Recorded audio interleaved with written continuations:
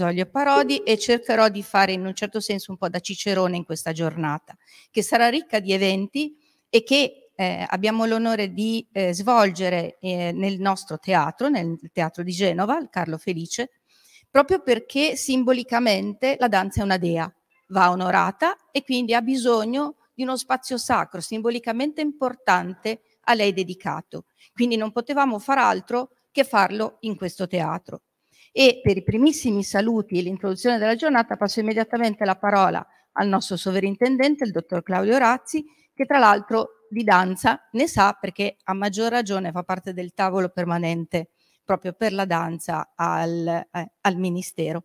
A lei, dottor Orazzi, e grazie ancora dell'ospitalità. Grazie tanto a tutti quanti voi per aver promosso questa bellissima iniziativa. Eh, cui concorre il Teatro Carlo Felice. E lei diceva del tavolo della danza, appunto mi farò promotore all'interno del tavolo permanente della danza di tutte quante quelle proposte possano concorrere a una valorizzazione piena ed indiscutibile di questo mondo, perché sappiamo bene che in questo momento c'è una sofferenza molto grande per la danza nel nostro paese in particolare e quindi concretamente vorrei dirvi questo.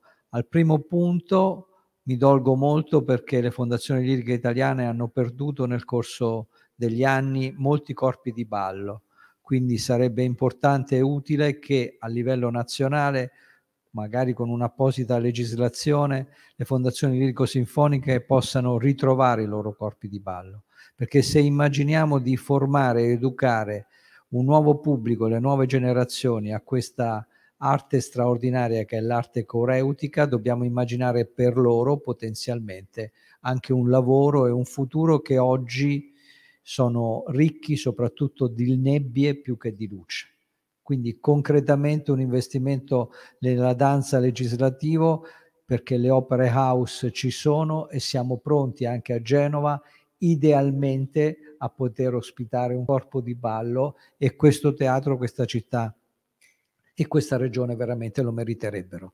Sappiamo bene che un teatro d'opera ha un compito non semplicemente conservativo delle arti performative, ma soprattutto ha un ruolo, dal mio punto di vista, di avanguardia, perché l'opera è in sé per sé quell'opera d'arte che si compie dal vivo ai nostri giorni con una pluralità di linguaggi che si confermano così come quando l'opera lirica era nato più di 400 anni fa a Firenze. Il canto, la musica, le coreografie, le scenografie, i costumi. Linguaggio complesso, linguaggio d'avanguardia che deve poter mantenersi nella conservazione, nella tutela e soprattutto nella valorizzazione di questo inestimabile patrimonio che molte volte è declinato teoricamente come patrimonio e industria grande del nostro paese, ma non sempre è attuato praticamente. Noi vogliamo attuarlo praticamente e quindi saremo a vostra disposizione dell'ufficio scolastico regionale e di tutte le componenti che sono presenti oggi per questa giornata di studi per non solo ospitare iniziative, proporre iniziative insieme con voi per far crescere questo meraviglioso settore della nostra vita artistica. Buon lavoro a tutti quanti voi. Grazie mille.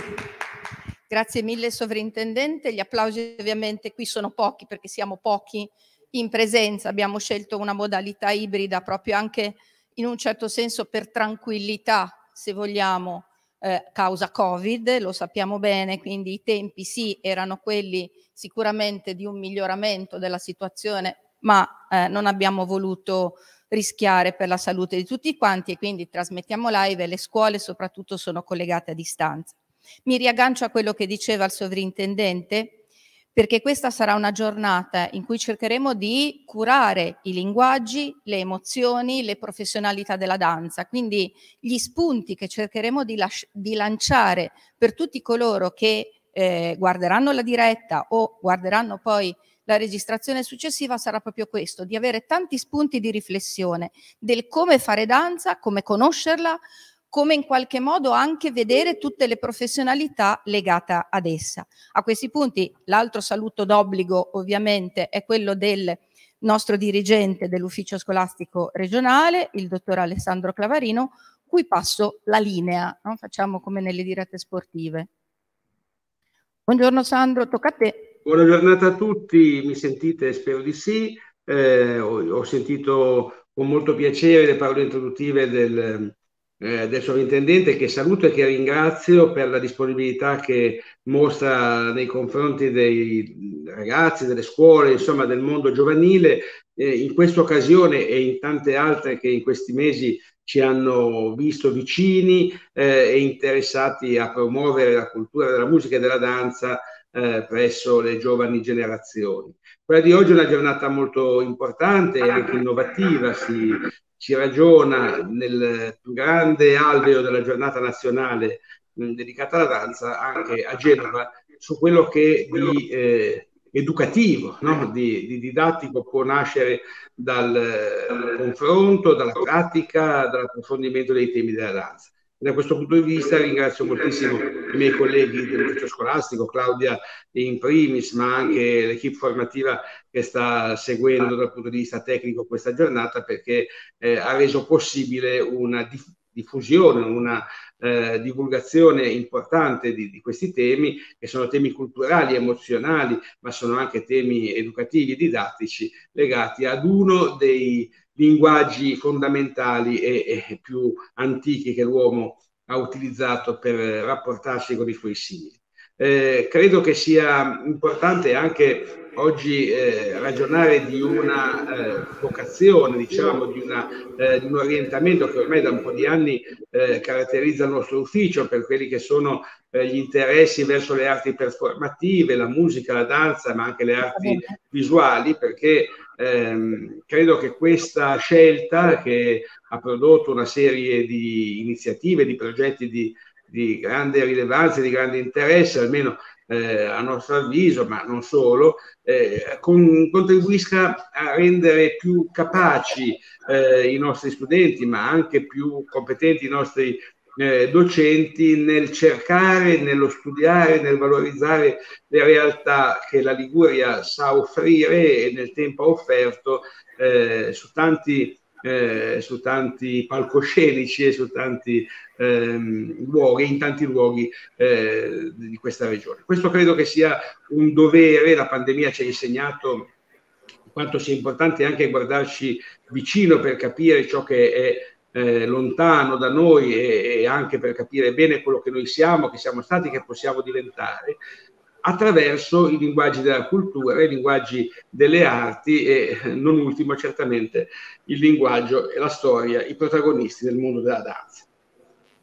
Oggi quindi noi siamo collegati con molte scuole, in particolare con il liceo coreutico di Genova, che è unico in regione e che sta svolgendo un lavoro encomiabile che ringrazio in tutto il suo personale, dal, dal, dirigente ai docenti, al personale e agli studenti che più volte hanno eh, saputo eh, mostrare le loro capacità e, e, e avevano potuto trasferire dei messaggi importantissimi. Ricordo alcune loro esibizioni in momenti importanti eh, in cui gli studenti si sono fatti conoscere, voi per i momenti dell'orientamento, voi in altri momenti eh, di incontro regionale e quindi eh, mentre li incoraggio eh, a proseguire sempre in maniera molto forte e molto convinta su questa strada, eh, dico anche che eh, questo è un modo per dare alla scuola un nuovo eh, filone su cui eh, approfondire no? le, le proposte educative e didattiche in un'ottica, se volete, di rigenerazione culturale. Io vi parlo eh, questa mattina da un'altra scuola, da una scuola genovese che pure a San Pier d'Arena, il liceo Mazzini, eh, nella quale si celebra un incontro importante con il sottosegretario Floridia che sta portando avanti i temi della rigenerazione della scuola, ma se vogliamo potremmo applicare in maniera non troppo ardita, direi, anche al mondo delle arti e della cultura questo, questa categoria, questo paradigma della rigenerazione, cioè di una capacità di rivedere le cose sotto un occhio di sostenibilità, sotto un occhio di eh, accessibilità e per una crescita complessiva, globale della persona nelle sue competenze e nelle sue capacità. E quindi in questa prospettiva e con questo auspicio io ringrazio veramente tutti voi, auguro a tutti una buona giornata, un buon lavoro e poi eh, immagino potremo far seguire a questo momento ancora molte importanti e interessanti iniziative. Grazie davvero. Riprendiamo quindi il filo di questa giornata. Giornata di studi mh, l'ha definita il nostro sovrintendente, ma sarà anche una giornata di, di chiacchiere, di incontri soprattutto significativi. Il primo, grazie, eh, accennava il dirigente Clavarino al liceo Gobetti, di cui abbiamo visto esibirsi come sigla d'apertura due eh, diplomate del liceo coreutico, Irene D'Agostino e Arianna Carino. Abbiamo chiamato loro, abbiamo coinvolto queste due ragazze proprio per far vedere qual è il risultato dopo gli anni di sacrificio che comporta la danza. Così come, se, se qualcuno di voi l'ha riconosciuta, la nostra sigla iniziale era la solo di Giselle del primo atto, la solo di Giselle del primo atto che simbolicamente rappresenta la prima persona alla quale questa giornata è dedicata, vale a dire Carla Fracci. Giselle è stato ovviamente il suo cavallo di battaglia e non potevo fare altro che mettere la solo di Giselle del primo atto proprio come sigla eh, iniziale. Ma a questi punti per ricordare Carla e soprattutto per emozionarci particolarmente, la parola la passo a eh, un internazionale che mi fa l'onore di essere mio amico e che mi fa l'onore, a maggior ragione, di essere presente a distantissima, se mi permettete il neologismo, perché veramente a migliaia, migliaia, migliaia di chilometri di distanza, vale a dire al maestro Giuseppe Piccone. Buongiorno Giuseppe, ben arrivato. Buongiorno, buongiorno a voi e buona giornata. Fortunatamente oggi è la nostra giornata. Esatto. Allora, se permetti, ti eh, lancio un assist, no? Facciamo il gergo calcistico per una volta. Vale sì. a dire, eh, ti chiedo questo. Mm, cosa significa essere danzatore e quali sono le emozioni più importanti che hai, che ricevi e che riesci a trasmettere? O qualche momento particolarmente emozionante della tua carriera del tuo vissuto che ti sei reso conto che con quella sorta di filo, no? di filo rosso che si getta col pubblico, che diventa una specie di cordone ombelicale, di elastico che si viene a creare in scena e chi di noi è stato in scena o, o c'è ancora eh, come te conosce bene, no? che è un qualcosa che ti acchiappa proprio dalle viscere. Ecco, tutto questo come in qualche modo riusciamo a tenerlo dentro e ad esternarlo. Perché questo vorrei che i ragazzi capissero in questa giornata, cioè il valore della danza come emozione, come comunicazione, come crescita personale. E adesso io mi taccio ovviamente e la parola passa a te. Grazie. Ma eh, Claudia, tu uh, oggi hai, hai, fatto bene a parlare in primis di Carla, perché eh, lei rappresentava l'emozione, l'emozione nel, nel, senso del movimento e io ho avuto questa grandissima fortuna a, ad avere Carla praticamente in sala ballo al Teatro San Carlo e avevo soltanto 12 anni e fu lei a scegliermi insieme a Beppe per il ruolo di Nicinski. Uh, e uh, da quel momento uh, mh, mm, ho avuto la, la fortuna, la, la, possibilità di, di ehm, testimoniare veramente che cosa fosse il grande talento, il grande eh, eh, il carisma, eh, perché la Fracci era tutto questo. Eh, quando poi eh, successivamente negli anni ci siamo ritrovati a ballare insieme, perché ero diventato ormai il suo partner, in scena si, eh, si, stabiliva, si stabiliva veramente quel qualcosa di difficile da spiegare, che probabilmente si chiama energia emotiva, energia artistica, e che il pubblico percepiva. E eh, ovviamente eh, gli applausi erano molto calorosi e affettuosi e questo um, sicuramente resterà, resterà per sempre nel, nelle emozioni più belle che porterò con me eh, che riguardano questa grande artista.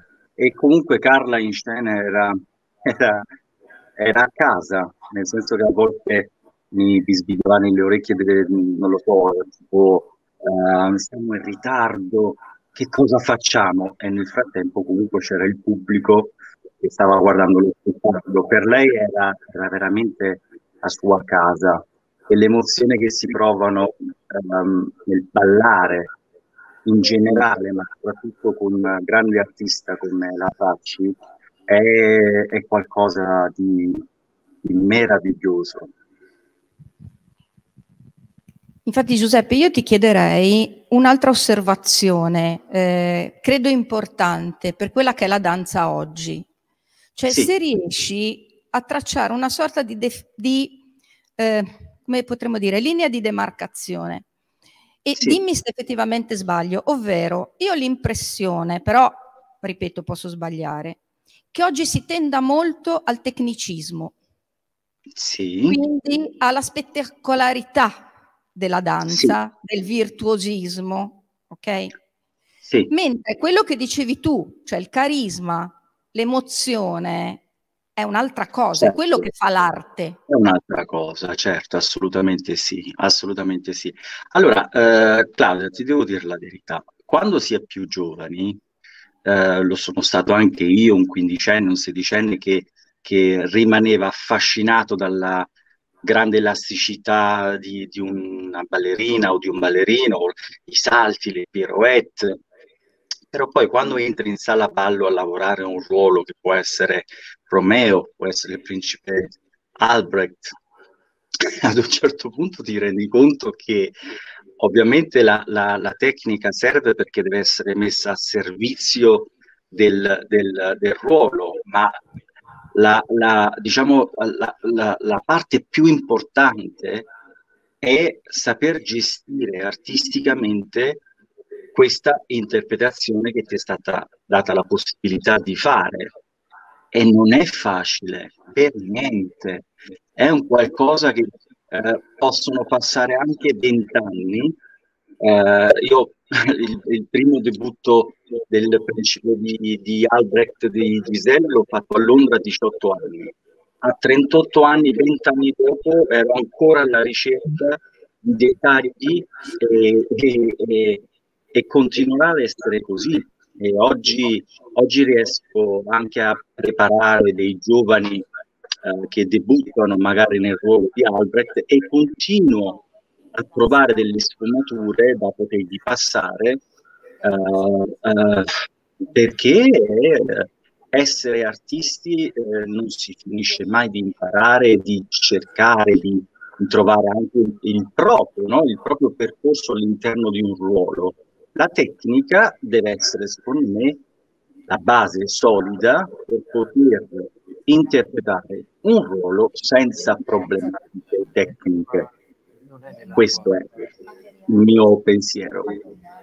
Ah, non, non Benissimo Giuseppe, e concordo con quello che dicevi tu. Un'ultima cosa, prima di passare la parola ovviamente agli altri relatori, dici immediatamente che cosa stai facendo di bello a Tbilisi, giusto? Tbilisi, sì, sì, sono qui allora eh, perché quando facevo eh, parte dell'American Ballet Theatre, io e Nina Naniashvili eh, poi diventammo partners e al momento lei è qui da un bel po' di anni, direttore del ballo e eh, l'anno scorso mi ha contattato chiedendomi ti prego vieni a Tbilisi uh, alla Opera House per lavorare insieme e adesso sono qui perché uh, tra due settimane c'è la prima di Otello una, una creazione uh, su questo titolo molto interessante. Allo stesso tempo, uh, diciamo, le, uh, sono un quasi vice direttore perché lei vuole assolutamente che prenda in mano la compagnia a livello artistico, manageriale lascio fare agli altri. fortunatamente in questo caso non devo assolutamente entrare nella burocrazia e merito alla burocrazia, posso soltanto guardare la parte artistica e anche eh, in qualità di coreografo eh, l'anno prossimo stiamo discutendo per mettere in scena probabilmente forse Cenerentola. Ci tengo a precisare che con la compagnia siamo eh, in cartellone al Teatro Reggio di Torino a dicembre con Carmina Burana, una nuova creazione di un coreografo che si chiama Givoi inizieremo la creazione a giugno e poi ad ottobre andiamo avanti, la presenteremo qui a Tbilisi e poi eh, fortunatamente siamo anche in Italia, ci sarò anche io in, in qualità di primo ballerino e mi farà molto molto piacere. Bene, bene, sono proprio contenta di sapere che soprattutto sarà in Italia, tra l'altro, no? perché non vorrei esatto. che ci trascurassi. Cioè, no, mi, no, mi, piace, mi, piace, molto eh, il fatto che porti la danza italiana nel mondo e che da sempre sei apprezzato nel mondo, però aspetta un attimo, torna a casa, eh? cioè, eh, cerchiamo di capirci sì, un secondo. Sarò, sarò a Roma, Claudia, anche il 13 luglio uh, per festeggiare ehm, 30 anni di carriera. Eh, ci sarà un gran gala di danza al Teatro Grande dell'Aventino dove ho invitato eh, tre italiani a partecipare come a questa gala che è Francesco Mura dall'Opera di Parigi, Francesco Gabriele Frola dall'English National Ballet, la Scudamore dall'Opera di Parigi, insomma mh, ognuno verrà con uh, partners, perciò la serata sarà molto, molto bella e interessante. Allora, hai citato l'Aventino e quindi eh, tra noi dazzatori Aventino significa Accademia Nazionale, Accademia, di, Danza. Nazionale di Danza. Accademia Nazionale di Danza. Io la molto conversando eh, con te direttamente cercherò di esserci assolutamente, cioè farò Bene. veramente il possibile per esserci, no, non me la perdo e se noi abbiamo pronto, e qui mi rivolgo alla nostra regia, il video della eh, direttrice dell'Accademia Nazionale di Danza, eh, la professoressa Maria Enrica Palmieri, ascoltiamo adesso lei, ti lasciamo, ti, ci congediamo da, da te ringraziandoti Grazie e, a voi, buona giornata. Se hai voglia di as- ascoltare un attimo le sue parole perché certo, ha, ha, certo, dato, certo. ha fatto, ci ha lasciato un intervento mh, mm, molto breve ma molto significativo, è impegnata in una riunione eh, ministeriale eh, anche lei stamattina, quindi ha degli impegni di servizio, non può essere con noi, ma le sue parole sono veramente eh, importanti, molto molto molto belle. quindi Claudia, volevo, ascoltarle con attenzione.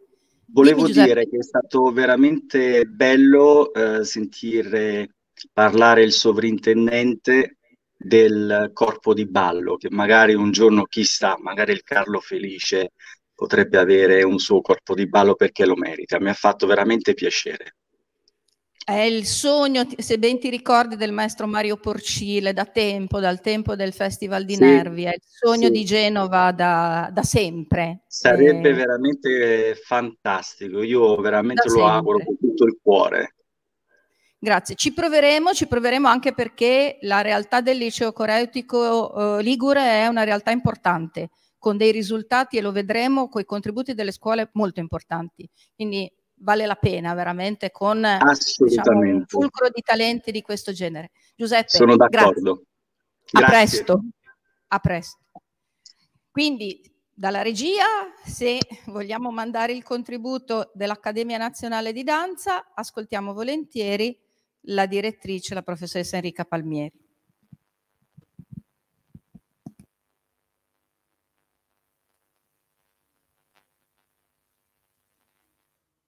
Ringrazio per questo invito gli organizzatori, sapendo di non dover sottrarre troppo tempo ad una celebrazione così fitta e densa di illustri interventi. Futuro e parola, due termini con cui vorrei salutare questa giornata così speciale, che è stata dedicata alla danza in tutte le sue forme e in tutte le latitudini del nostro pianeta futuro e parola, oggi servono le persone e la danza può rappresentare lo strumento per riappropriarsi di questi due termini, il futuro sottratto dalla pandemia, la parola annullata dalla guerra. Riprendere il progetto di futuro e riconoscere il valore della parola vuol dire assicurare alla danza il suo posto nella storia dell'umanità. Un affettuoso saluto a tutto il mondo della danza e a tutti coloro che amano quest'arte perché è parte della loro esistenza. Buon lavoro e buona giornata internazionale della danza. La eh, nostra direttrice dell'Accademia Nazionale di Danza ha usato due termini chiave, futuro e eh, parola, anche se può sembrare contraddittorio parlare di parola nella giornata della danza. La danza che in realtà sostituisce la parola col gesto. Ed è eh, uno dei punti su cui eh, noi docenti nelle scuole italiane dovremmo riflettere di più. E mi piace a questo proposito incominciare anche a introdurre la parte legata più alla didattica della danza e del conoscere la danza nella scuola italiana, ricordando molto banalmente un episodio personale, se mi permettete, ma che forse può essere utile per capire. Quando ero piccola, piccola, piccola, ma oddio, non è che sono cresciuta tanto, ma ben più piccola di così, a quattro anni, quindi all'asilo, quello che allora era l'asilo, la mia maestra si rese conto che non stavo ferma nemmeno a morire, a legarmi. E allora a quei punti, invece che costringermi a star ferma, mi disse mettendo una musica di sottofondo, una tarantella, un qualcosa del genere molto semplice, di muovermi come volevo. Quindi lei tutte le volte quando si rendeva conto che io ero agitata per un qualche motivo o che provare a tenermi ferma era impossibile, lei mi invitava a muovermi. Dopo due o tre volte di tutto questo, di questa sorta di pratica didattica, parliamo del 1968, non dell'altro giorno, di una metodologia didattica innovativa, se vogliamo, già allora, chiamò mia mamma e le disse, perché non la iscrivo a una scuola di danza? Ecco, vi sembrerà strano, ma se io sono qui oggi e se oggi facciamo un qualcosa di buono per le scuole, io lo devo a quella maestra, alla mia maestra Erna di allora, che ha capito che io come bambina andavo trattata diversamente e che mi ci voleva un linguaggio diverso per esprimermi, non stare ferma a gambe incrociate seduta, magari a disegnare, anche perché non ero capace di tenere una matita in mano e venivano fuori delle cose orribili. Questo dobbiamo fare noi insegnanti, cioè cercare per i nostri ragazzi il loro modo di espressione e di comunicazione, per tirare fuori il meglio.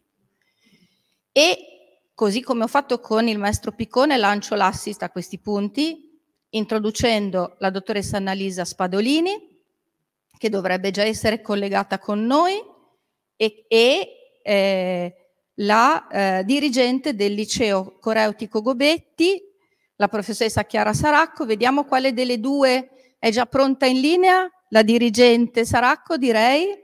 Chiara, buongiorno, benvenuta. Quindi se Lascio a lei la parola. Grazie dell'invito, prima di tutto mi sentite? Tutto funziona? Molta e- molto eco perché purtroppo mi avvicino, vediamo se si riduce l'eco meglio.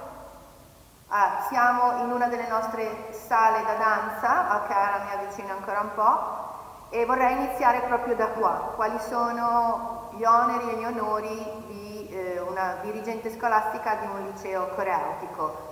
Tutti sapete che siamo una creatura nuova, nel senso che abbiamo solo dieci anni e rispetto a altri licei siamo quindi recentissimi. Essere così recenti prima di tutto ha significato doverci procurare tutto, a partire dalle palestre di danza.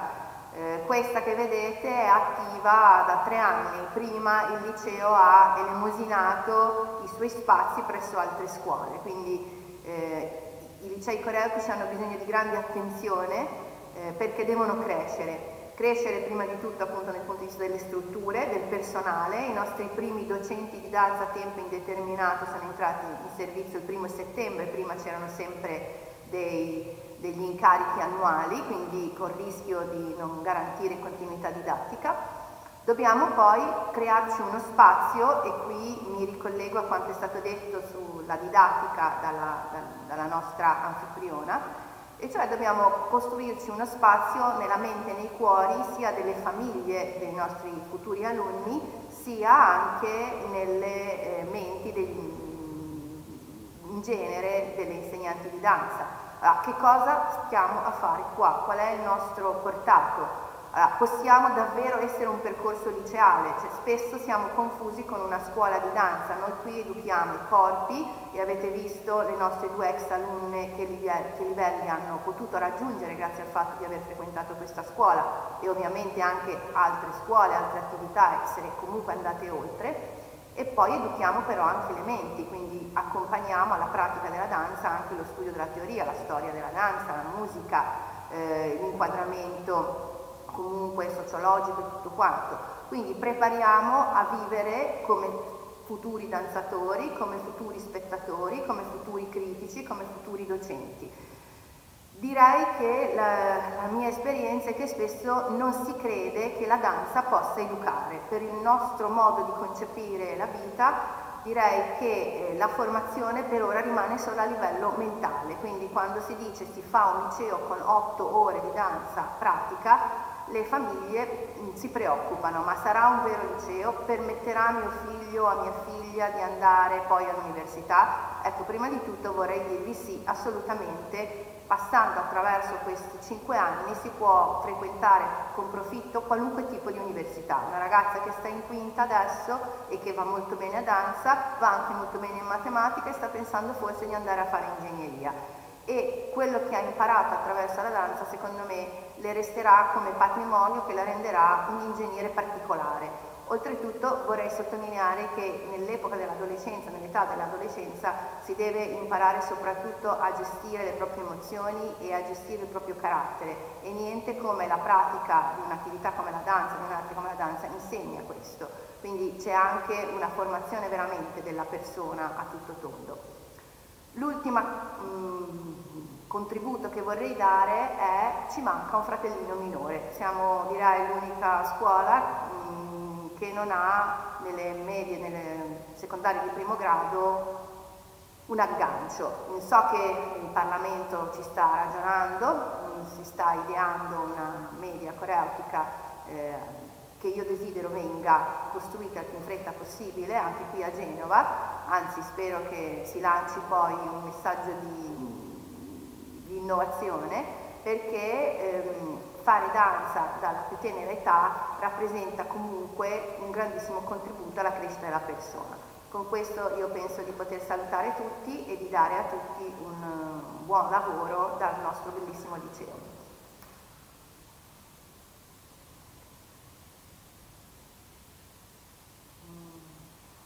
Il microfono Claudia. È chiuso.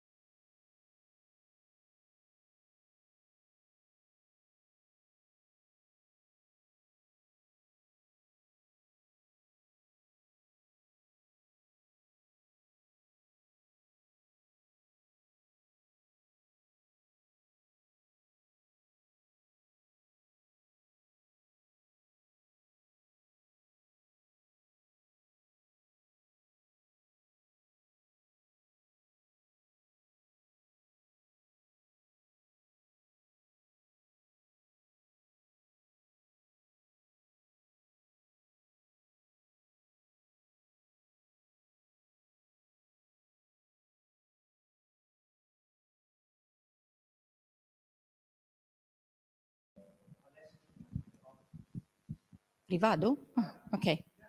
Allora, ringrazio la eh, dirigente Chiara Saracco del suo intervento e alcuni degli spunti li andremo a riprendere. Ora, dal momento che eh, abbiamo dei problemi con la dottoressa Spadolini che è ancora in, eh, in treno, sono, quindi eh, ha difficoltà a collegarsi con noi in questo momento, passiamo un attimino oltre nella nostra scaletta. Ma io ci e sono, comincio con coinvolgere un'amica, prima di tutto, che è la dottoressa Elvira Bonfanti, questa volta in presenza finalmente. Mm? Riuscite a sentirmi? Io ci sono, eh? Ah no, ah, ok, benissimo, come non detto, ci siamo, bene, ottimo. Bene, bene. Non ci sono in video. Buongiorno, buongiorno. Scusatemi, non sono in video perché sono in viaggio e c'è poca banda, quindi mi sentirete, se mi sentite bene posso intervenire anche senza che mi vediate, insomma, va bene? Ass- assolutamente sì, la ascoltiamo. Bene. Allora, intanto vi ringrazio, ringrazio l'Ufficio Scolastico Regionale per questo invito e il, i dirigenti, tutti gli organizzatori di questa giornata. Eh, io vi porto i saluti del professor Luigi Berlinguer, che è il presidente del Comitato Nazionale per l'Apprendimento Pratico della Musica, che opera all'interno del Ministero da tanti anni. E, mh, eh, sono molto onorata, devo dire, perché questa è una giornata importante per la danza e, e ovviamente siamo convinti che sappiamo tutti benissimo quanto la musica accompagni la danza o e viceversa in realtà quanto queste due discipline siano così legate eh, strettamente legate nella, nella loro storia. E come voi sapete, il Ministero dell'Istruzione sta svolgendo da diversi anni a questa parte un ruolo importante per la promozione delle attività creative e artistiche all'interno della scuola, a partire dalla legge 107 che ha stabilito con un decreto legislativo eh, il numero 60, avente valore di legge ordinaria, eh, la possibilità, eh, anzi la necessità eh, che le scuole si occupino di creatività e sviluppino le loro e riescano a far sviluppare nei ragazzi le proprie ehm, come dire, competenze artistiche, ma anche le, la propria eh, come dire, passione attraverso tutte le arti eh, performative. E fra queste ovviamente c'è la danza e, e, tutto questo attraverso un decreto del Presidente del Consiglio dei Ministri che si chiama Piano delle Arti, che è adesso nel suo secondo triennio di attuazione, è stato recentemente approvato e firmato il 12 maggio dal Presidente Draghi e con il quale stiamo finanziando tantissimi progetti delle scuole. E nel mese di novembre appunto abbiamo dato i primi finanziamenti del 2021, stanno per partire gli altri finanziamenti e attualmente sono circa più di mille le scuole, le scuole che si occupano di, eh, di arte e devo dire che fra i progetti presentati molti molti comprendono anche la musica, la, la danza e, ehm, e, molti sono progetti integrati, eh, soprattutto anche di licei coreutici musicali. Eh, quindi, e, ehm, quindi diciamo che mm, io eh, vorrei che voi seguiste questa, tutto questo interesse che c'è da parte del Ministero So che ci sono diversi problemi anche con la danza perché è chiaro che è praticamente eh, molto tardi iniziare a 14 anni a danzare, so che ci sono del, dei progetti sperimentali eh, di apertura della danza alle scuole eh, secondarie di primo grado. E mh, mm, vorremmo in qualche modo mm, dare la possibilità anche ai ragazzi più giovani perché è importante cominciare da piccoli a danzare e, mh, e certo mi farò portavoce da parte del ministro, sta per iniziare fra poco la settimana della musica a scuola e so che stanno arrivando tantissimi video eh, dal, dalle scuole, dai licei coreutici che dimostrano quanto la danza sia, eh, sia ancora così eh, seguita eh, all'interno del, del, del sistema scolastico italiano. Eh, quindi io non so, vi saluto, do eh, un buon lavoro a voi e, certo, ci vorrebbe un comitato per l'apprendimento della danza a scuola, ma chissà che non si possa proporre al ministro di firmare un decreto anche perché qualcuno possa seguire un pochino più con competenza anche la danza. Intanto vi auguro una buona giornata, una bellissima giornata e buon lavoro. Grazie. Sì, ecco. Grazie dottoressa del, delle sue parole. Sì, effettivamente è eh, importante, sarebbe importante dedicare alla danza un eh, gruppo di lavoro, una commissione, se vogliamo, all'interno del, eh, del Ministero, magari anche agganciata anche alla rete dei licei musicali e coreutici, ma declinata proprio per la danza, perché sicuramente musica e danza sono collegate, è ovvio, ma è anche vero che hanno ciascuna eh, dei linguaggi, delle specificità, delle caratteristiche anche organizzative negli spettacoli diversi, che poi sono eh, anche le tematiche che andiamo ad approfondire con gli interventi successivi. Quindi sicuramente un occhio di riguardo a maggior ragione sulla danza potrebbe essere eh, fondamentale. Adesso siamo finalmente in presenza Benvenuta Elvira Bonfanti, la dottoressa Elvira io, Bonfanti. Io vi saluto però perché sono in viaggio e purtroppo vi devo lasciare, Grazie. però insomma sono con voi col cuore e con, con i piedi, voglio danzare anche io. Assolutamente. Grazie, arrivederci, arrivederci a, a tutti. Arrivederci. Dicevo, benvenuto dottoressa Elvira Bonfanti anzi Elvira, perché come con Piccone l'ho chiamato Giuseppe, con te non riuscirei no, a eh, mantenere un tono cattedratico da, da anni che ci eh, conosciamo. Grazie di mettere a disposizione dell'ufficio scolastico, di tutti coloro che ci ascoltano, le tue competenze, che in fatto di danza, spettacolo, conoscenza della danza e del balletto sono estremamente fondamentali ed importanti. Bene, grazie professoressa Trisoglio, ovvero Claudia. E grazie a tutte e a tutti per, per essere qui, per questo invito. Eh, credo che eh, sia molto importante parlare di danza, anche se per certi aspetti eh, può sembrare, come dire, una, un assurdo no? parlare di danza. Eh, sono d'altra parte molti anni che cerco di farlo eh, perché eh, la danza eh, si può dire o non si può dire, questo è un tema interessante, si può parlare della danza, sulla danza, a proposito della danza e poi naturalmente una serie di eh, domande che non possono che essere delle premesse per un discorso sulla danza che eh, ovviamente vanno alla ricerca eh, intanto di, di, quello che è un po' il concetto fondamentale, no? che cos'è la danza, eh, qual è l'origine della danza, ma senza andare a fare naturalmente la storia della, della danza, per carità, però eh, questo è un tema molto importante anche per quello che è un po' la suggestione eh, iniziale no, di questa conversazione, cioè il concetto di effimero. E allora andare magari a, a provare a definire, a circo, definire, più che altro a circoscrivere, a dire delle cose intorno a, a questo.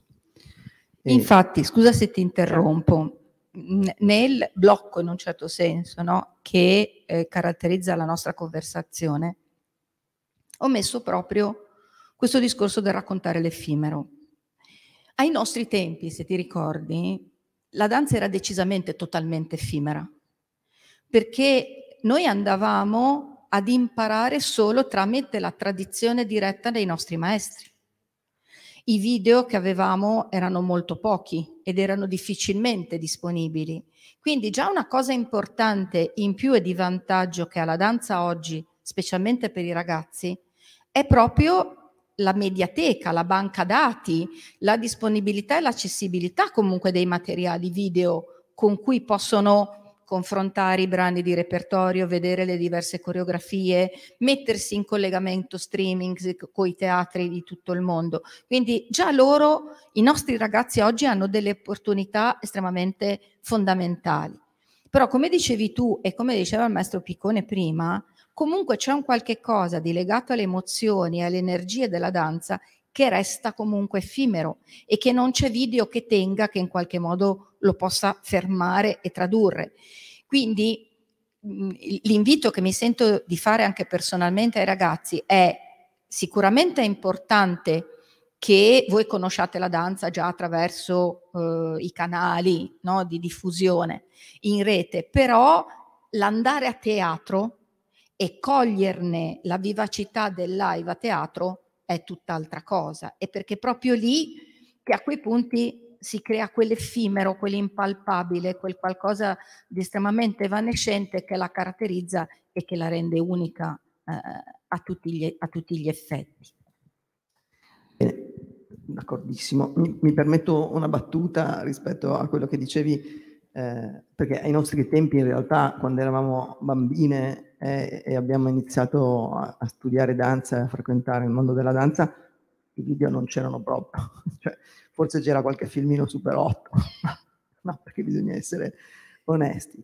Io ricordo con, con, emozione, ancora adesso a dire la verità, il giorno in cui ho, ho, ho comprato, anzi i ovviamente i miei genitori mi hanno comprato il primo libro sull'argomento perché anche questo era, era difficile, non, non, esistevano libri che parlassero di danza, c'erano alcuni libri fotografici, per esempio, perché anche questo è interessante, no? Il testo, eh, la scrittura non era eh, così essenziale, la danza in fondo è sempre stata considerata un po', eh, oggi per fortuna le cose sono cambiate, ma insomma comunque è sempre stata la musa di serie B, a dire il vero, no? Ma perché? Perché in effetti da, dal, da, dall'origine è eh, proprio quell'arte che più di tutte si distacca, eh, adesso dico una brutta parola, quindi perdonatemi, che si distacca dal, dal logos, cioè dalla parola, dal discorso, ma se volete anche filosoficamente parlando, il logos racchiude molte, molti altri concetti e anche mh, una complessità.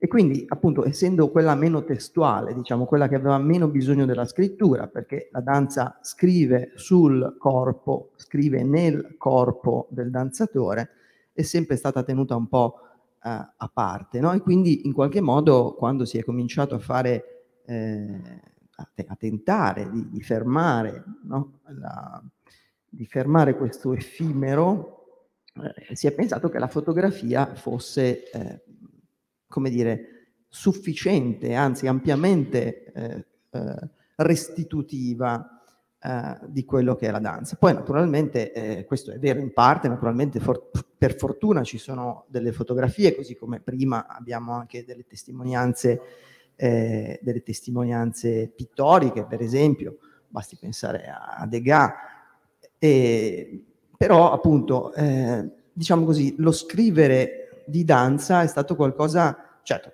ci sono stati i maestri, naturalmente i maestri del 400, eh, i trattati di danza, tutta la trattatistica di danza, però sono, eh, cosa sono descritti in questi trattati? Tendenzialmente eh, appunto i passi, no?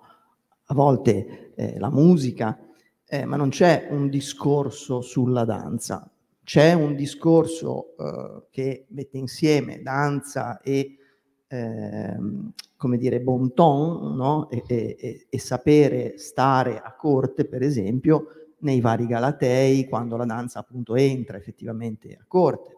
Poi c'è il caso del minuetto nel Settecento, insomma, c'è tutta una storia, ma è una storia del ballo.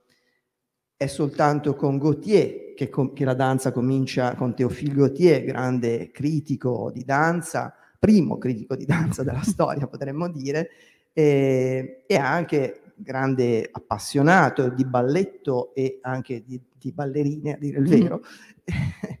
Però insomma è, è, con lui che il discorso uh, si nobilita, cioè la, perché scrivere di danza in qualche modo era considerata una sorta di assurdità, che bisogno c'è di scrivere di danza.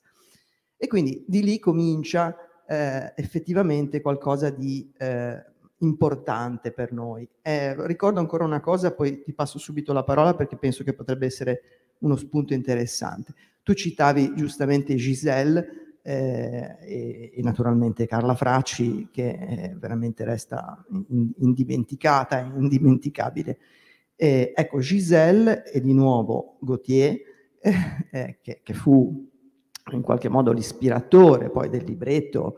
Eh, ecco, io penso che Giselle potrebbe essere un testo straordinario, um, Giselle Balletto intendo dire, un testo straordinario per raccontare il romanticismo eh, a scuola, perché davvero ci sono una serie di elementi mh, narrativi, letterari, filosofici, musicali, eh, che aprono mondi infiniti, oltre che una serie di riferimenti a tutta la letteratura eh, del mondo in qualche modo.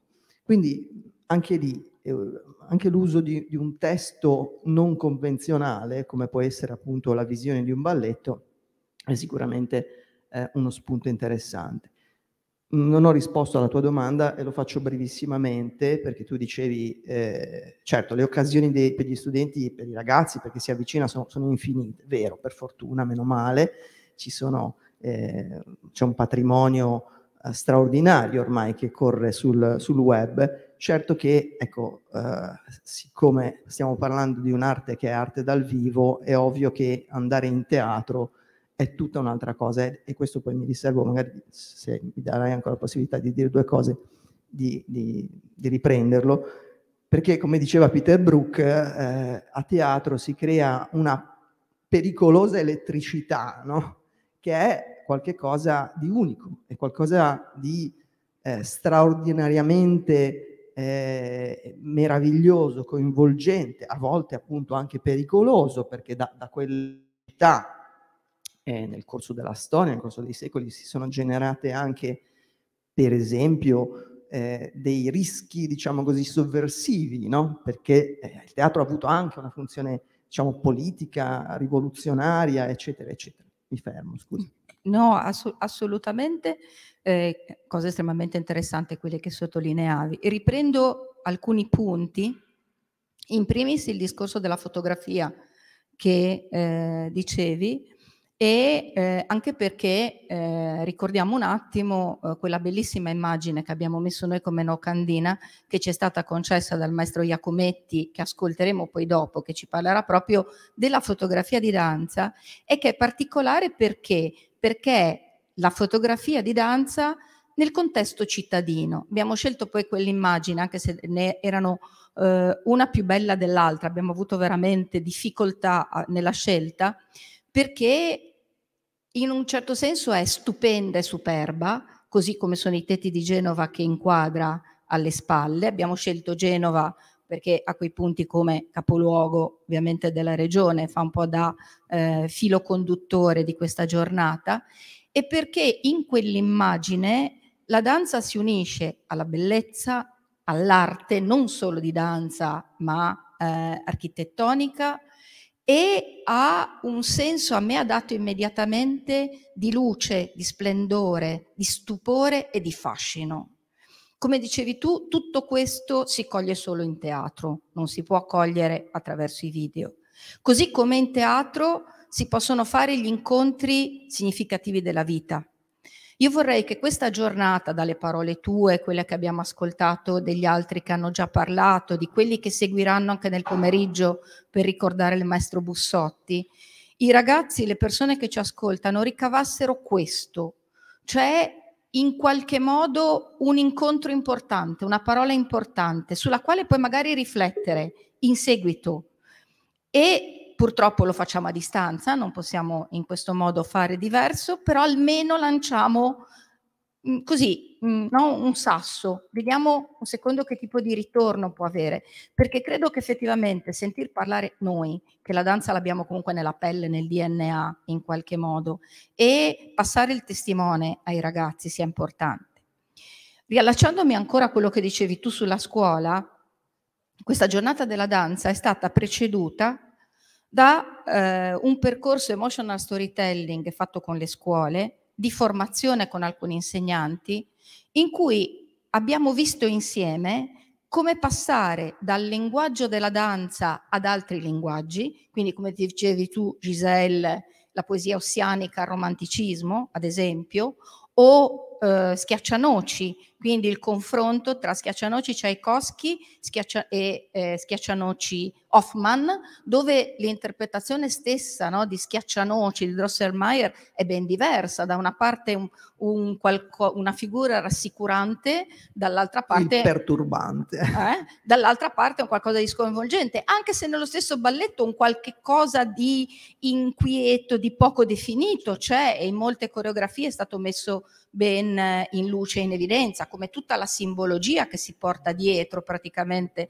lo stesso schiaccianoci, che viene proposto come il balletto forse se vogliamo più semplice no? di questo mondo per i bambini quando in realtà non, non lo è per niente. Il balletto natalizio per il balletto natalizio diciamo, per eccellenza, quando mh, al di sotto dell'albero di Natale C'è ne succede di tutti dei- invece eh, che, che aleggia cioè, effettivamente. Esatto, sì, quindi sì. mh, ci sono simbolicamente parecchie cose, così come sai benissimo che per me eh, nulla batte Petrusca.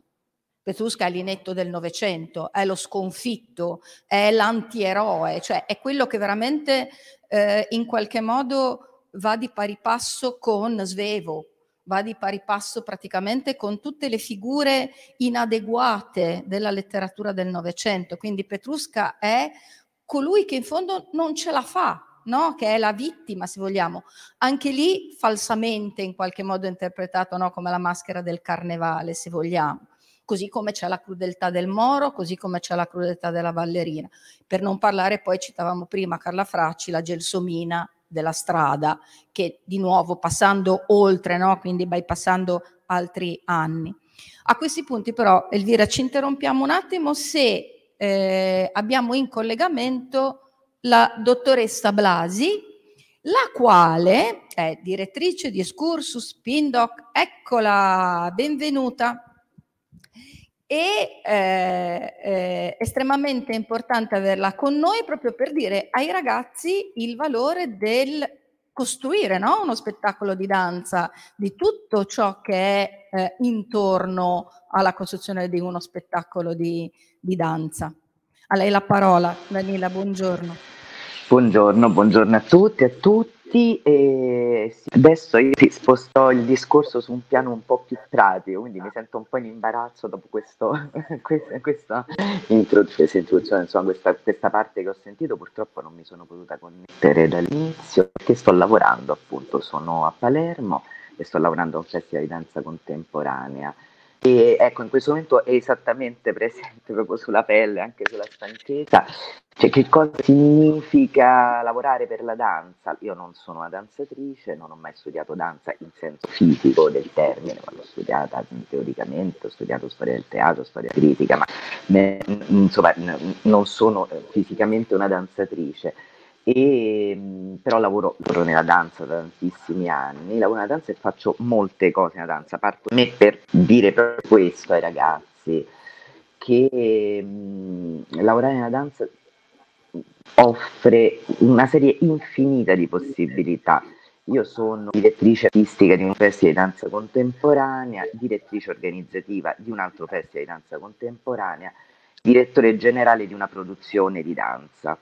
Eh, sì, perché in realtà si fanno molte cose in questo mondo anche, può accadere anche questo. Sono anche lighting designer, faccio anche disegnatrice luci per la, per la danza contemporanea e tutte queste anime convivono, in- ma come tantissimi altri colleghi, insomma, noi facciamo tante cose.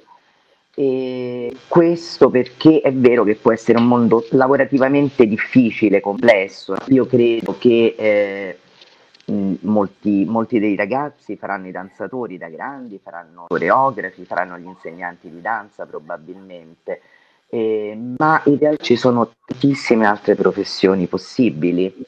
E penso, ecco, adesso siamo qui, stiamo organizzando un festival e servono tantissime figure professionali, dal- dall'ufficio stampa, da chi si occupa di comunicazione social, ehm, c'è chiaramente un direttore artistico, c'è un direttore organizzativo, tutto uno staff organizzativo con delle sottoclassi da chi si occupa della logistica, eh, chi si occupa dell'accoglienza, ovviamente chi sta dietro alle produzioni.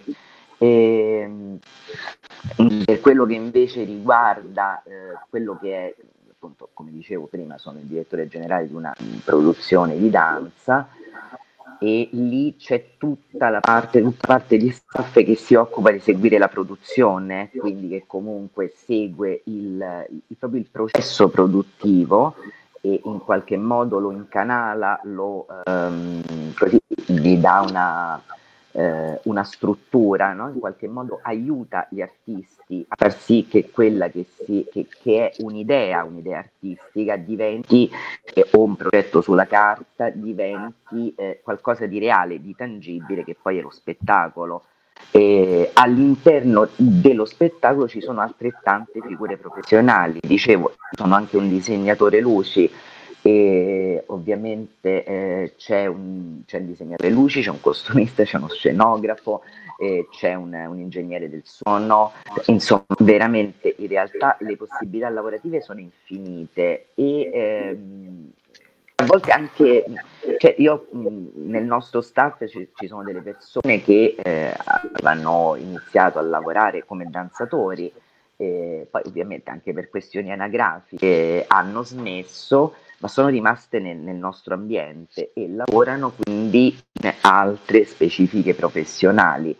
E ieri, eh, mentre facevamo, ieri sera, mentre facevamo degli spettacoli del festival, nello spazio accanto c'era una performance di danza organizzata dall'Accademia Belle Arti di Palermo, sono a Palermo in questo momento, e, dove i ragazzi dell'Accademia presentavano dei costumi meravigliosi fatti in sinergia con delle scuole di danza. Insomma, ecco, fondamentalmente questo è un po' no, il, il, fulcro del mio intervento, cioè l'idea che eh, entrare nel mondo della danza eh, dia la possibilità di, eh, di, avere uno spettro, un ventaglio di possibilità lavorative estremamente interessanti, cioè a volte neanche ci pensiamo no, che servono quelle figure professionali cioè, i curatori, i curatori artistici, no? che sono altro da un programmatore, cioè immaginare una curatela di un festival o curatela, non so, appunto, proprio anche di una, di una produzione in sé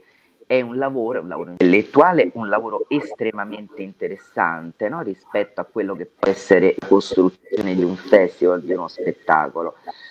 Quindi ecco, insomma, era un po' questo no? quello che volevo raccontare. E... Sì, ma...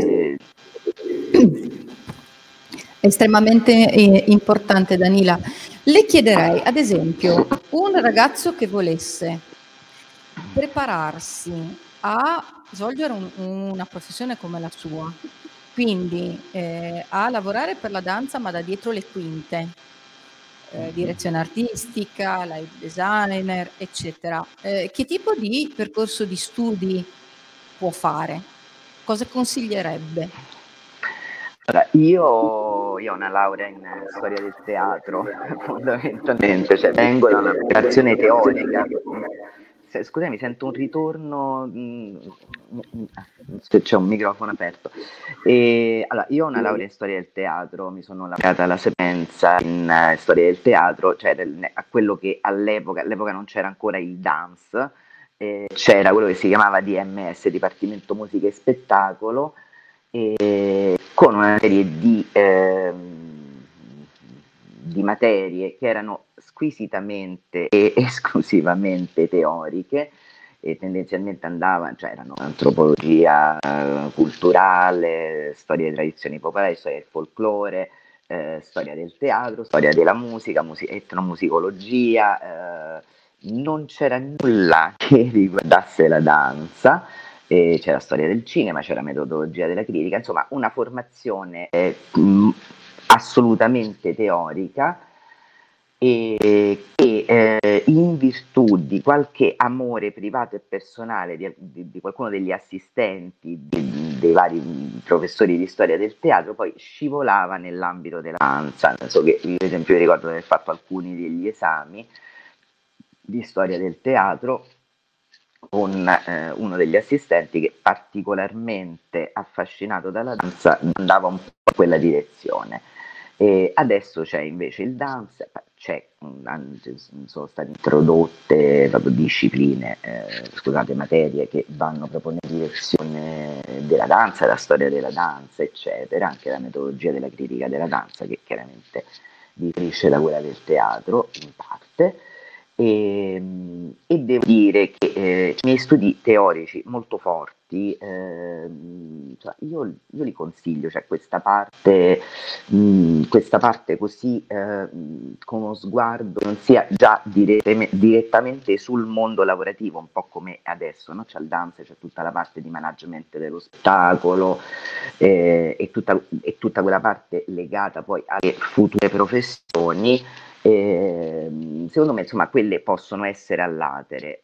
Il, comunque la formazione classica ufficiale in questo momento è quella del dance e sinceramente consiglierei onestamente nel senso che penso che si possa passare eh, da quella parte ovviamente lo so adesso dico una cosa estremamente banale ma è chiaro che non c'è poi da questo punto di vista formazione che tenga che non poi lavoro sul campo Ehm, perché poi è vero che comunque, che so, soprattutto sulla parte di comunicazione, che è una parte fondamentale, per esempio nel nostro lavoro, la comunicazione, la comunicazione classica, diciamo quella che passa per i giornali e la comunicazione che passa per i social media.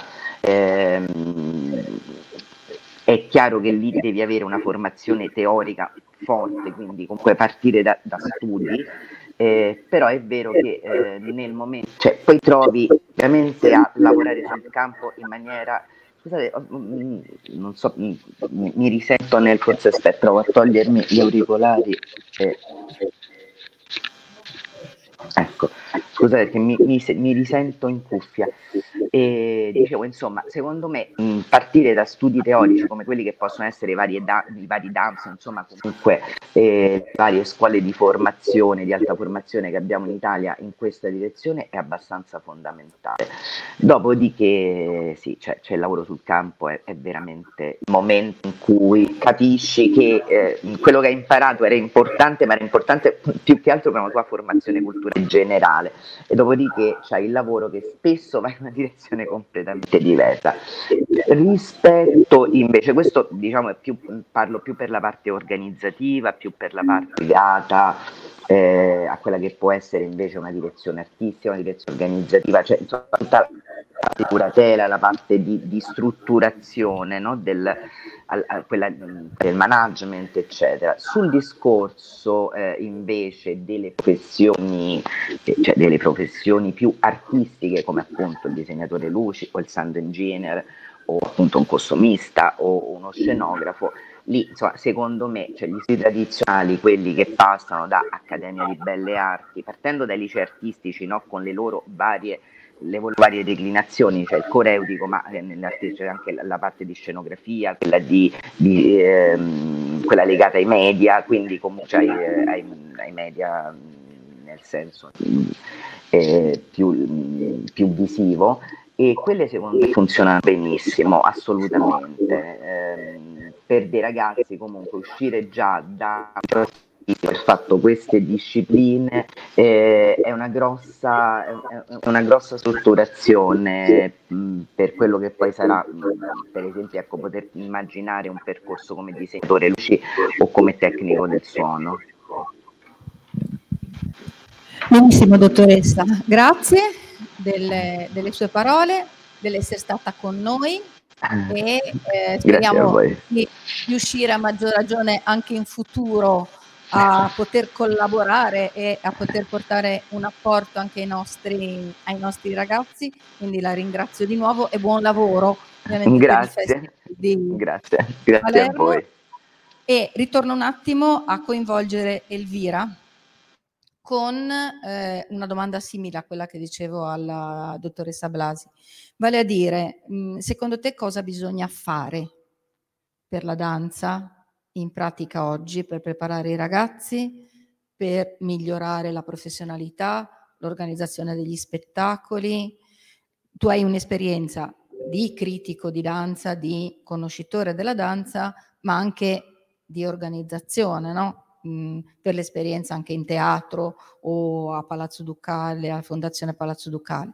Quindi i punti critici, no? facciamo un discorso moderno di SWOT analysis, quindi opportunità, strategie, minacce, stakeholders, vediamo un po' di fare un panorama. Hm? Sei una macchina da guerra tu. eh, beh, ehm, io credo che naturalmente eh, sia fondamentale appunto un percorso diciamo di, di tipo istituzionale o perlomeno che, che, ci sia la possibilità per chi vuole eh, approfondire eh, la, la, conoscenza di questo campo. E quindi sicuramente eh, insomma quando è nato il liceo coreutico è stato una grandissima gioia per me perché veramente eh, credo che, che sia un, un'opportunità straordinaria poter cominciare a, a, a, lavorare in una direzione che tiene insieme eh, appunto il corpo e la mente eh, sin da, dall'adolescenza. Con e, docenti, tra l'altro, correttamente formati dall'Accademia Nazionale di Danza, non esatto. dimentichiamola, perché lavorare con il corpo dei ragazzi è un qualcosa di estremamente certo, una delicato. Grande responsabilità, una grandissima responsabilità.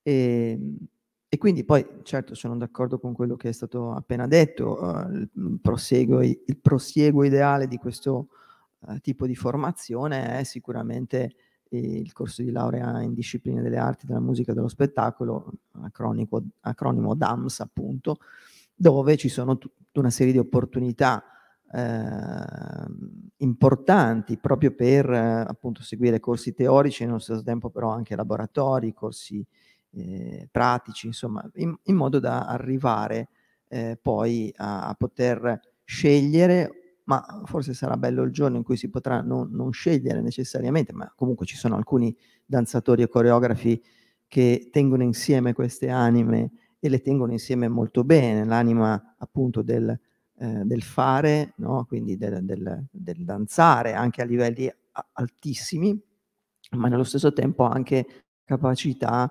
eh, di eh, formulare, di avere una base teorica forte. Eh, ci sono diversi eh, esempi, adesso non voglio fare i nomi perché non voglio poi, ah, ma hai detto questo, hai detto quello, però penso ad alcune persone, in particolare penso a una persona che adesso non è eh, non vive a Genova, eh, che però si è formata all'Università di Genova con, lavorando proprio sulla storia del teatro, grandissima danzatrice, e che appunto tiene insieme queste due anime, la capacità di, di, di scrivere e, e, di danzare a, allo stesso tempo. E ripeto, e, entrambe le cose le fa ad un livello assolutamente straordinari. Vabbè, si chiama Linnari, dai, lo diciamo. Eh, dai, sì, quel che è giusto è giusto, quindi rendiamo merito a chi effettivamente eh, ha saputo conciliare le cose e essere professionalmente sì. eh, ben preparato. Un'altra cosa che eh, volevo sottolineare, che spesso non si tiene conto nel mettere in scena un qualche cosa di, di danza, tutta la parte legislativa adesso collegata, molto banalmente quelli che sono i diritti SIAE a livello musicale,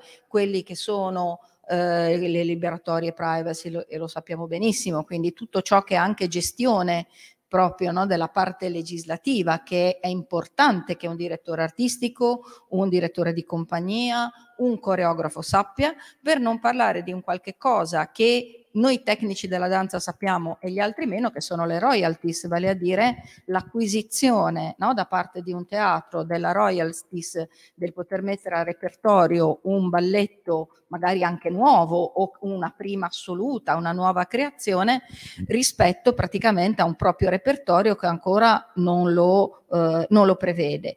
E a quei punti la royalties ovviamente dimmi se sbaglio va no? bisogna fare riferimento al teatro che la possiede, cioè quello che l'ha messa in scena per la prima volta. Sì. Quindi c'è anche un discorso di estrema attenzione, estrema cura da questo punto di vista sul lavoro praticamente degli altri, no? di sì, chi sì. ci ha preceduto. È, è un mondo dove ci sono veramente molte professioni che si intersecano perché appunto or- orga- fare l'organizzatore di uno spettacolo non, non, vuol dire nulla in senso stretto, bisogna essere in grado di eh, appunto organizzare, mettere insieme una serie di competenze professionali specifiche, anche perché poi eh, la legislazione, eh, intanto c'è, c'è naturalmente una legislazione nazionale e una legislazione internazionale, c'è quella dell'Unione Europea, ma poi c'è anche eh, ciò che è fuori dall'Unione Europea, quindi bisogna essere in grado di, di, di poter interpretare eh, correttamente e, e, soprattutto anche, poi c'è il tema eh, fondamentale, ma questo vale un po' per tutto, però insomma dell'aggiornamento e quindi della formazione continua. e inevitabilmente, mh, visto che eh, lo scibile è sempre più eh, settorializz- settorializzato e sempre più articolato, anche perché nel frattempo il mondo si è davvero globalizzato e quindi c'è, c'è eh, la necessità di sapere, per esempio, se, se, si vuole lavorare con l'Asia, che cosa, qual è la, la legislazione della Thailandia rispetto a questo tema. E ovviamente eh, una persona non può sapere tutte queste cose, ma deve avere forse era un thailandese che, che, voleva dire, ah no, sono io, è, è il mio eco. Eh, ecco, ho capito. Vabbè, e quindi certo, eh, questo, questo, per esempio il DAMS eh, fornisce straordinari strumenti per, per, questo. Poi è chiaro, come si diceva, eh, la formazione sul campo è fondamentale, in questo possono essere preziosi eh, i, i, tirocini, gli stage, eh, questo tipo di attività. Eh, su questo secondo me bisognerebbe lavorare un po' perché eh, troppe volte eh, capita di, di, ascoltare ragazzi giovani che eh, ra- raccontano che poi l'esperienza dello stage è stata una sorta di sfruttamento del lavoro, tra l'altro con mansioni magari mh, mm, insomma no, di, non, non, non, di rilievo, non, ma soprattutto non funzionali a, ad, ad acquisire eh, delle conoscenze, non dico delle competenze, ma insomma, in teoria lo stage deve essere momento di formazione sul campo, dove tu effettivamente hai la possibilità di, di vedere come si fanno certe cose. Eh, questo sul tema della, del, come dire, appunto del, degli stage e del, della gestione di queste cose, forse ci, ci vorrebbe, non so, maggior, non ho idea, non sono eh, esperta di queste cose, ma forse un maggior, uh, una maggiore verifica anche sì, sicuramente una maggiore verifica, un monitoraggio, monitoraggio un, e poi sì. comunque un senso di responsabilità eh, ovviamente eh, del singolo e questo, uh, su questo non ci sono assolutamente, assolutamente dubbi. Adesso per chiudere no, questo nostro uh, primo blocco di questa, di questa giornata, mi rilascio a quello che abbiamo detto tutti quanti se vogliamo. Cioè il fatto che comunque proporre la danza ai ragazzi, proporre eh, diciamo una modalità nuova di cercare l'espressione, anche con le metodologie didattiche innovative, quindi all'interno della danza, può, del mondo della scuola si può fare molto in questo senso e poi lo riprendiamo, è da parte di noi insegnanti, e mi rivolgo soprattutto ai colleghi docenti, eh, un dovere morale. E la danza ci insegna che cosa?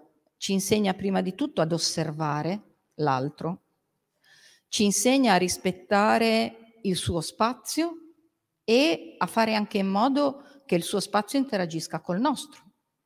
Quindi è fatta di regole precisissime che vanno infrante, se vogliamo. È fatta di abbracci costantemente, quindi forse è l'arte che più ha patito e sofferto no, in questo periodo, perché simbolicamente l'abbraccio è il primo segno di saluto tra i danzatori in assoluto. E l'abbraccio che cos'è? È il portare al cuore la persona cara, quindi il farla entrare nella nostra comfort zone. In danza non possiamo avere paura dell'altro. Mm, volevo eh, proporre a tutti no? eh, una pagina, giusto tu prima dicevi quanto fosse importante per noi avere i libri. Questo è un piccolo gioiello della mia biblioteca personale di Roger Garaudi che fa un'interessante storia della danza. Ma quello che è ancora più interessante è che la prefazione è di Maurice Béjart. E Maurice Béjart in questa prefazione racconta di una sua vacanza in Grecia, durante la quale capitava spesso che eh, nel paese in cui si trovava la sera gli uomini, di fronte a una partita a carte o a un bicchiere di troppo, iniziassero a discutere, a litigare. E eh, quando poi lui il mattino dopo chiedeva che fosse, cosa fosse successo, che cosa avesse cagionato la zuffa, la rissa, gli rispondevano sono corse parole. E Béjart dice, sono della stessa razza, dello stesso ambiente sociale, della stessa età, eppure le parole hanno per ognuno un significato diverso. le stesse parole. Invece, in altre sere il silenzio si prolunga, poi un uomo si alza e danza. Un altro, un terzo, gli altri stanno a guardare, ma gli occhi ne attestano l'unione profonda, la partecipazione totale.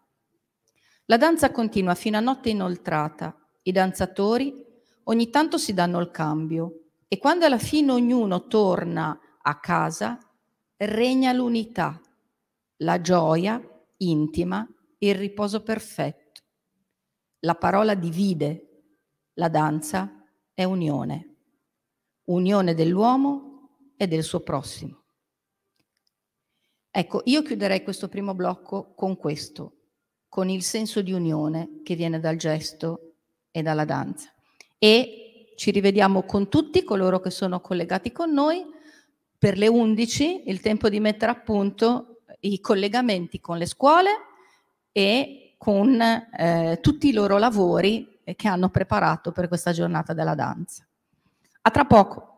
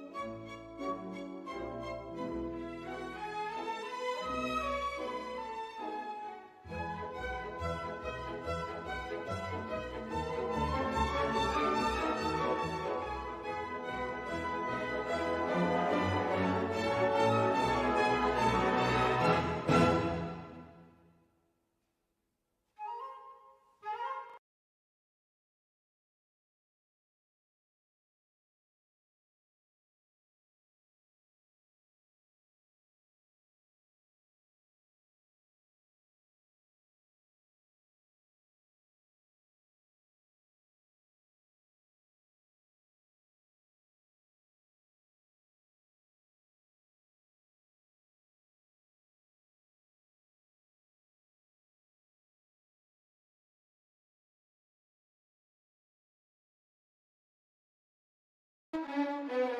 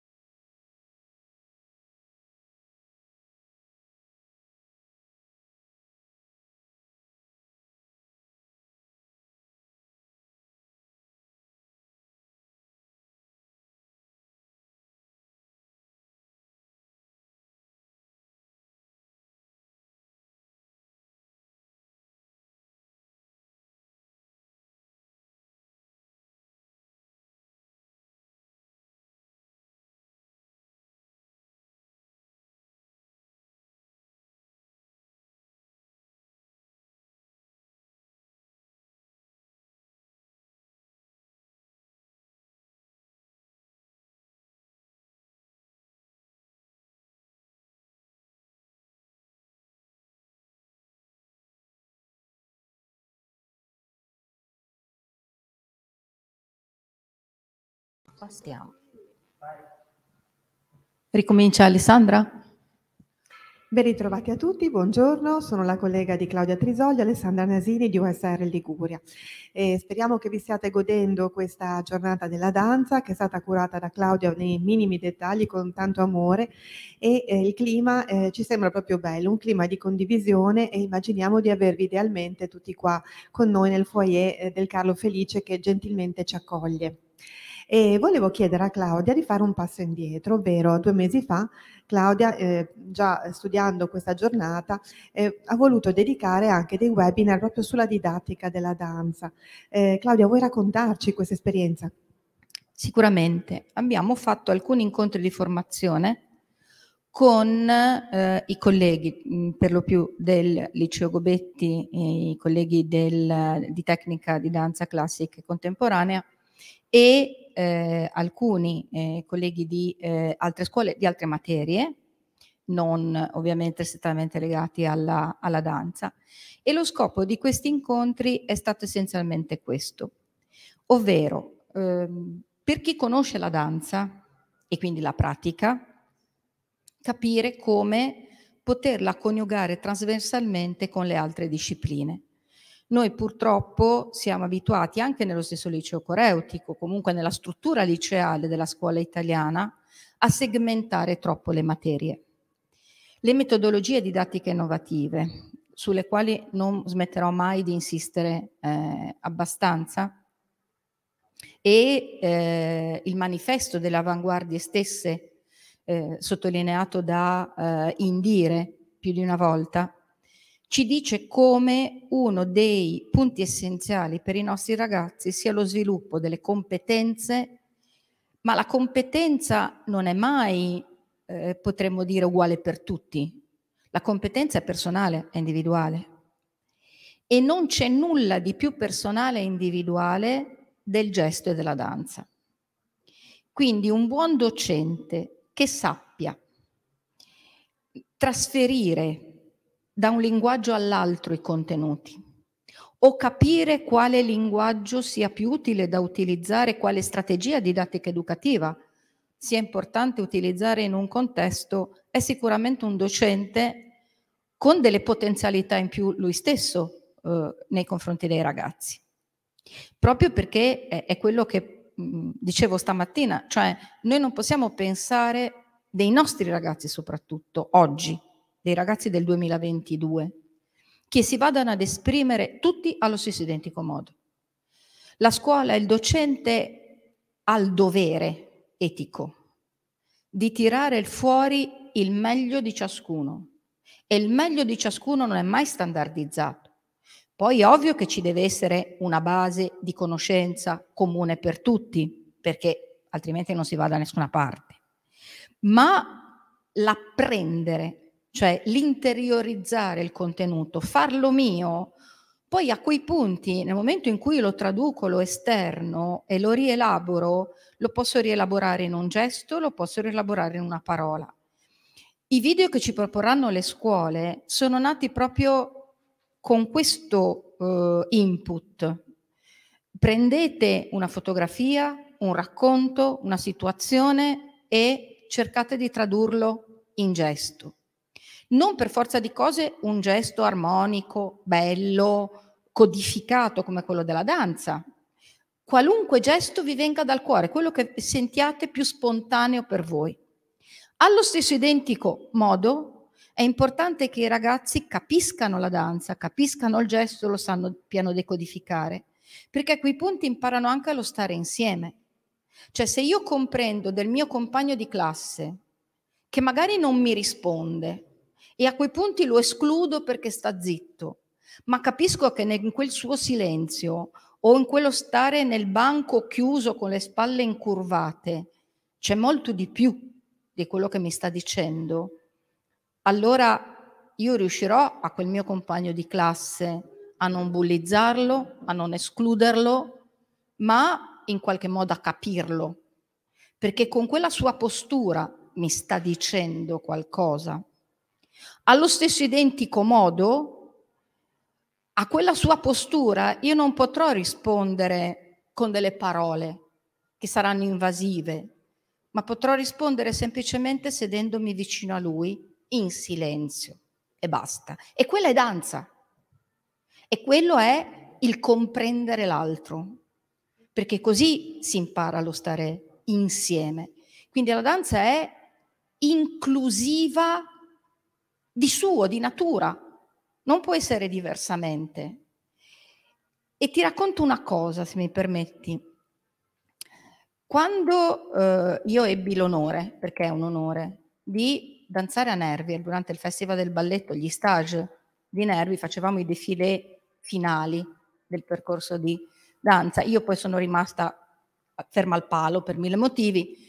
Molti di quelli che danzavano con me invece sono diventati dei grandi danzatori. Avevo un, eh, un partner in quella che era una danza imperiale in San Alessandra, ricostruita per noi da Madame Irina Grigevina, che era scappata dalla Russia nel 1917 durante gli inizi della rivoluzione d'ottobre e faceva parte del balletto dello zar.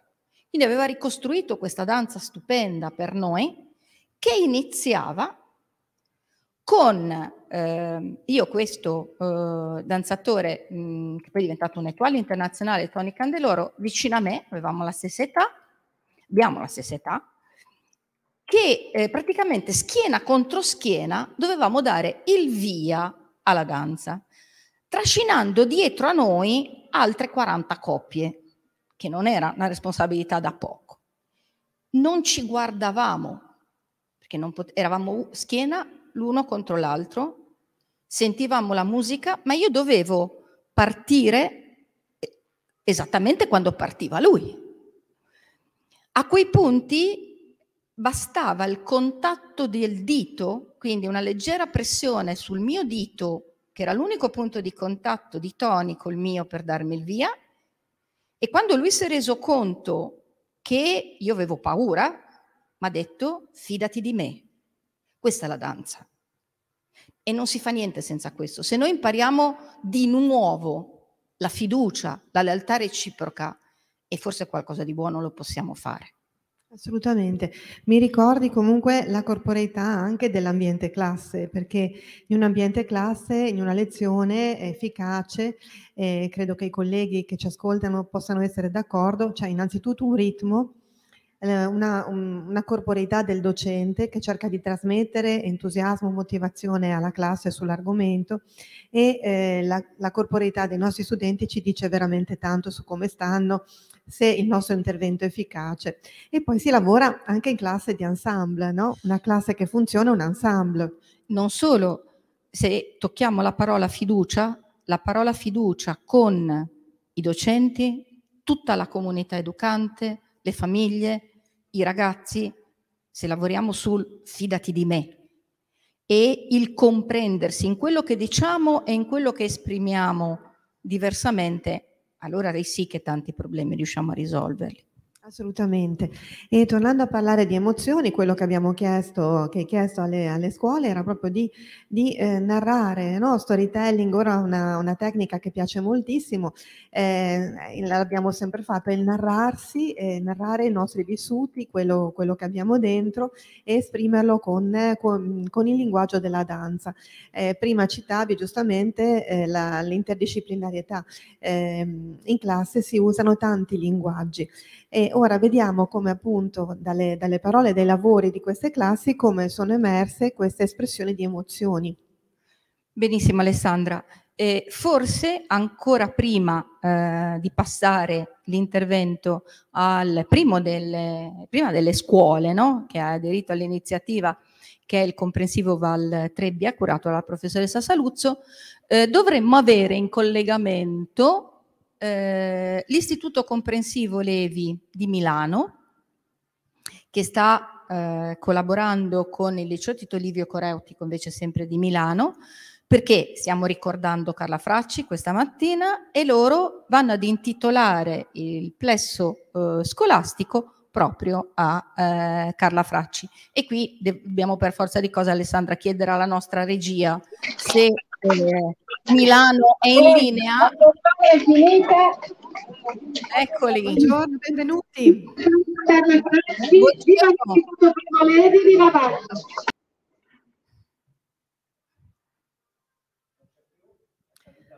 Caduta la linea, siamo vicini ma non così vicini con Milano. No, evidente- infatti abbiamo avuto meno problemi con Tbilisi, eh, ma eh, stiamo decisamente... A proposito di fiducia, noi attendiamo con fiducia che eh, il collegamento venga ripristinato perché è bello anche sentire se- fare rete con, con altre città, con altre... ehm, Assolutamente. Mettere in contatto gli istituti è sempre un'esperienza proficua. perché comunque si impara insieme dal- dalle esperienze significative, eh, assolutamente, soprattutto anche perché siamo animati tutti dallo stesso Mm. amore eh, per la danza. Eccoci. Eccoli di nuovo, ce la possiamo fare? Facciamo un bis.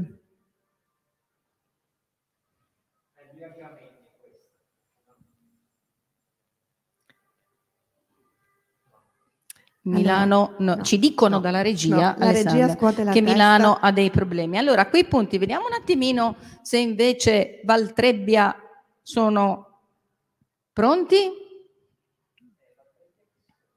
Ci sono? I CIV Valtrebbia.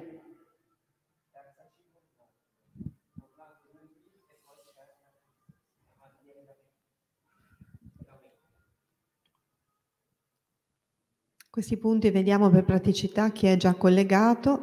Esatto. Tanto c'è spazio e tempo di per tutti. iniziare. Chiederei soprattutto alla professoressa Salu- Saluzzo che so che mi aveva detto che era pronta.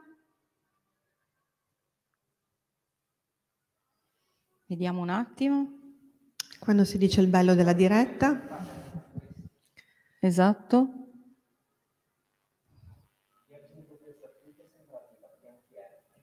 Mhm. Quindi, ecco, ecco, Eccoci. Buongiorno.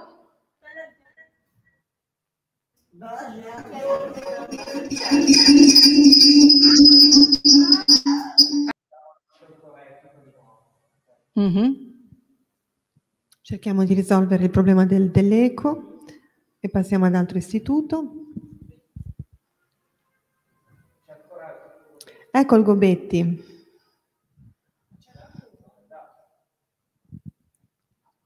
Mm? A questi punti ci sarebbe veramente un bello stacco di musica e una performance di danza.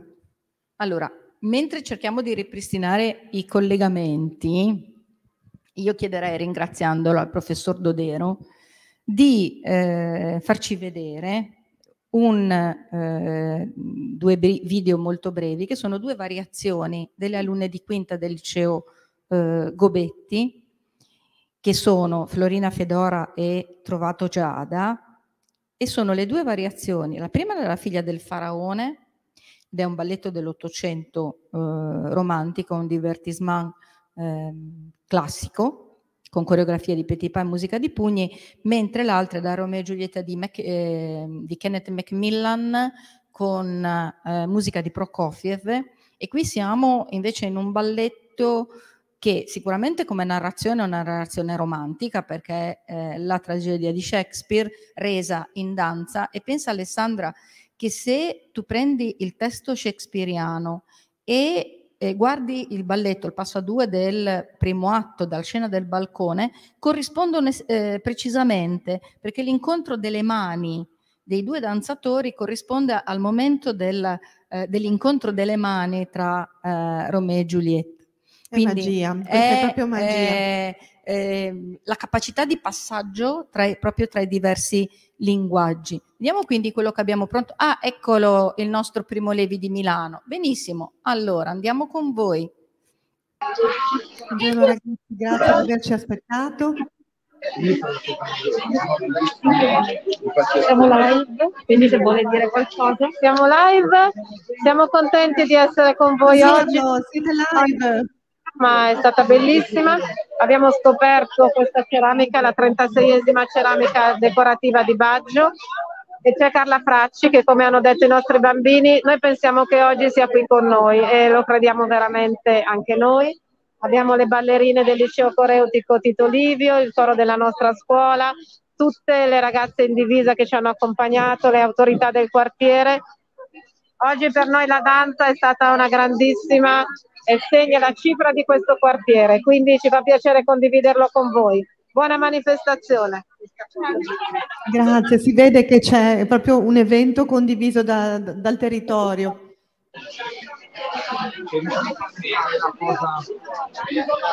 Bellissima immagine, tra l'altro. Un saluto alle ballerine, spero che non sia troppo freddo per le ragazze.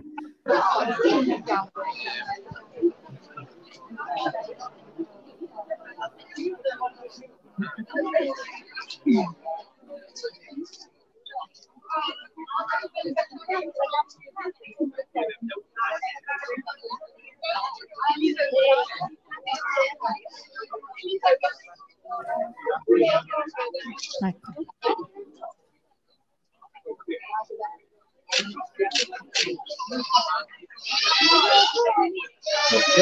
Sorridenti, guarda là, più alto il braccio sinistro Emma, sorriso più sincero. Si concedono i flash le ragazze.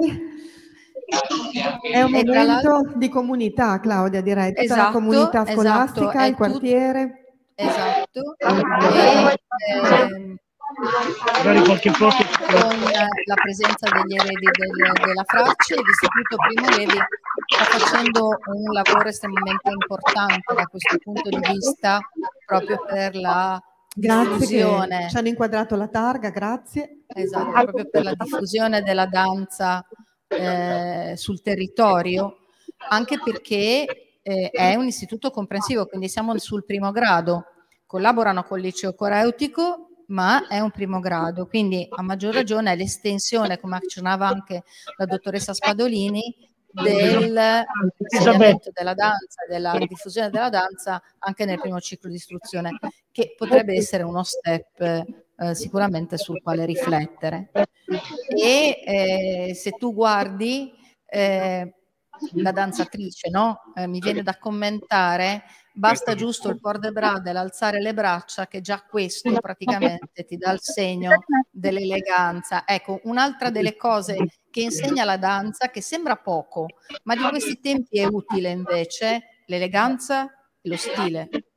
Quello è di- eh, non, non si insegna, non, eh, credo che la danza lo trasmetta quasi spontaneamente. Ma la danza lo trasmette sicuramente in modo spontaneo, però eh, la danza libera, perché solo che l'alzare un braccio, aprire il plesso solare libera, ma nel contempo impone una disciplina. Il momento in cui io inizio la classe e metto la mano sulla sbarra, devo chiudere gli occhi, ricostruire in un certo senso lo spazio intorno a me per capirlo e ritrovare piano piano, se vogliamo, ogni nervo e ogni muscolo del mio corpo di nuovo pronto a lavorare in un certo modo. Quindi diventa consapevolezza di sé. Sono quegli elementi nella crescita personale di ciascuno fondamentali. Esattamente, si vede questa postura Ed è, magnifica. tra l'altro, ogni giorno un ricominciare da capo. Quindi, Tra l'altro vediamo in diretta c'è con il umiltà. di Sky che sta riprendendo eh, in diretta l'evento. Le ragazze penso che saranno emozionatissime. Confidiamo e speriamo di poter avere qualche scambio con eh, istituti genovesi. Vedremo.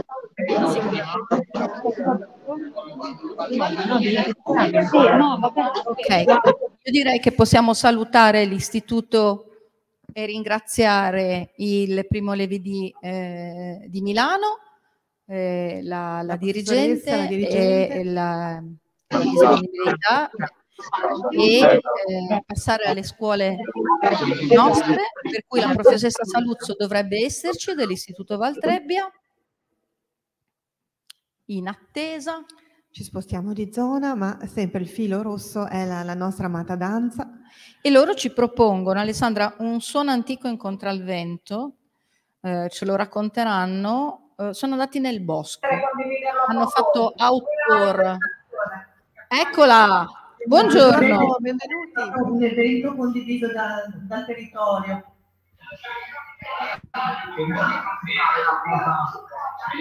Eccoci Elisabetta, a te la parola. Buongiorno. Diciamo che il vento ci porta a voi. Fa troppo freddo per le ragazze? Senta, professoressa, ci faccia un cenno di capo. Ci, ci riesce ok. a sentire? Sì, perfetto. Buongiorno, c'è una sovrapposizione però, mi sembra di capire, cioè ci siamo entrambi, sia Milano sia noi. Ok, allora il nostro, sicuramente il nostro No, Giovanni no, ma Dogano, la regia comunque chiude. Funziona. Andiamo noi? Funziona, vai, procedi, tocca a Andiamo voi. noi? Ok, tocca Sì. a noi. Grazie, grazie per questa bella occasione. Però scusate, aspettate. Ok? Mi sentite? Pronto? Sì, benissimo. Oh, benissimo, grazie. Buona giornata della danza a tutti. Grazie per questa bellissima occasione. Ora saranno i ragazzi a presentare. Buongiorno, siamo i ragazzi della scuola secondaria di primo grado di Rovegno, un paese dell'Alta Valtrebbia. Grazie alla nostra docente di eh, musica abbiamo cercato di ricreare le danze delle quattro province, un territorio non lontano dai nostri paesi. Inoltre, avendo dei compagni stranieri, abbiamo cercato di proporre alcune danze dei loro paesi natali. realizzando un video, un suono antico e contravvento. Lasciamoci cantare dal suono del piffero. Buona visione! Bene, grazie a tutti. Noi abbiamo lavorato soprattutto sulle danze tradizionali di cui siamo appassionati come grosso, prezioso patrimonio culturale dei paesi di ogni nazione e quindi abbiamo cercato in qualche modo di poter trasmettere e diffondere questo bel bagaglio culturale a tutti. Grazie, buona giornata della danza, grazie. Grazie. Grazie Elisabetta, mandiamo il video vostro. Così potremo raccoglierli in un Moodle, eh, Claudia, tutti i video. Sicuramente. Nella cartella Valtrebbia, Rovegno. Un suono antico incontra il vento con le loro danze tradizionali e eh, nel bosco, giusto Elisabetta, avete coinvolto mh, direttamente il territorio, le persone del territorio, anche questo è molto bello da quello che mi avevi anche raccontato in precedenza. E bello soprattutto il fatto che eh, i ragazzi hanno- abbiano inventato eh, loro eh, la gestualità. Eccoci. Siamo curiosi.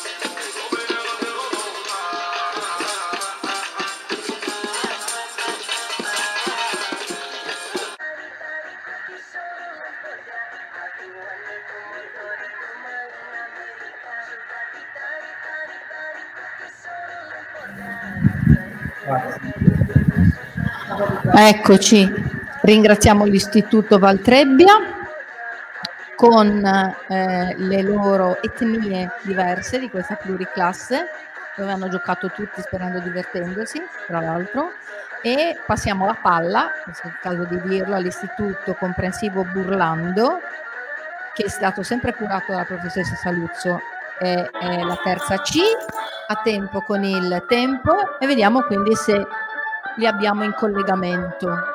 Facciamo i complimenti alla professoressa che è riuscita, si vede nel video, a trasmettere proprio l'amore per, per le danze tradizionali che non è scontato con i ragazzi oggi.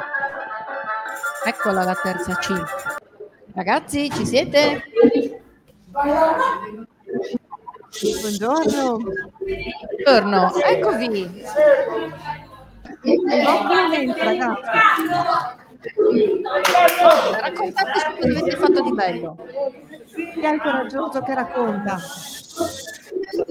In portavoce.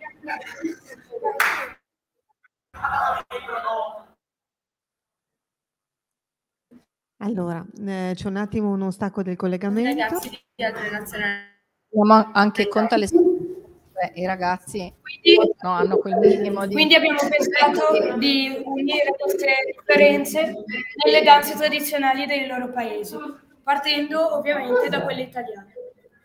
È stata un'esperienza Ok. Come ti chiami? un modo per conoscerci meglio. Eh, Leonardo. Bravo Leonardo. Ok. Allora, se siete d'accordo ragazzi, mandiamo il vostro video. Va bene? Così le persone vedono meglio quello che avete realizzato. Grazie per averci aspettati. Grazie.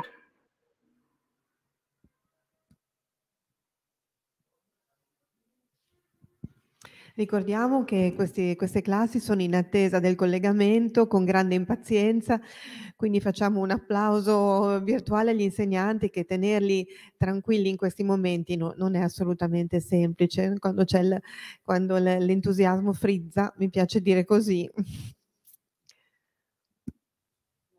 Ringraziando anche tutti i colleghi.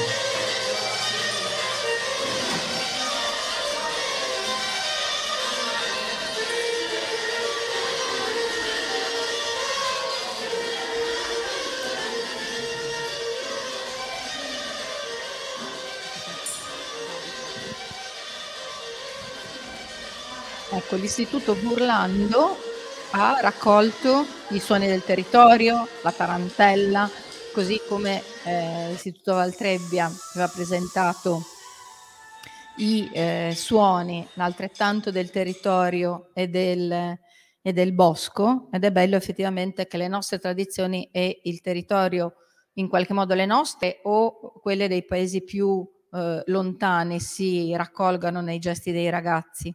E a questi punti, parlando di territorio, abbiamo un altro contributo importante che è quello del eh, Liceo Gobetti, che ha eh, registrato eh, Flowers a Voltri, Villa Duchessa di Galliera, quindi è un modo anche questo per eh, in qualche modo far sì che la danza viva nel, nel, territorio ed è la quinta A del liceo coreutico e abbiamo il, il video loro da poter, eh, da poter vedere proprio il linguaggio dei fiori. Il linguaggio, il linguaggio dei fiori, dei fiori. Eh, esatto, giustamente ambientato in una villa storica.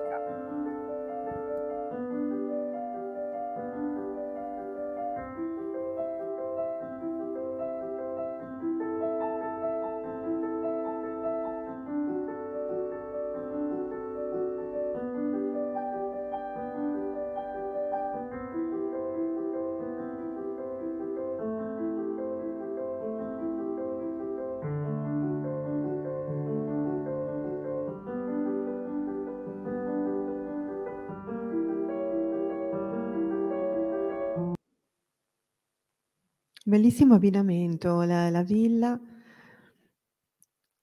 il movimento dei ragazzi nella natura, eh, direi una scelta, esatto. una scelta Adesso vincente. dovremmo avere eh, l'istituto di eh, Staglieno, il comprensivo Staglieno, la quinta di Sant'Eusebio, pronti anche loro. Ricorre nuovamente l'argomento del tempo, il tempo nella danza, nel movimento. Si è interrotto qualcosa, mi sa.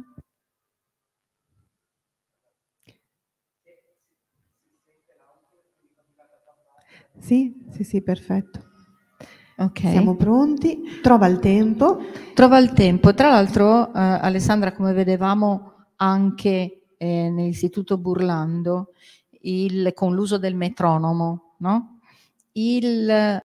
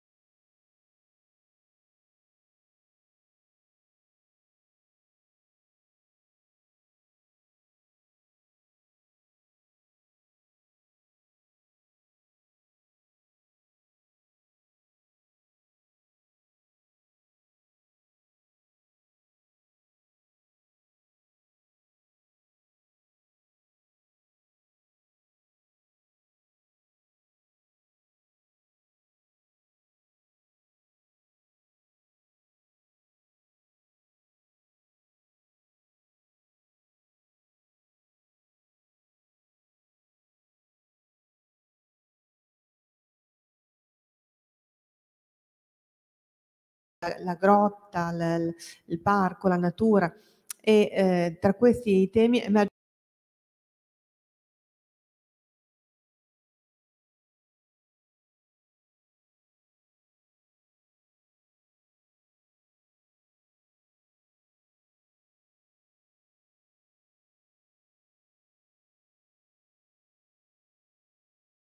al corpo di, di danza ucraino. E proprio ci ha dimostrato questa esperienza che eh, tenere strette le, le tradizioni eh, dei nostri paesi eh, unisce e eh, crea forza nei momenti eh, traumatici della, della vita. E nonostante tutto, questo balletto ha trasmesso gioia a tutti i presenti perché hanno chiesto bis e, eh, per poter cantare tra il pubblico eh, hanno portato un messaggio veramente di speranza. Ma in- infatti la tematica della guerra è una tematica che i ragazzi ovviamente sentono. Ecco, Per- eh, benissimo, i collegamenti sono ripristinati. Dicevo, tanto per concludere un secondo questi nostri commenti, no, Alessandra, che eh, avrei voluto, quando abbiamo eh, ideato il tutto a gennaio, mh, poter svolgere questa giornata senza il peso sul cuore che abbiamo noi comunque oggi. È vero che una guerra in Europa fa male, fa male al cuore solo a pensarlo, però non dimentichiamoci che il mondo in pace del tutto non l'è mai stato. Assolutamente. Pensiamo al Libano, pensiamo alla Siria, pensiamo all'ex Credo- Jugoslavia, cioè purtroppo 14 guerre del mondo. è un falso momento. mito quello dell'immaginare che questi ultimi quasi 80 anni dalla seconda guerra mondiale siano stati di pace. Assolutamente no. Perché cosa non è?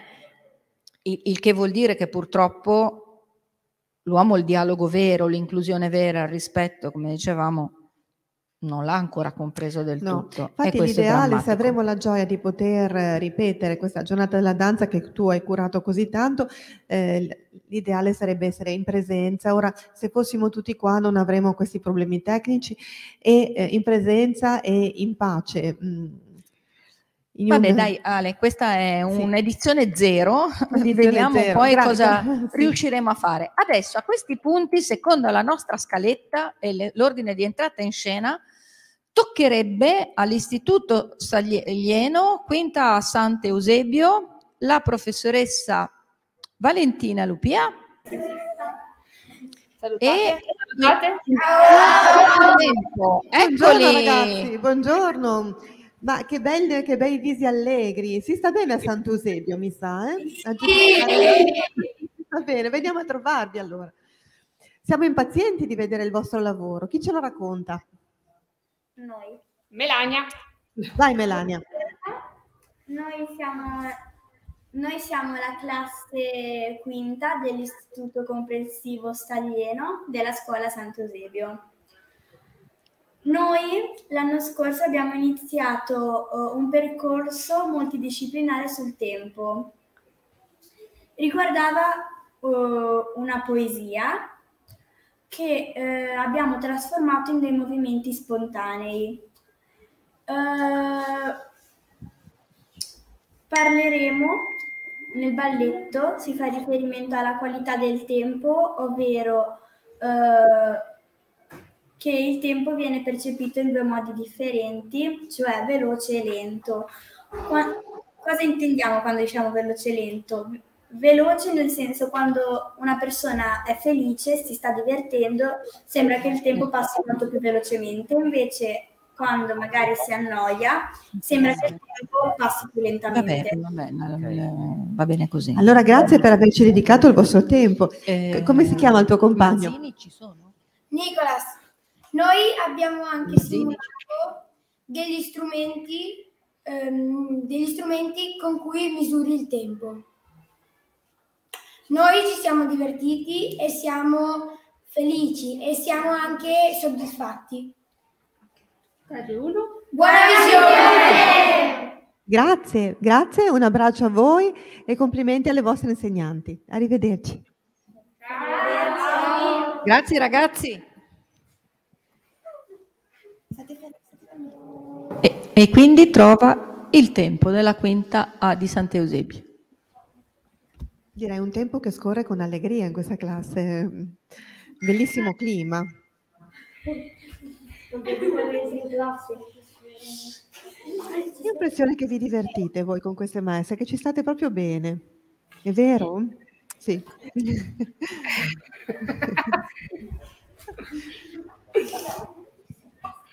Eccoci ragazzi, adesso vi diamo lo spazio che meritate.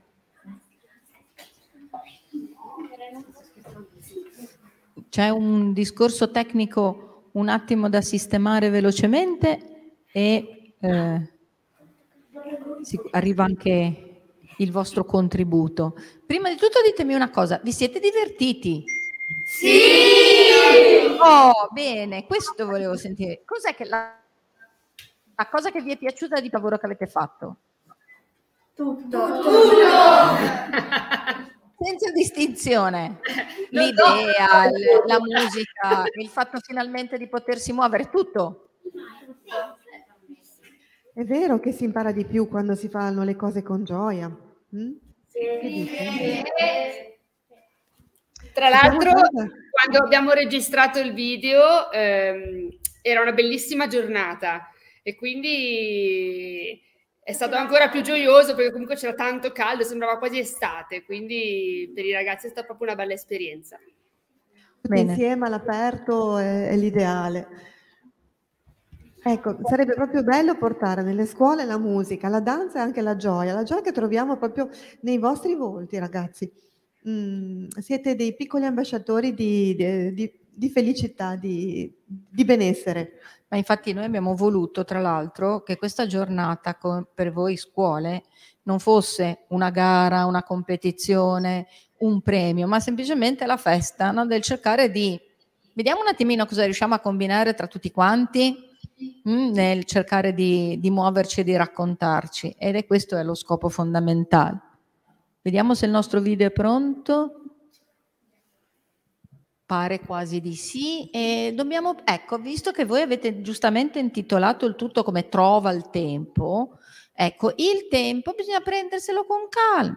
Quindi noi oggi dobbiamo fare, a prescindere da quello che è il ritmo convulso e frenetico, con calma. Trova il Eccoci, tempo pronti? A voi. giocare. È la chiave della giovinezza. Trova il tempo di leggere. È la base del sapere. Trova il tempo di essere gentile. È la strada per la felicità. Trova il tempo di sognare. È il sentiero che porta alle stelle. Trova il tempo di amare. È la vera gioia di vivere. Trova il tempo di essere contento. È la vera musica dell'anima.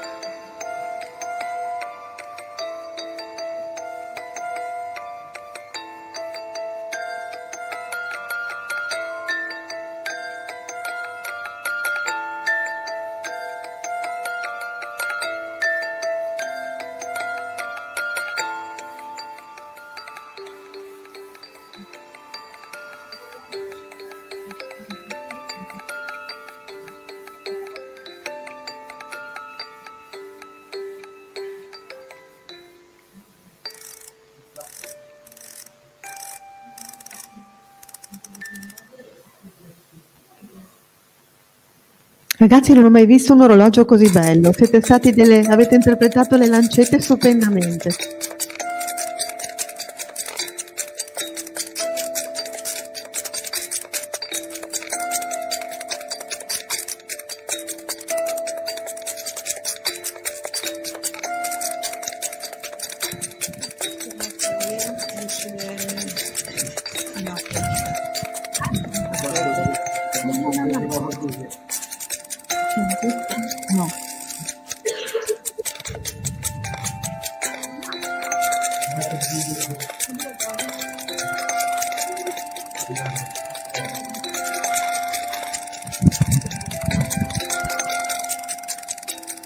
E Claudia, una bellissima interpretazione del tempo, le lancette, i secondi che scorrono, eh, con questa libera espressione del, con i corpi dei ragazzi. Assolutamente sì. Allora salutiamo l'istituto, eh, la classe di Sant'Eusebio. Vi verremo a trovare. eh? E Ciao, arrivederci. e vediamo se il liceo Mazzini, quindi passiamo alla secondaria di secondo grado, con la quinta B ginnasio che ha preparato un eh, elaborato su un viaggio nell'amore particolare interessante. Se sono pronti e se sono collegati, sì, ci sono. Perfetto. Giornata emozionante per il Mazzini oggi che accoglie anche la, Quindi, la ministra Floridia. Eccoli, buongiorno. Buongiorno. Buongiorno, Buondì. buongiorno. Se non ricordo male, sei una delle protagoniste Sì, del esatto. video, Sì, giusto? assolutamente, ok, sì. allora dai, a te la parola. Cosa, Grazie. avete- cosa ci proponete?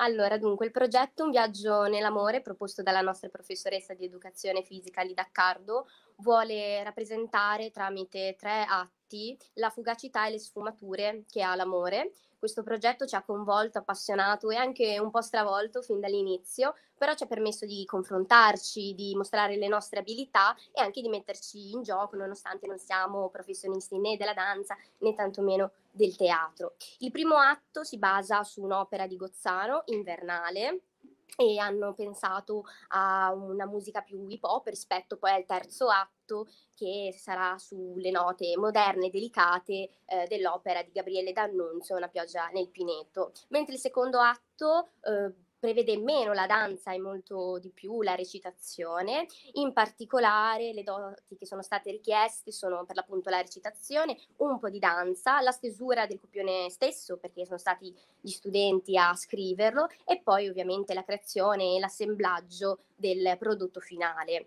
Nel secondo atto si vede un canto in particolare eh, dell'Eneide, che è un'opera celeberrima di Publio Virgilio, nella quale appunto abbiamo Enea, l'eroe troiano, che fugge eh, da Ilio e raggiunge le coste dell'Africa presso la regina di Idone, con la quale avrà una storia d'amore che purtroppo finirà in tragedia a causa della partenza di lui. Ci sono state tante difficoltà, oltre che ovviamente eh, punti positivi per questo progetto, sicuramente il medesimarsi eh, ha reso tutto molto più complicato perché è una situazione molto vicina a noi, ma eh, con reazioni ben diverse da quelle che insomma oggi ognuno potrebbe provare e mh, esprimere. E poi sicuramente tra le altre difficoltà anche i costumi, le scene, però io non mi sono mai arresa e posso insomma ritenermi soddisfatta e a pa- parlare a nome un po' di tutta la classe dicendo che siamo molto contenti perché ci ha permesso questo progetto di avvicinarci anche alla letteratura oltre che al mondo dello spettacolo e dell'arte. E niente, buona visione.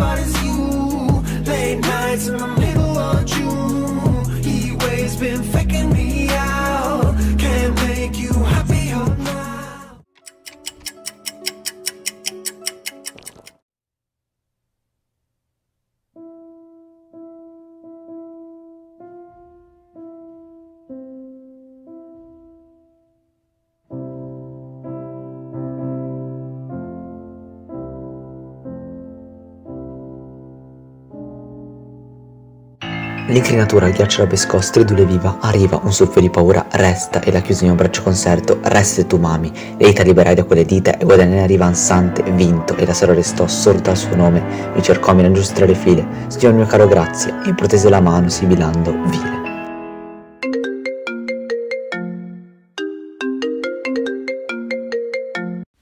Sì? Mm. Mhm, Ok, torniamo al presente. Sometimes all I think about is you. Late nights in the middle of June. He waves been faking me out. Can't make you happier now.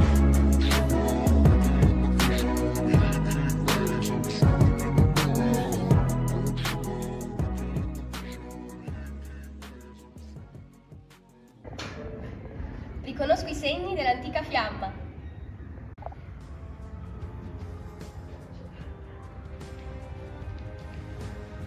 Milites, preparate le navi. Partiamo! Oh, Vilenea, forse speravi, traditore come sei, di poter nascondere una tale cattiveria e di andartene da Cartagine senza dare spiegazioni. Non servono a trattenerti il nostro amore e il fatto che morirò sicuramente di dolore per questo abbandono. Sei così crudele da prepararti di notte, d'inverno, quando i venti del nord ostacolano la navigazione. O forse che scappando da me, a causa tua, ho perso per sempre la mia virtù e l'onore. Sarebbe bello poter stringere tra le braccia il figlio di Enea, il figlio tuo, poterlo guardare mentre gioca nella corte e rivedere in lui padre, in modo da non sentirmi del tutto abbandonato. Io non potrei mai negare tutte le cose belle e buone che hai fatto per me. Sed, chi ama Antipsi sivi sogna finito. Non avrei mai pensato di nasconderti la mia partenza da Cartagine, ma mai avrei pensato di sposarti. Apollo e gli oracoli della Licia mi hanno detto che devo partire. L'Italia, quella la mia patria, quello il mio volere. Perché non lasci gli italiani trovino una nuova patria, un nuovo retaggio in Italia? Perché? Smetti di piangere. Perché non è solo per colpa mia che devo andarmene da Cartagine.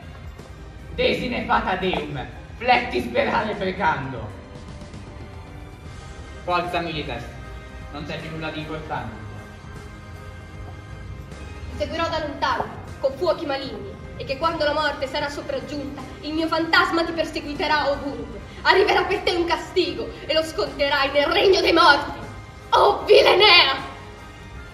Mirone, che cosa è successo? Perché li ha lasciato? Corri, fermalo! Possa il popolo di Enea essere perseguitato. O Dei onnipotenti, vendicate il mio nome e salvatemi da queste pene. Mirone, Mirone, mia sorella amata, non lasciarmi a questo destino ingiusto. Ora capite il mio odio per Enea. Ma cosa è successo? Midone, mia sorella è stata uccisa. Ma chi è stato? Chi era l'artefice? Quel vile di Enea, quel troiano, che colse il cuore troppo ingenuo della mia amata sorella, Didone.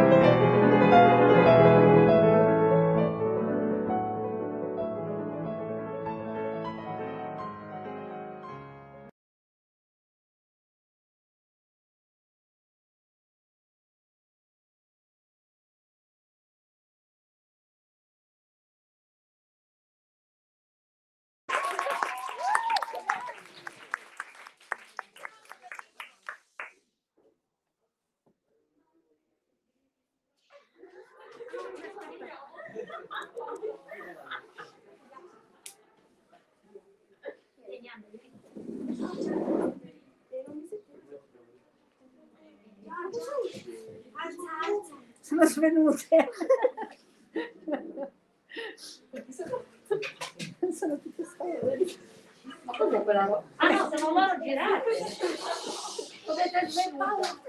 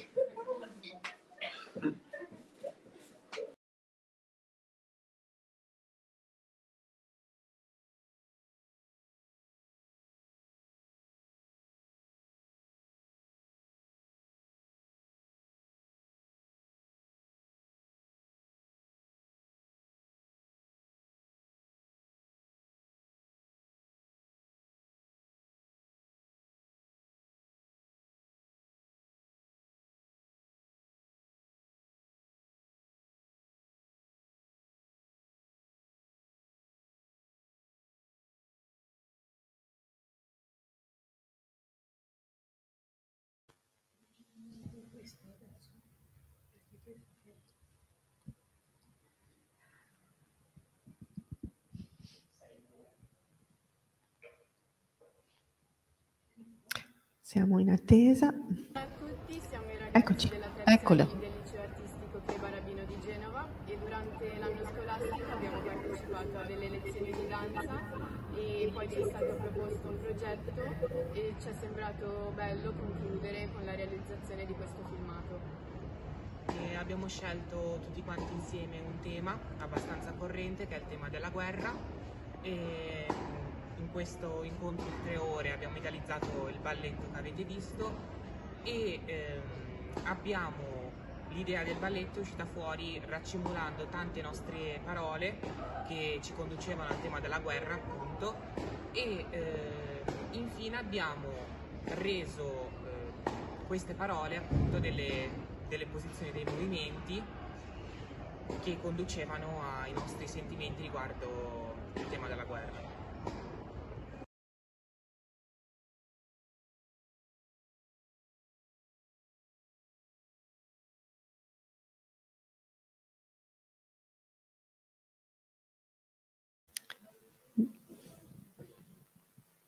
Sei ragazzi del liceo CLE. Eccoci, vediamo se parte il loro lavoro. Coraggiosi a interrogarsi sul tema della guerra. Esatto. È più facile negare, far finta di... eh, che non affrontare eh, direttamente, ma questi, come i ragazzi del liceo Mazzini, sono i grandi.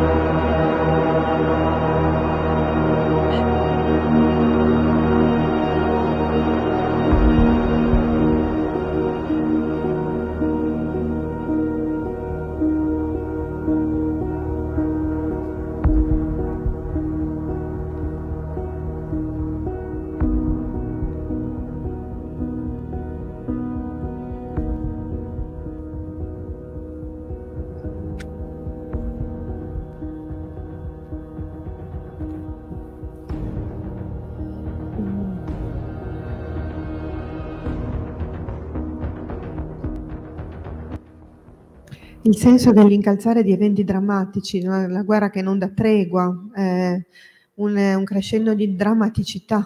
E nello stesso tempo poi molto bello in questo momento su cui abbiamo eh, fermato più che altro per ragioni ovviamente di tempi e eh, poi i ragazzi ci scusano tanto i, i- comunque i loro video e i loro contributi poi li raccogliamo tutti quanti quindi poi ognuno se li Sul può sito, andare a vedere eh, con calma e apprezzare meglio di questo abbraccio raccolto a Mm. proteggersi l'un con l'altro. Adesso a questi punti passiamo la palla ancora una volta al liceo coreutico Pietro Gobetti, all'eccellenza sul territorio, in, eh, per prima cosa facendo i complimenti alle due ragazze della nostra sigla d'apertura che sono state bravissime, veramente, che mi hanno fatto un grosso regalo, Irene e Arianna. E quindi la parola all'Istituto Gobetti, ai loro docenti, sono Vincenza Bascià, Nicola Di Natale, Ilaria Barone, Giulia Menucci, Cristina. Penso che dietro le quinte ci siano tutti quanti, siano Come giovani affermato. esatto, decisamente in gamba. A voi la parola, ragazze. Buongiorno, io sono Nina Rava e sono una studentessa del liceo coreutico Piero Gobetti e ora vi presento le coreografie delle ballerine di Degas. Parlare di danza classica richiama immediatamente alla mente grandi balletti, come ad esempio Il lago dei cigni o Don Quixote. Ma come dimenticare co- colui che, ispira, eh, che ispirato da questa meravigliosa arte ha deciso di riprodurla mediante la propria, ovvero la pittura. Edgar Degas, eh, proprio da cinque suoi quadri, hanno inizio le coreografie, come se quelle ballerine dipinte prendessero vita e iniziassero a danzare sulle note di Shostakovich.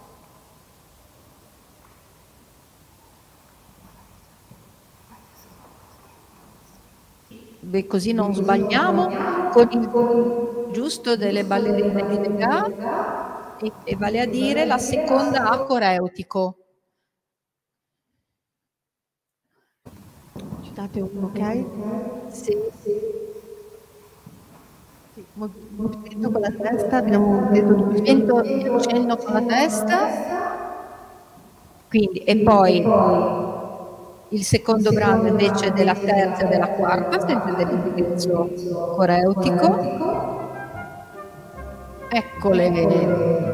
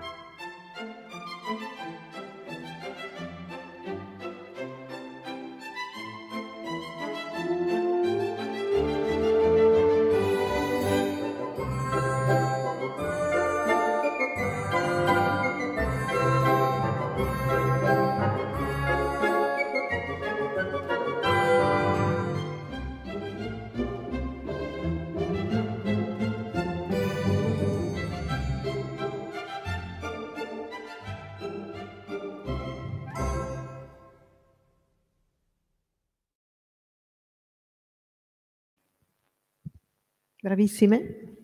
E bellissimi, tra l'altro, i locali del liceo coreutico, Adesso, ragazze, il- vi- le ballerine di Decathlon, giusto?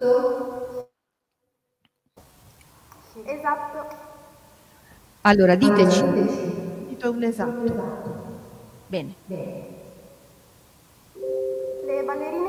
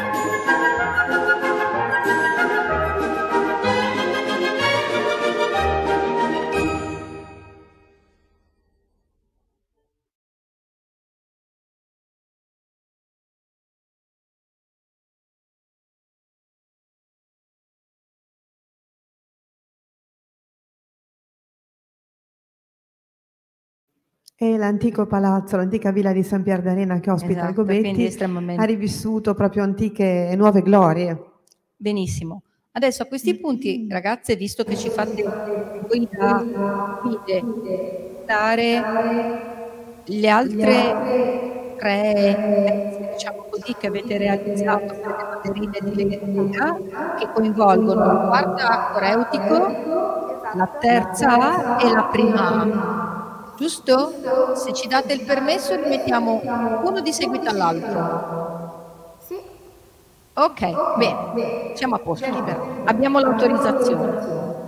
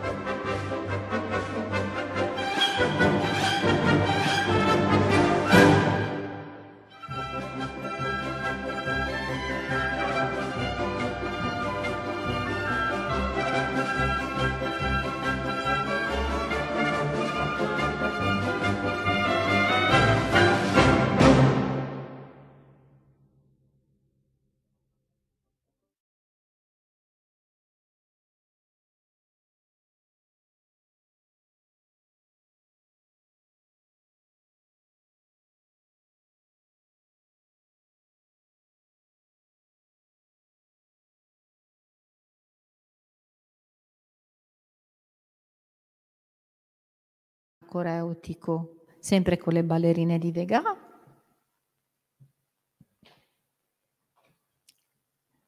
Ed è il video numero 4 con, per la nostra regia. Tra l'altro anticipiamo già che eh, l'ultimo brano che ci propone il coreutico per quanto riguarda eh, questa parte diciamo più classica che è curato dalla prima A e dalla terza A, sempre dell'indirizzo classico, e hanno intitolato Note in blu.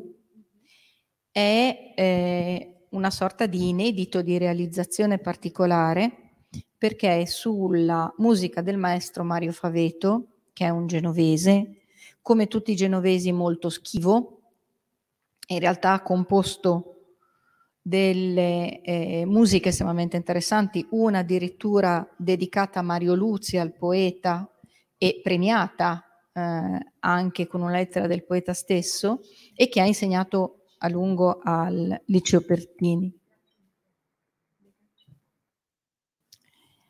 E eh, quindi questa sua musica è stata coreografata per la prima volta dal Liceo Coreutico e sarà Note in blu. La cosa particolare, dicevo, è che è una musica nata per il balletto, che non è facile, perché di solito i compositori disdegnano abbastanza lo scrivere per la danza e quindi questo è sicuramente un momento importante. Quindi adesso vediamo le ballerine di Degas, numero 5. Numero 5. Benissimo. Quindi la prima A coreutico. No, scusate, tutti quanti c'è un problema sui video. Per cui eh, note in, in blu lo abbiamo disponibile?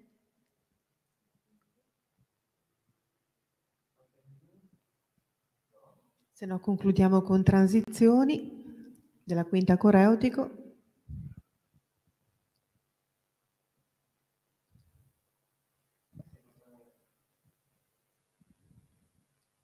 Vediamo un attimo.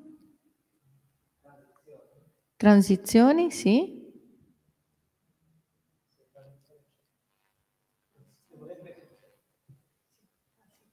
Transizioni ce l'abbiamo, però chiederei a quei punti, ecco va bene, facciamolo partire poi eh, i ragazze eh, La rappresentazione del video chiamate anche magari i la fase colleghi che conclusiva del progetto Circostanze, progetto di alternanza scuola-lavoro nato in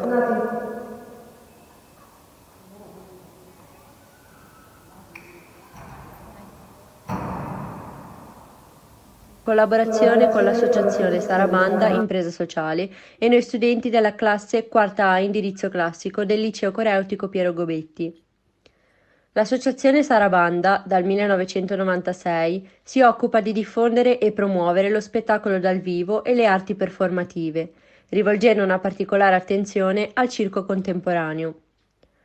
Durante il festival Circumnavigando abbiamo avuto occasione di incontrare online l'artista Chiara Marchese e la musicista Julie Mondor, che l'ha seguita nella creazione delle musiche, e di vedere il video del suo spettacolo Mavara, dove Chiara utilizza il linguaggio del corpo, il filo molle e una marionetta, L'artista ci ha parlato di sé, delle motivazioni profonde che l'hanno guidata nella realizzazione del suo lavoro, di come la rappresentazione della fragilità passi attraverso l'uso del filo molle.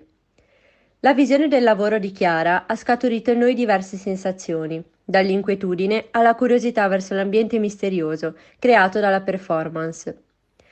Ma ha riportato alla luce anche molti elementi, primo fra tutti il tema della marionetta. Abbiamo quindi lavorato su un adattamento tratto dal balletto di repertorio Petrusca, realizzato dalla nostra prof Menicucci e dal pianista Simone Sammicheli, interpretando il ruolo di tre marionette, la ballerina, il moro e Petrusca, che prendono vita all'interno del loro piccolo teatro. Le marionette, creature disincarnate, hanno una lunga vita nel teatro e percorrono la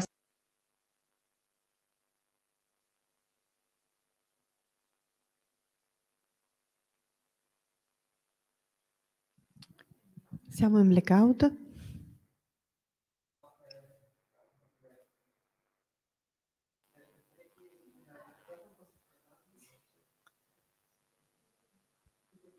Tutto bloccato, quindi non siamo in diretta.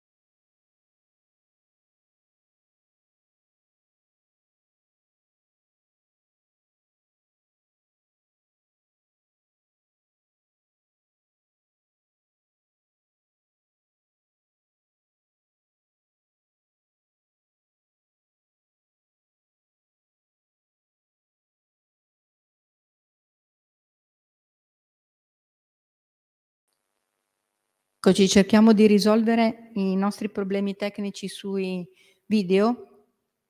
Intanto annuncio già a tutti quanti, visto che purtroppo nel far scorrere i video ci sono ogni tanto degli intoppi su, sulla rete e quant'altro, che comunque metteremo tutti i video dei ragazzi sul, sul sito in modo tale che siano visibili anche per intero, perché per ragioni di collegamento anche con i relatori esterni.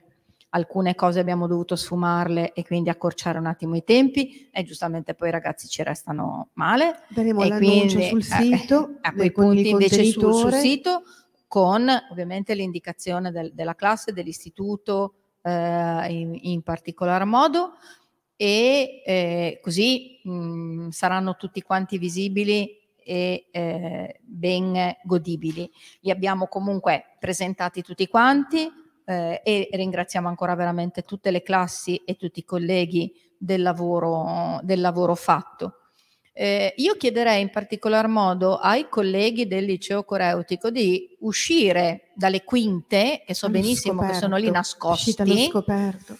vero? Eh? E farsi vedere, palesarsi. Ecco, vedo dei Non- movimenti. Ecco, non cercate di eh, far finta di nulla perché lo Ecco. so che ci siete. Altre Eccoli. studentesse. Buongiorno ragazze. Nel frattempo siamo andate a cercare con Claudia, non ci ricordavamo il nome. Villa Spinola di San Pietro, corretto? Una delle antiche ville di San Pier d'Arena con gli Oh, affreschi agrofresca. Quindi la professoressa di Natale, quindi sembrate la formazione di calcio, eh, quindi Michela di, di- di Natale, eh, ok. eh, che ha ruolo da portiere, in quanto capo dipartimento eh, quest'anno del, del, diciamo, del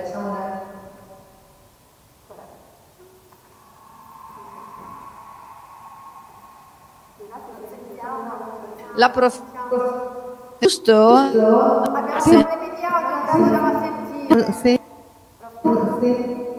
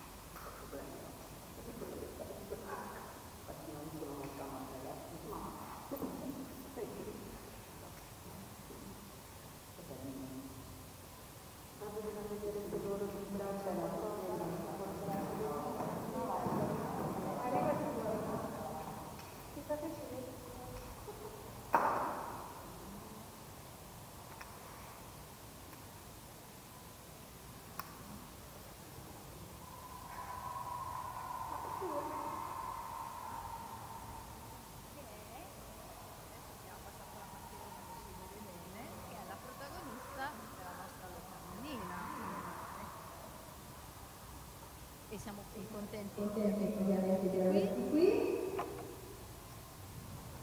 Ok, adesso riusciamo a sentire. Adesso ci sentite? Sì. Oh, Scusate. Allora, ottimo. Stavamo dicendo, quindi Michela dai a te il ruolo di capitano di squadra come capo dipartimento.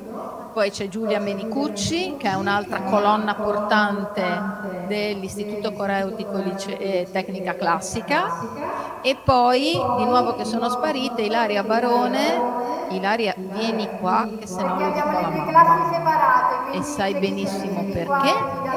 E eh, Cristina Morelli che di nuovo si è nascosta. Adesso questa mia battuta che sembra così, ma per far capire quanto la danza unisce, Ilaria è la figlia di una mia compagna di danza del sempre correva l'anno di grazia 1968-70 giù di lì. Ecco, eh no, eh, quello è, non è un problema. E quindi io nei confronti di Ilaria mi sento proprio una vecchia zia, ecco, no? Eh, eh, e credo che praticamente eh, il suo essere lì sia anche un po' colpa mia per certi aspetti, no? O meno del vedere praticamente le foto di danza di sua mamma che era più grande di me, insieme a me e, e- e vabbè. E comunque è molto bella anche questa cosa di, di continuità a un certo punto l'uno con, eh, l'uno con l'altro. Hanno fatto un lavoro veramente egregio, sono una squadra assolutamente fondamentale. Invece per quanto riguarda la parte contemporanea, la professoressa Morelli, il professor Abascià, eh, anche lui ha deciso di darsi alla macchia eh, e di non onorarci della sua presenza o arriva, che lo stiamo ovviamente anche lui richiamando all'ordine prima di eh, cercare di concludere eh, questa parte di collegamento anche con voi con i video. Prof. Bascià sarà presente questo pomeriggio. Non riusciamo a sentirvi purtroppo. Vediamo. Però forse intuiamo quello che ci vogliono dire. Sì, questo sicuramente. Vabbè, eh, essendo tutti quanti abituati all'uso del gesto ce la possiamo fare, cioè anche se non va l'audio possiamo assolutamente qualche, in qualche modo. eh? Ok.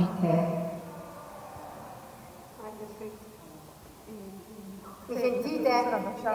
Riunirsi nel pomeriggio sarà nostro... Sì, questo assolutamente sì, è già, mm, è già prevista la, la sua presenza. Quindi a questi punti io chiedo alla regia la conferma per sapere se per i video abbiamo dei problemi su tutti quanti o se riusciamo note in blu ad esempio a mandarlo proprio che era questa cosa un pochino particolare dedicata al maestro Faveto Ok, ci sentite adesso? altrimenti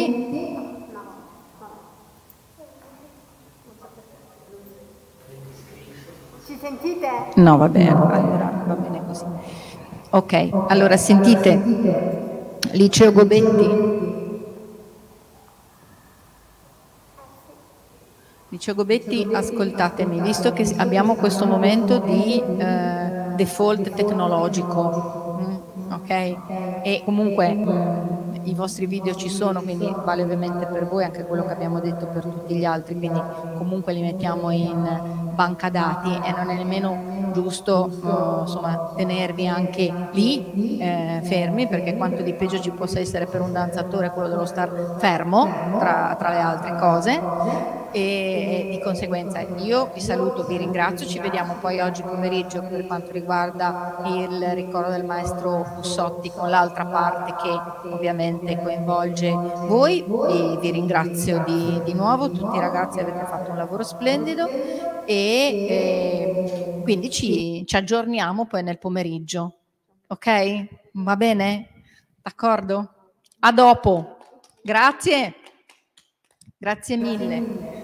Adesso Carola, in attesa, visto che ci hai raggiunto e sei il nostro volto no? Della, in questa giornata eh, della danza, e in attesa, giusto che il maestro Iacometti ci onore della, della, sua, della sua presenza, cerca di raccontare tu il tuo essere interprete della fotografia di danza. Passiamo ad un altro argomento ancora, ok? Ok, sicuramente eh, la fotografia di danza rispetto alla performance sul palcoscenico è molto differente, anche perché eh, si tratta di piccoli scatti, piccoli momenti.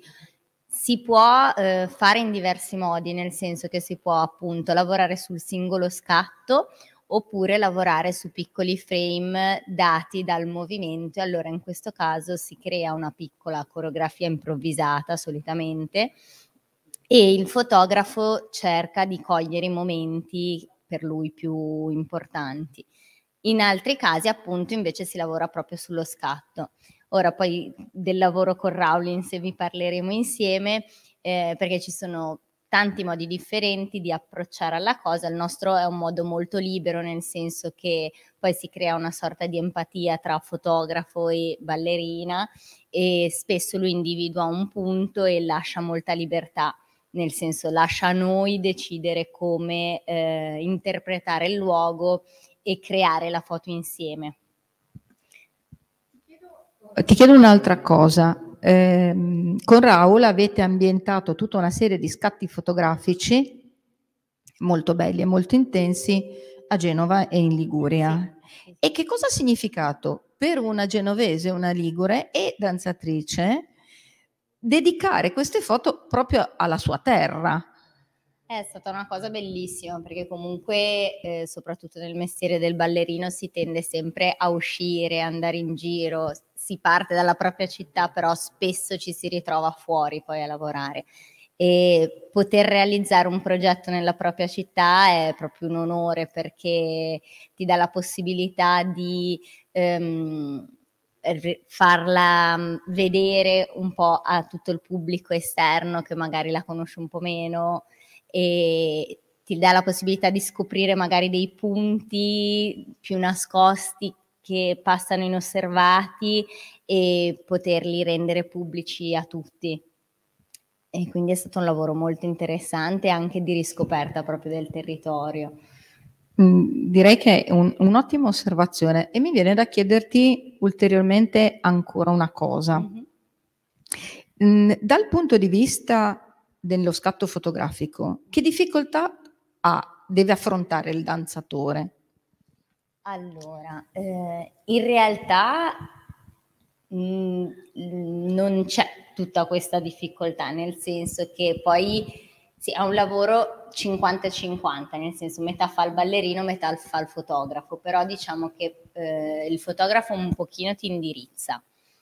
Sta poi a lui la difficoltà di riesce, riuscire a cogliere il momento in cui nel movimento riesce a bloccarlo, ad esempio in un salto piuttosto che in un giro, perché nella posa statica è più semplice. Invece nel momento in cui si, si fa della tecnica è più difficile dal suo punto di vista. però mh, a noi è risultato molto naturale, devo dire, non, non ho trovato così tanta difficoltà. Ecco. Sì. Secondo me porti luminosità in modo naturale, tu- e secondo me la rifletti anche nella foto. Grazie mille. Grazie. No, devo dire anche la prima volta che ci siamo conosciuti, che non avevamo mai lavorato insieme, eh, si è creato appunto questo rapporto di empatia, subito eravamo in tre ballerine, lui e poi anche un cameraman, si è creato subito un- un'empatia tale per cui la collaborazione ha creato questo rapporto molto naturale. Ecco. Bene, tra le altre cose è particolare comunque perché eh, noi dicevamo anche prima quanto la danza sia effimera, quanto sia movimento ovviamente, quindi quanto sia difficile coglierla e poi la fotografia che per assurdo sembra esattamente il contrario, cioè sembra la staticità no, per eccellenza. E quindi questa sorta di eh, ossimoro, di contrasto eh, è eh, sicuramente mh, interessante. Mm, ci vuole mh, una grande professionalità nel fotografare la danza, sia in foto in un certo senso preparate, diciamo così, come quelle che eh, illustravi tu, sia eh, anche invece in quella che è la foto di scena. eh, praticamente, no? Ecco, eh, questa è eh, la nostra locandina, no? Eh, Carola, allora, la posa che hai scelto ab- per mh, così ehm, abbellire no? e rendere ancora più elegante la eh, balaustra del eh, Palazzo Reale, giusto se, no- se non erro. Eh, ti è stata suggerita, l'hai scelta tu, è venuta No, l'ho spontanea? scelta io.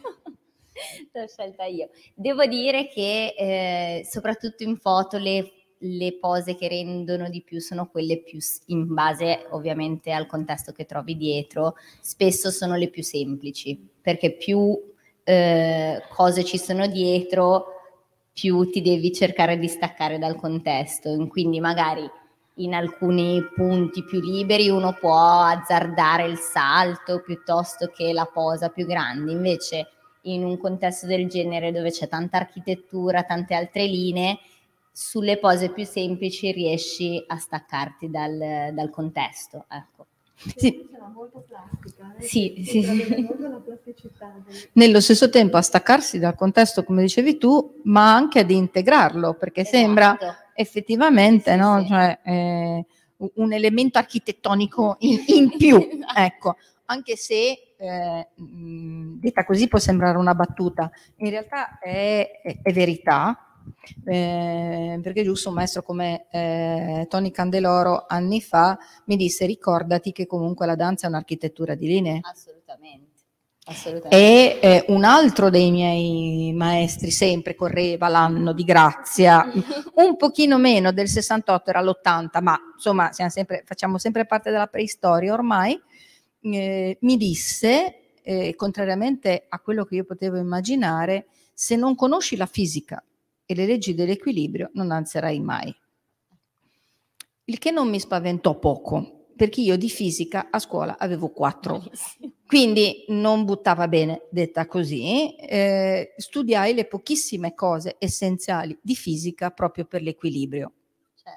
E basta, non, non chiedetemi altro. Però è vero, c'è l'architettura delle linee e il senso assolutamente eh, dello spazio, quindi a maggior ragione le arti che si vanno a, a- a fondere. Ok, adesso eh, vediamo un attimo se è giusto il maestro Iacometti sta cercando di collegarsi e se riesce a...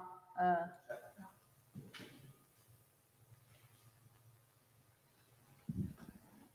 entrare.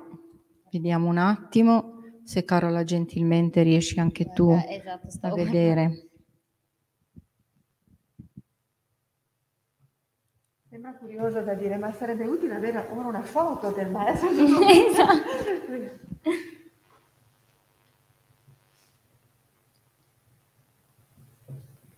Proviamo a sentire.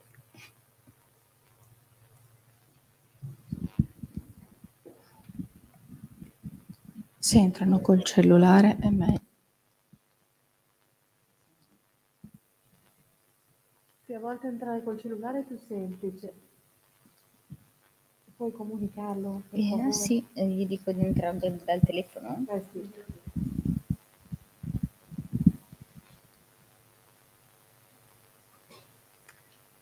Sicuramente è stata una palestra tecnica questo, questo punto della mattinata.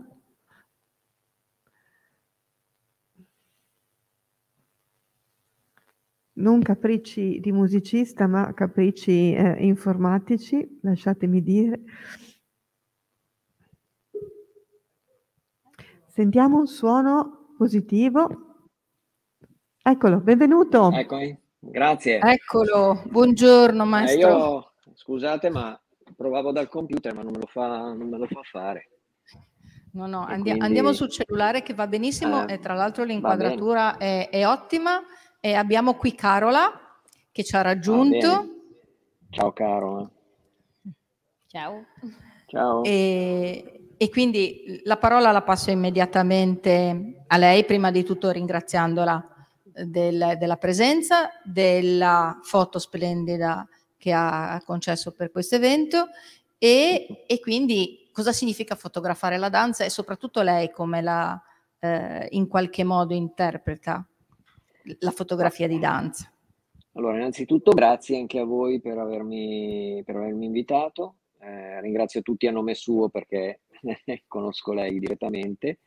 Eh, vabbè, ringrazio anche Carola che è lì e che ormai ho scattato con lei tantissime volte, quindi eh, è, è ormai come una figlia, possiamo dire.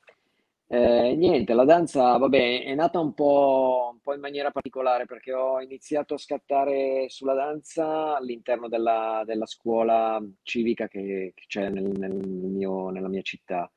Eh, ho ripreso praticamente tutti i corsi dall'inizio, quindi dalle propedeutiche fino al saggio finale, da lì è scattato l'impulso totale sulla danza e da lì è partita tutta la, come si suol dire, è partito l'embolo per, la- per questo tipo di fotografia.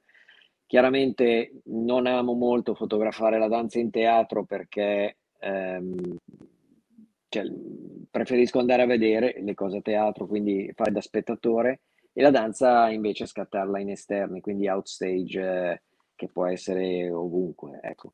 Diciamo che il mio approccio alla danza è stato questo. Poi è chiaro che da allora adesso le cose si sono evolute. Ho, ho iniziato già da allora, da allora intendo dal 2008, eh, quindi sono stato probabilmente uno dei primi a portare la danza fuori dal palco in fotografia, parlo in fotografia sempre.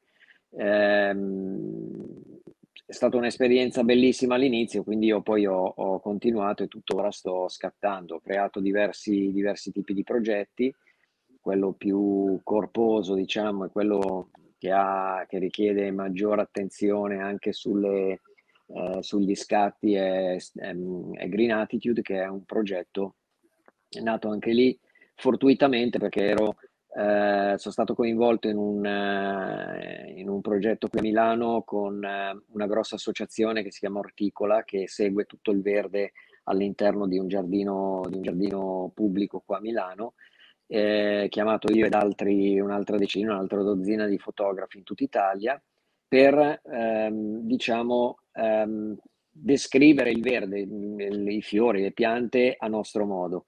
Io avevo scelto di chiudermi in una serra e eh, fare un determinato tipo di, di lavoro e da lì è nato così perché quando vado in giro ho sempre gli auricolari alla- alle orecchie con la musica ed è nato un po' così, andando avanti e indietro questi, in questi corridoi pieni di piante, vedevo che le piante si muovevano a ritmo con la musica e da lì è scattata la cosa. E nel 2013 ho messo in- tutto in moto questo, questo progetto che in effetti mi ha dato tantissime soddisfazioni, dovrebbe sfociare in un libro, avrebbe già dovuto sfociare in un libro già da un 4-5 anni, ma eh, prorogo sempre di più perché entrano sempre più ballerini. Lavoro, ho la fortuna di lavorare con eh, grosse compagnie di ballo come la Scala, l'Opéra National de Paris, queste, tutti questi grandi artisti, compresa Carola, perché anche Carola fa parte, anzi con Carola ho scattato in due posti separati proprio perché in uno in Liguria, proprio lì, lì accanto a voi, ad Arenzano, e l'altro in Sardegna, invece, mentre ci trovavamo a fare un altro lavoro in Sardegna, in una serra bellissima.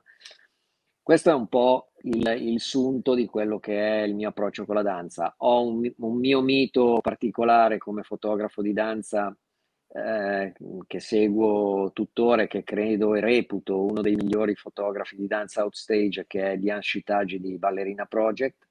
E niente, per il, resto, per il resto sono qua. Bisognerebbe chiedere alle ballerine come si trovano a farsi fotografare.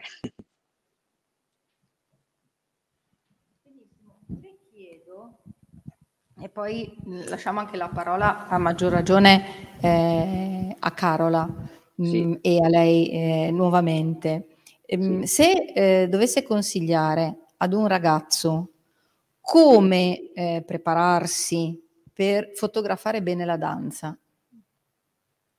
Ah beh, bella domanda, nel senso che sono un convinto che mh, sono veramente convinto di questa cosa, ma non solo per la danza, ragione, ragion, maggior ragione sulla danza perché comporta anche un discorso poi tecnico effettivamente di ogni artista e quindi ogni artista è fatto eh, comunque è eh, strutturato in maniera diversa, ha stile diverso e, e quant'altro. Quindi, però in generale nella fotografia reputo sempre che lo studio è la prima cosa, nel senso che bisogna conoscere quello che si va a scattare, quello che si va a fotografare, quindi avere una consapevolezza di chi abbiamo davanti e di che cosa vogliamo fare, ma questo è indipendente anche dal, appunto come dicevo, dalla danza.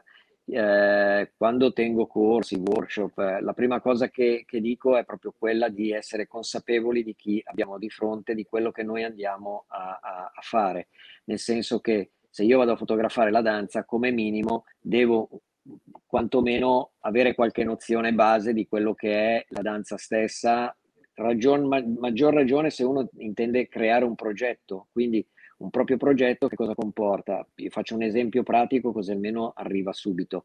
Quando io ho creato Green Attitude, che è un progetto outstage, quindi fuori da, da ogni contesto di teatro, ma all'interno di grossi vivai, grosse serre, cosa ho fatto? Ho studiato prima i luoghi, quindi eh, sono andato a, a, studiarmi mezzo internet, anche andando a fare dei sopralluoghi dentro nelle location dove, dove volevo andare a scattare. Secondo, mi sono guardato un panorama di fotografi che facevano danza e che fanno danza tuttora come fotografia per capire se quel progetto era già in ballo oppure no, cioè se qualcun altro aveva già avuto un'idea simile. E poi non ultimo, comunque portando avanti sempre il discorso eh, della, della, della, consapevolezza del, dello studio, capire quantomeno quali fossero le posizioni principali quando si va a scattare, perché è chiaro che non si può dire alla ballerina sempre sì, dai, fai tu quello che vuoi, perché tanto a me va bene e va bene così è chiaro che bisogna avere un minimo di, di cognizione di causa, come, come, in tutte le cose. La danza, maggior ragione, perché? Perché coinvolge il corpo di, di, di, di eh, artisti e con quel corpo gli artisti lavorano. E quindi se si vanno a scattare delle fotografie che poi presentano anche solo un mignolo che va fuori posto, quella foto è da scartare.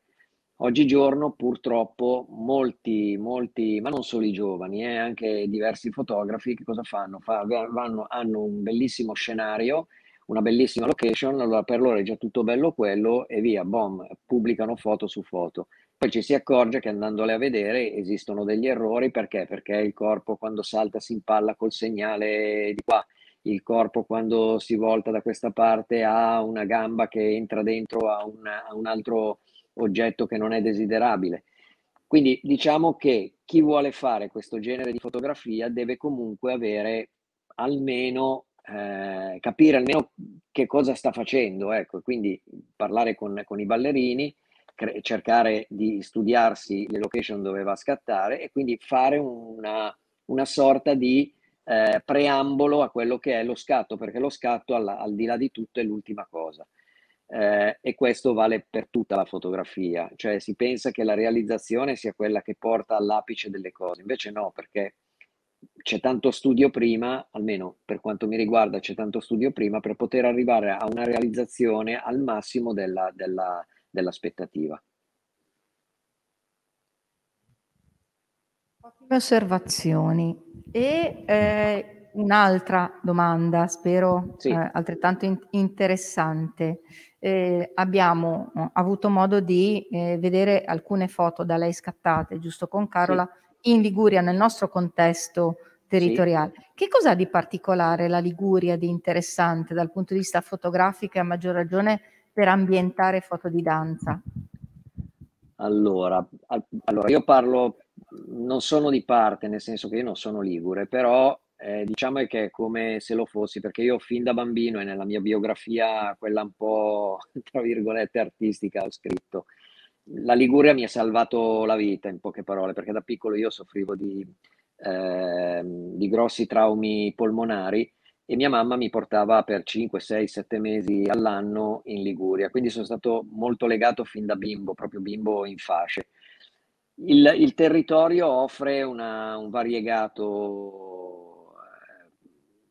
diciamo, ha, ha, ha tantissime risorse sotto il profilo fotografico soprattutto ambientando la danza. Perché? Perché abbiamo il mare, abbiamo l'entroterra, abbiamo, abbiamo comunque eh, dei, dei, bellissimi posti dove le case sono con vicoli molto stretti. Genova ho fatto due workshop eh, sulla danza, due mi pare, sì, due o tre adesso non ricordo, e anche lì ogni volta che arrivo si scattano fotografie che, che, che, che sono bellissime proprio per il contesto che la Liguria offre non so, io ne sono innamorato io perché magari parlo un po' di parte, però la Liguria mi sembra un contesto fotografico che è degno di essere, di essere battuto e ribattuto e ribattuto ancora. Quindi diciamo che eh, qualsiasi tipo di fotografia che può andare dalla danza alla street piuttosto che il paesaggio, la Liguria secondo me ha quella, quella poliedricità di paesaggi che riescono a dar, a dar soddisfazione a qualsiasi genere fotografico. Questo per come la vedo io, poi magari sono un po' di parte, come dico. Ottima osservazione, anzi da Liguri ringraziamo, eh, ovviamente, eh, assolutamente. E eh, vedevamo nelle foto alcune a colori, altre con il bianco e nero. Sì. Mm, c'è ovviamente una differenza nello scatto eh, a colore e lo scatto in, in, bianco e nero, immagino come se fosse proprio una tela, no? in qualche modo di un pittore che decida a quei punti i colori da eh, utilizzare. A suo gusto personale, qual è quello più adatto alla danza? Ah, yeah. Bella domanda cioè più che altro c'è stato l'inghippo finale perché qual è quello più no bellissimo comunque. No nel senso che bah, allora io il bianco e nero lo, lo forse perché ho stampato tantissimo in camera oscura quindi ho fatto vent'anni di camera oscura e quindi sono anche lì anche lì purtroppo gioca un po' il fattore di essere di parte.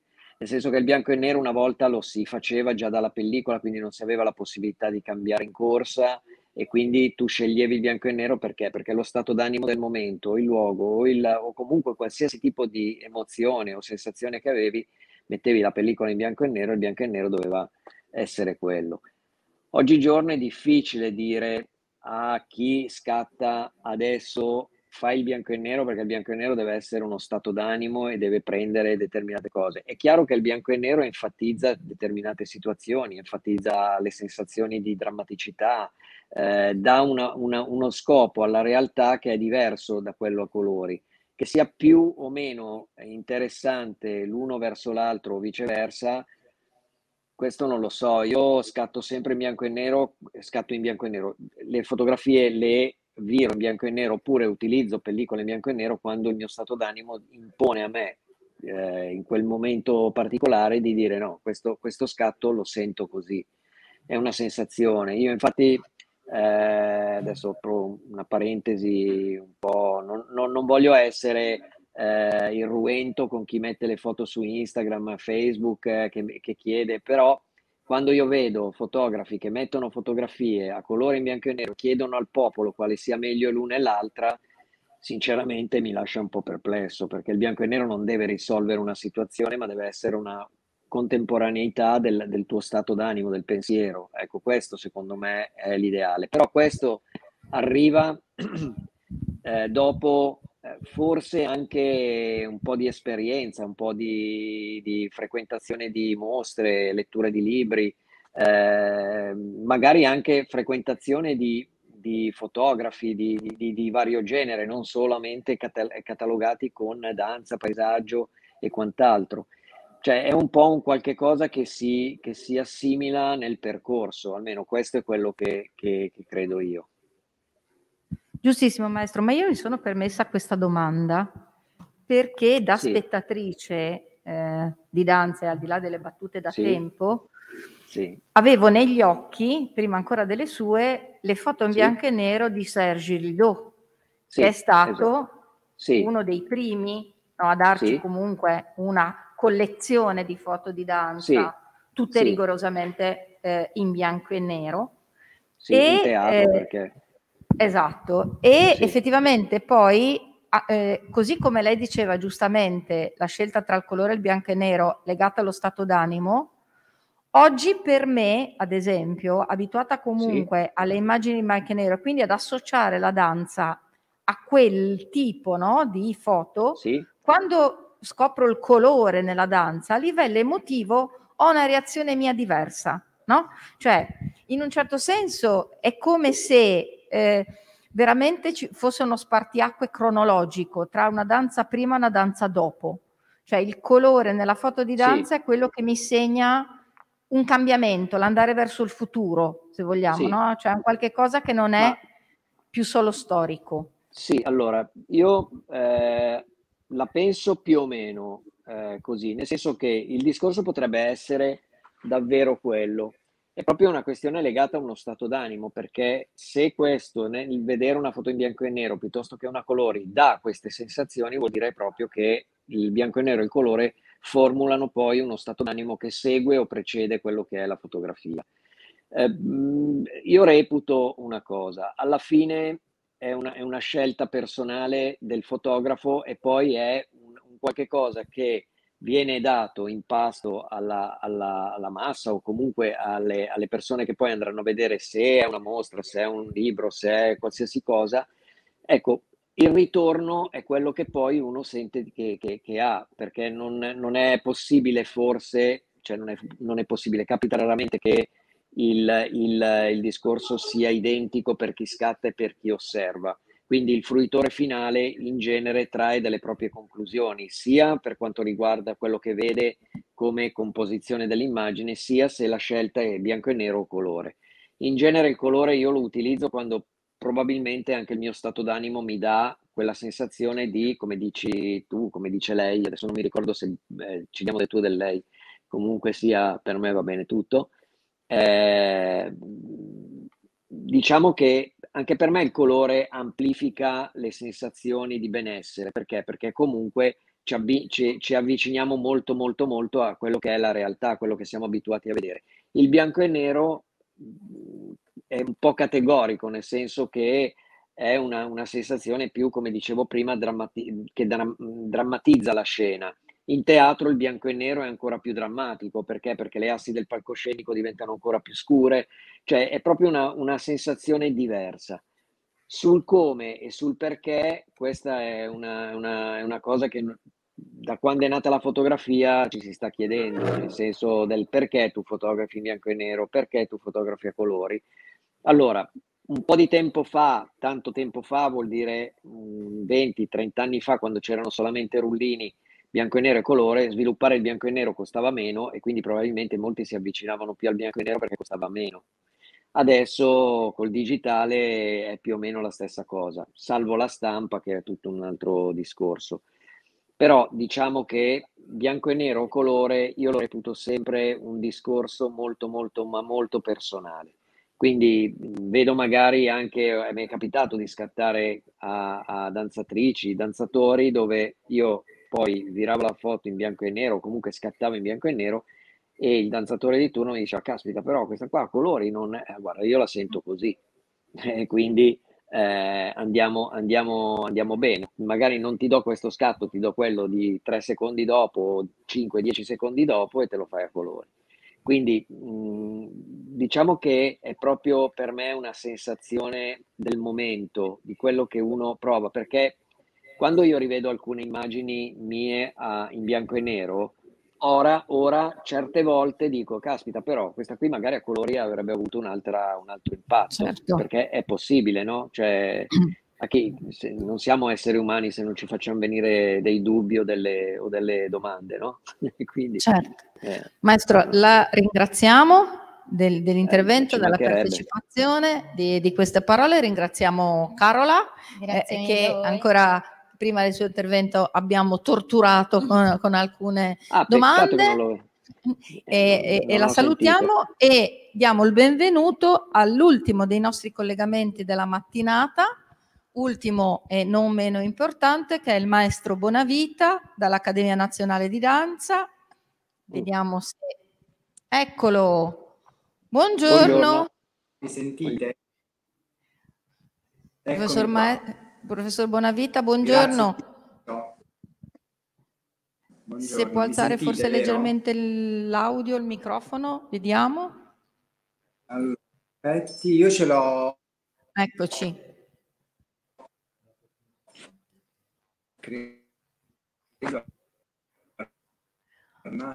Allora le do il, il benvenuto e le comincio a lanciare il, il primo step della, do- della domanda. Sentite? Se mi sente, sì? Grazie. Benissimo io adesso. C'è una connessione non buona.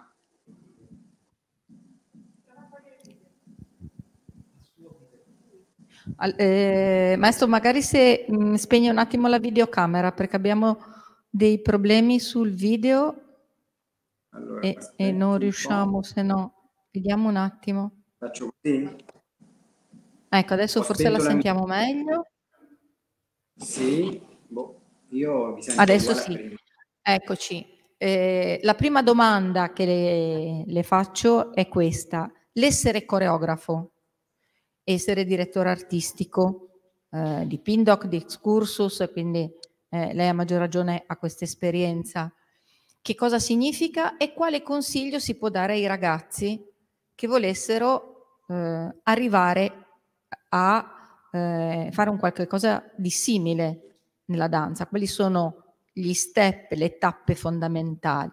Una domanda che abbiamo già rivolto agli altri nostri relatori, ma che è importante che ognuno dia il suo contributo. Grazie.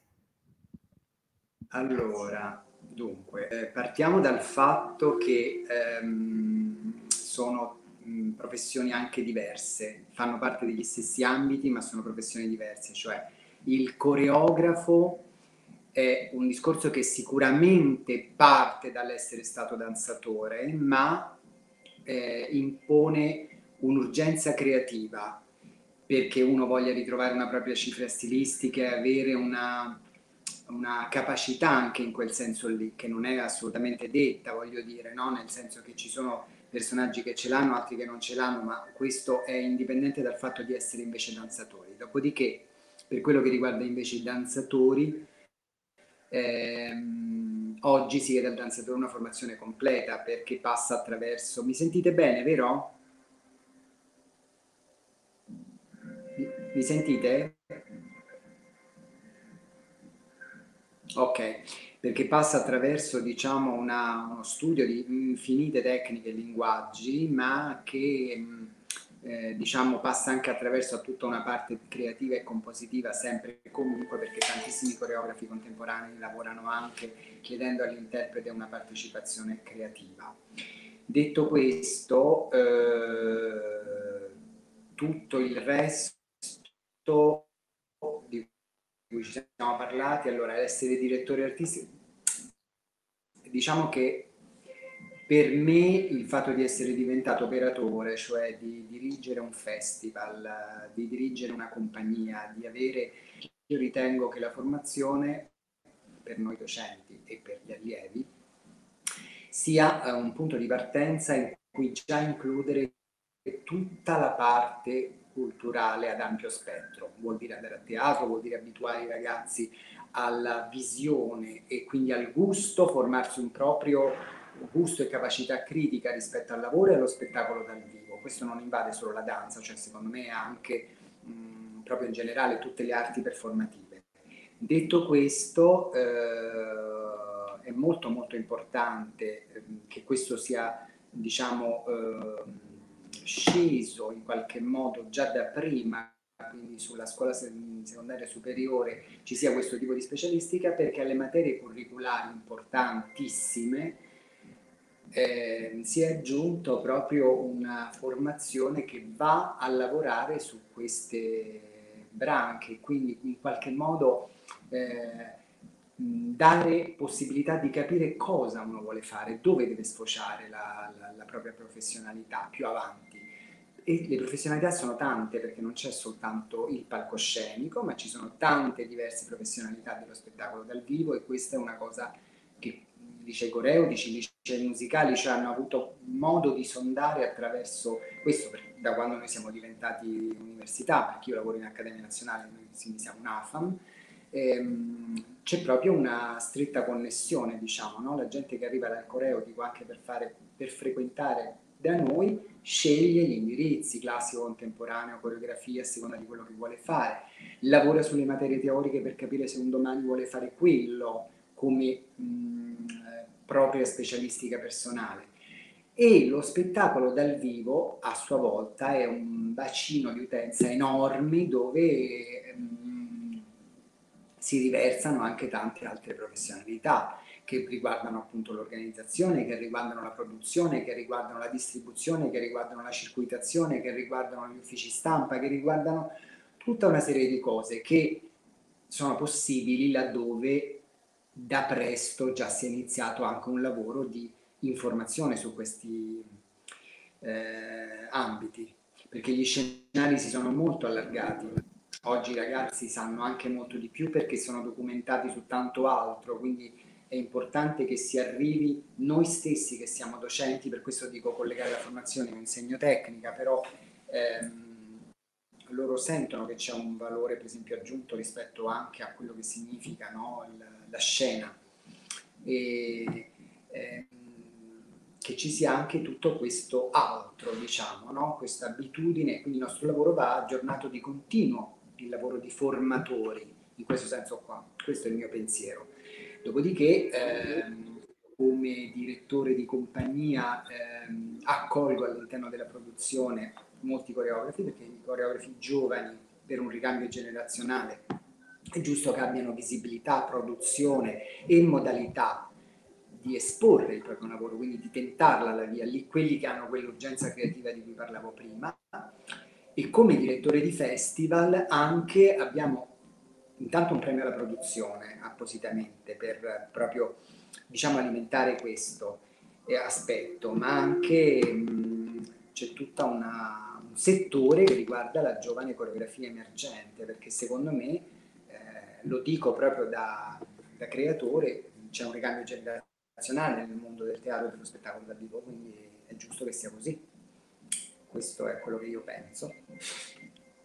Ma eh, le sue osservazioni sono fondamentali e importanti e le chiedo eh, anche a lei una cosa che eh, ho chiesto al maestro Piccone eh, perché eh, è mh, mm, credo fondamentale, specie in questa giornata. Che cosa Posso si dire? può fare ancora per la danza oggi in Italia? Lei giustamente prima accennava al discorso dell'accogliere i giovani coreografi e di dare loro spazio. Nel pomeriggio avremo collegato con noi Stefano Giannetti, il maestro Giannetti, che è coreografo residenziale in Germania da tempo. Quindi la Germania, sappiamo bene, da questo punto di vista ha una politica, chiamiamola così, sulla danza diversa, no?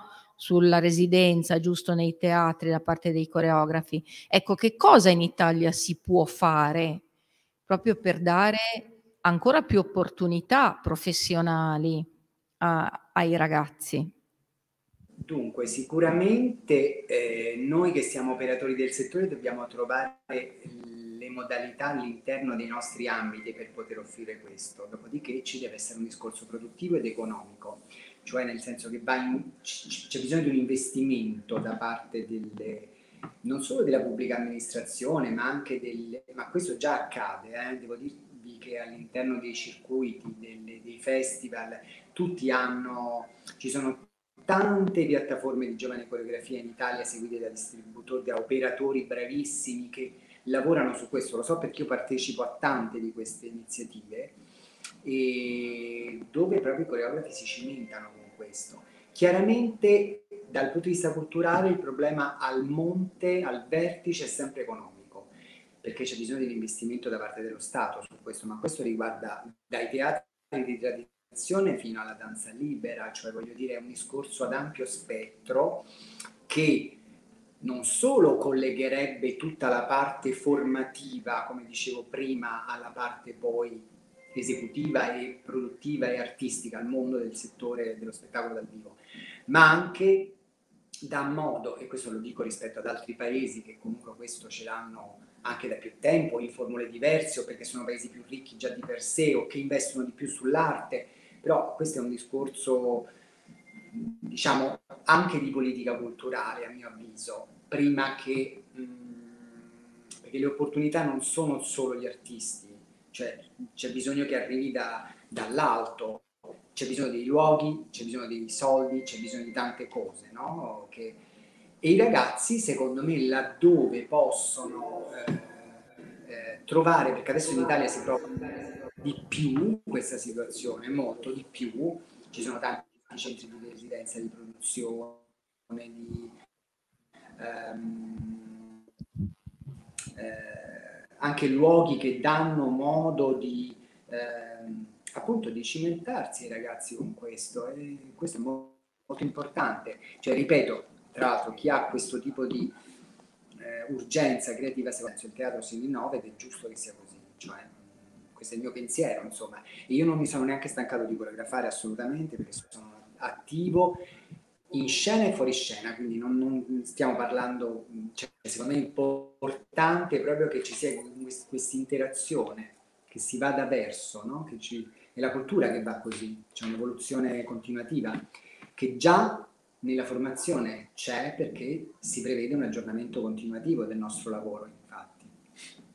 Almeno questa è la mia. Giustissime, eh, maestro, giustissime le sue osservazioni. Mi permetto di aggiungerne un'altra prima di salutarla, che è questa. Importante la formazione di chi fa danza, di chi la produce. Altrettanto importante la formazione di un pubblico adeguato a comprendere la danza. Quindi che nei teatri, nelle presentazioni degli spettacoli, giusto in giornate Questa- come questa da parte degli uffici scolastici, cioè si vada ad educare no? un, un pubblico. Questa è una cosa fondamentale, quella che lei sta dicendo. Il lavoro, del, il- quello della formazione pubblico è un lavoro che noi facciamo all'interno, per esempio, dei nostri festival, ma voglio dire, lo comincio, io è un lavoro che comincio già quando incontro gli studenti, cioè ad accompagnare il teatro, a fare, a fare in modo che ehm, si formi questo tessuto, questo, quello che dicevo prima, no? in qualche modo quando la cultura prevede, accoglie tutto questo, si forma anche un gusto, una capacità critica rispetto al lavoro, il ragazzo sa scegliere cosa guardare, dove andare, dove cercare il proprio lavoro, in quale ambito poter mh, dare il massimo. Ecco, questo secondo me è un lavoro, è, è un lavoro che va fatto sui territori, un lavoro che va fatto nelle scuole, un lavoro che va fatto io lo dico anche come direttore festival, per esempio, perché abbiamo un festival in un territorio complesso, e, però nel tempo adesso abbiamo negli anni costruito tutto un pubblico che ci segue, quindi mh, non c'è posto del mondo dove non vada fatto questo, è un lavoro continuativo che l'artista fa in primis, il formatore fa in primis e, e chi? È l'operatore ovviamente tantissimo, ma insomma... Certo, ripeto, perché altrimenti andiamo a toccare, mi permetto giusto di aggiungere a chiosa del- della- di questo primo blocco della, della mattinata questa osservazione, corriamo il rischio dell'effetto del gatto che si morde la coda, ovvero la danza piace molto, sembra un'arte semplice, usiamo questo termine anche un po' in modo forzato, da decodificare, no? a cui approcciarsi rispetto che so, a una musica sinfonica o quant'altro, cosa che non è, però dà questa impressione.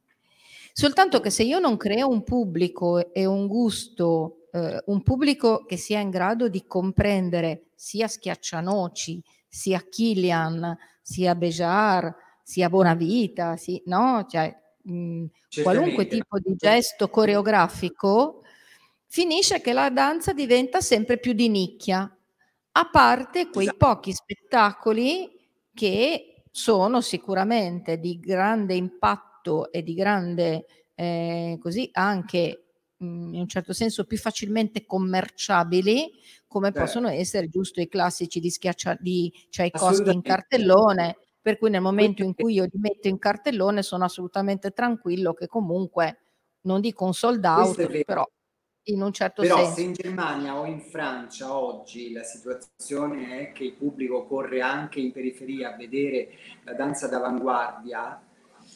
e, è perché c'è stata una formazione del pubblico anche lì a godere della danza d'autore e noi lavoriamo per questo. In fondo nessuno è escluso da questo tipo di lavoro perché il gusto si affina attraverso questo, dopodiché la danza, cioè i linguaggi del corpo che sono infiniti, ehm, arrivano laddove c'è un discorso di ehm, drammaturgia, di regia, di emozione, di narrazione, non perché debba essere per forza didascalica o descrittiva, ma di narrazione in senso lato. E quello arriva perché la danza parla con quello, quindi e chiunque può capire, cioè è importante che la si percepisca a pelle o comunque nel, nel profondo, perché ognuno poi si costruisce un proprio immaginario all'interno di quello che vede e questo è importantissimo. Però il gusto si affina a furia di vedere tanto e quindi vedendo il, il- pubblico si abitua anche ad un altro tipo di, ehm, di lavori, diversi dai lavori classici, giustamente, perché Certo. la cultura si innova, quindi è importante, no? E questo da paese a paese cambia sempre, voglio dire, da paesi nel senso, appunto, Certo. Francia, Germania, Italia, cioè le cose si modificano di continuo, quindi bisogna lavorare in, questo, Maestro. in questa direzione. Assolutamente, ha, ha usato le, le parole che sono state il filo conduttore questa mattina, vale a dire narrazione, emozione, percezione a pelle della danza e quindi su queste sue parole eh, io chiuderei il collegamento con lei ovviamente ringraziandolo e, Grazie a voi. eh, mh, e chiudo questo blocco de- della mattina dando appuntamento poi al, al pomeriggio a tutti coloro che vorranno seguirsi perché alle 15 riprendiamo col ricordo per il maestro Bussotti. Grazie, grazie professor Bonavita, a presto, arrivederci presto. e arrivederci a tutti e a Arrivederci. dopo. Grazie caro.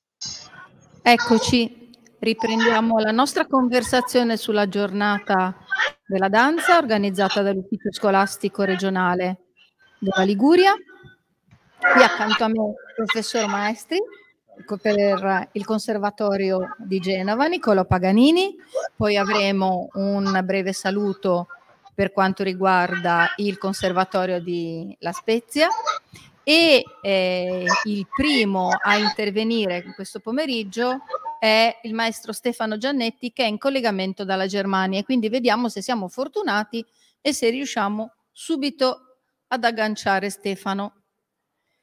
E qui di nuovo, come è, è accaduto stamattina, mi permetto di usare un tono molto confidenziale perché Stefano mi onora della sua amicizia da tempo. Eccolo! Buongiorno, ma che bel sole in quel della Germania. Stefano?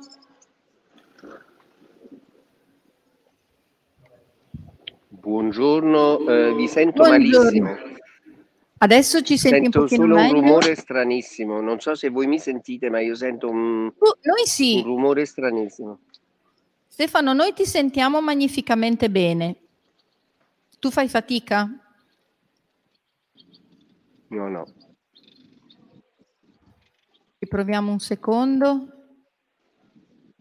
Aspetta, eh, mettiamo a punto i nostri collegamenti, arriviamo. Io auguro buongiorno a tutti, ma sento solo. Mi dispiace, Non è il massimo. non so che fare. Allora, noi ti sentiamo bene, C'è un problema.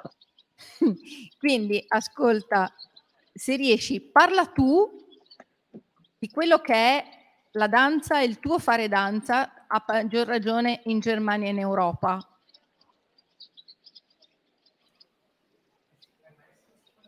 Ok?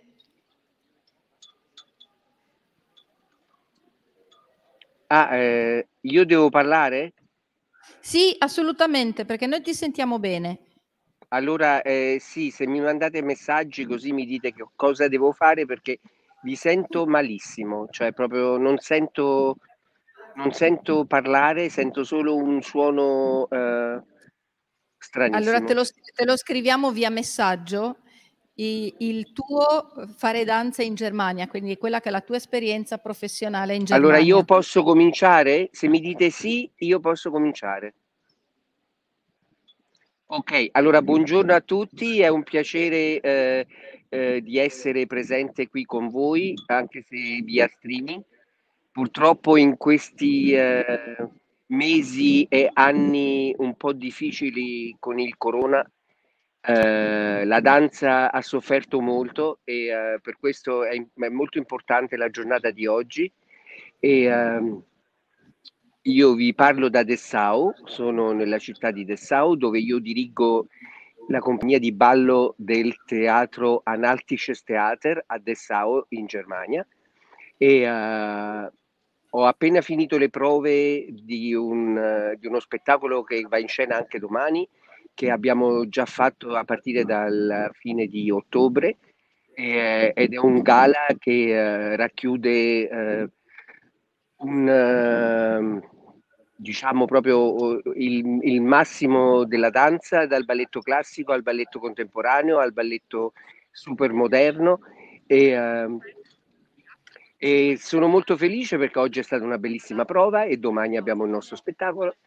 E eh, quindi eh, mi dispiace che mh, non potrete vederlo, io non sono un esperto di streaming purtroppo, ma comunque posso raccontarvi qua. Io probabilmente la signora Trisoglio Parodi vi ha già parlato un pochino di me, del mio curriculum, di quello che ho fatto.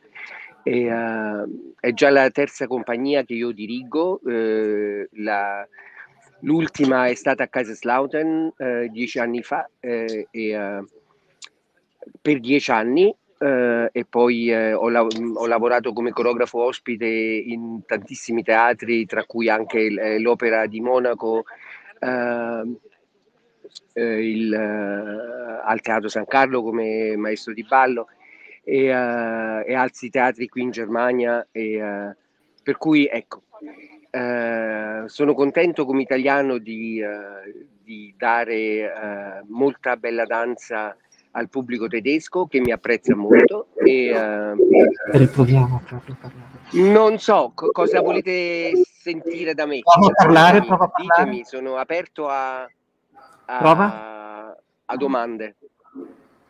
Allora, forse adesso riesci a sentirmi un po' più Eh, scritte, mi dispiace Claudia, scritte perché non, proprio non sento... Arriva, quali opportunità?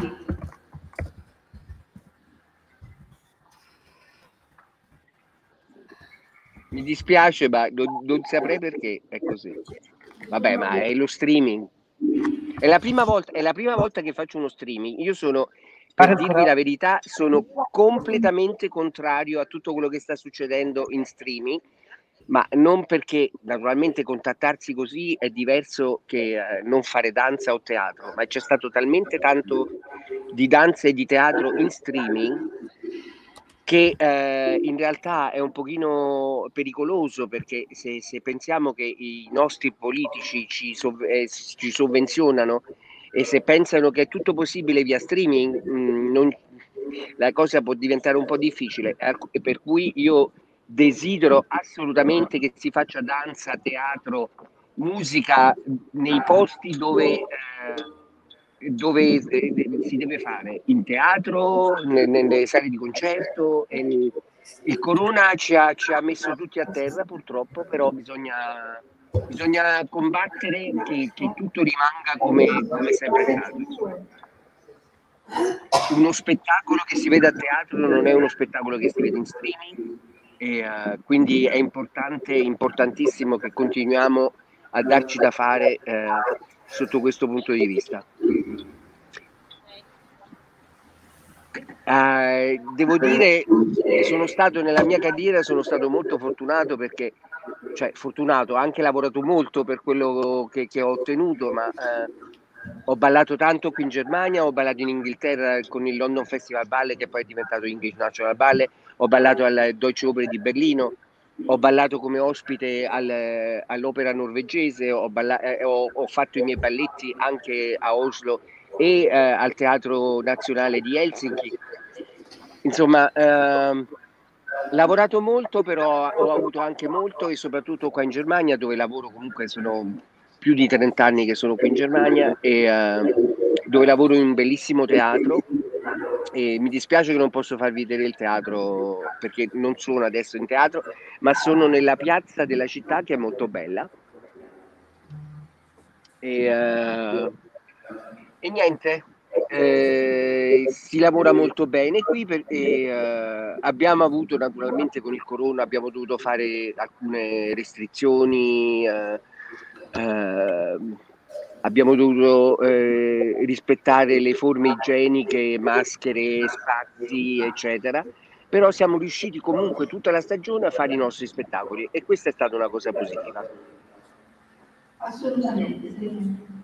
Allora, ascolta, visto che abbiamo con queste difficoltà un po' per te e, e sullo streaming, poi ci sentiamo con calma e magari ti chiederò di registrare qualche saluto. Questo suono eh, è, è ottimo per fare un lavoro di, di danza moderna. è un suono talmente strano. Solo lui. eh, no, Sì, sarebbe se dottor- potete farmi le domande scritte come vedo qua, eh, forse riesco a rispondere, ma è difficile. Non, non capisco proprio una parola di quello che mi viene detto.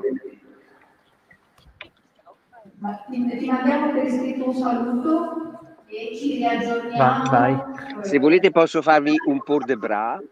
Facciamo come fai. Ok, finito. Vi Salutatevi. ringrazio anch'io e mi dispiace molto per il collegamento, ma spero che eh, sono stato udibile e eh, mi raccomando tanta danza, tanta danza in teatro, ok? Lo streaming va bene per tante cose, ma eh, bisogna fare danza in teatro. Arrivederci.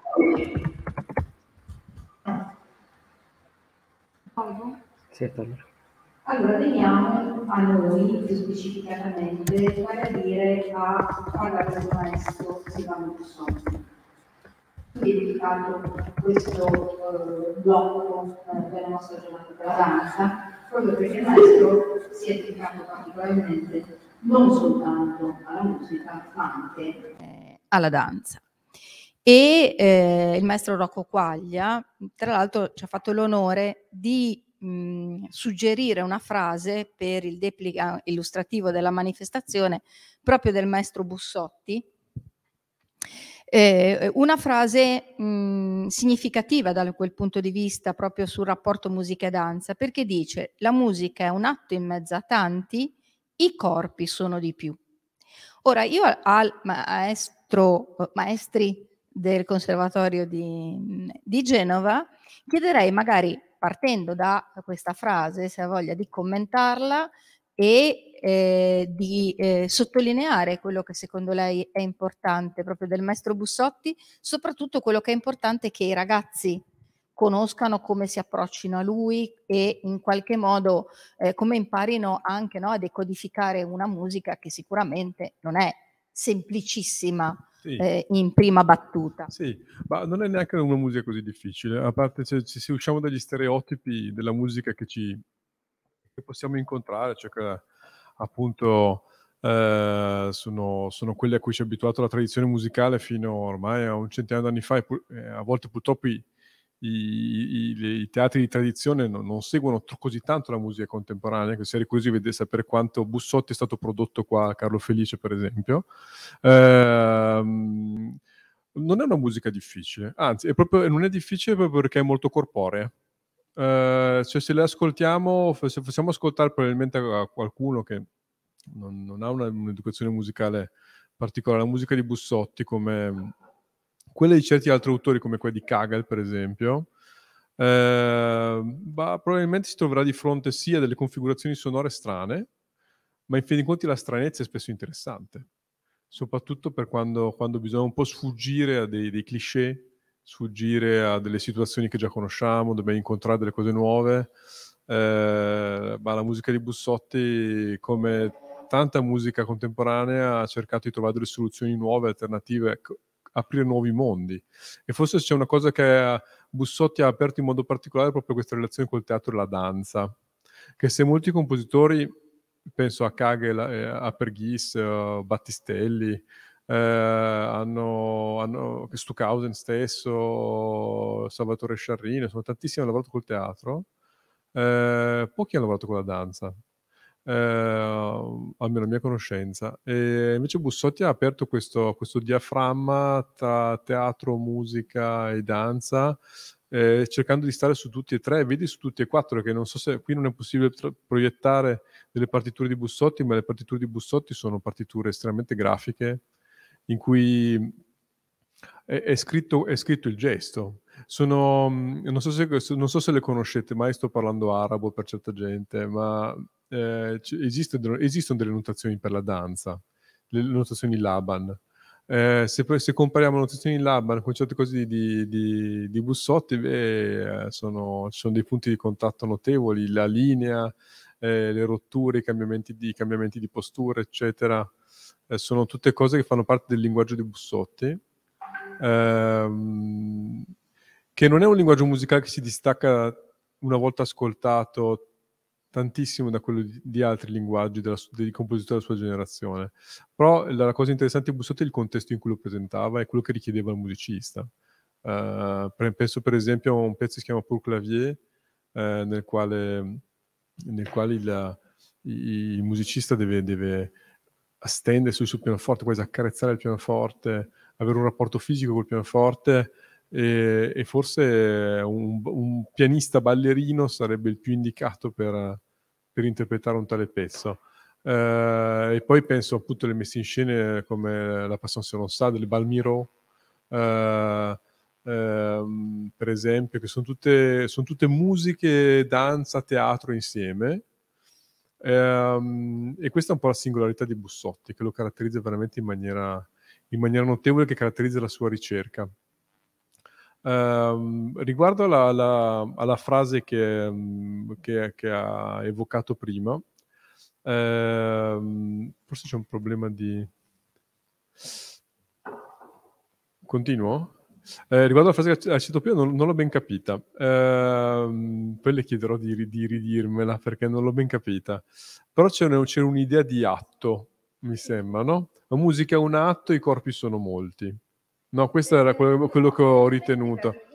Mm. per quanto riguarda questa frase, io la proponevo Mm. a lei da commentare Sì. e poi la proporrò Ah. al maestro Quaglia, Quaglia, giusto. proprio per vedere no, Certo. eh, il tipo di interpretazione Certo. che date Certo. certo senso. Me la può rileggere? Gliela leggo Sì. volentieri. È la musica un atto in mezzo a tanti. Mhm. I corpi sono di più. Ok, questa è una frase di Bussotti? Sì. La musica è un atto in mezzo a tanti. Ehm, e i corpi sono di più. Eh, non lo so, non saprei non, so, non- non lo so ben capire.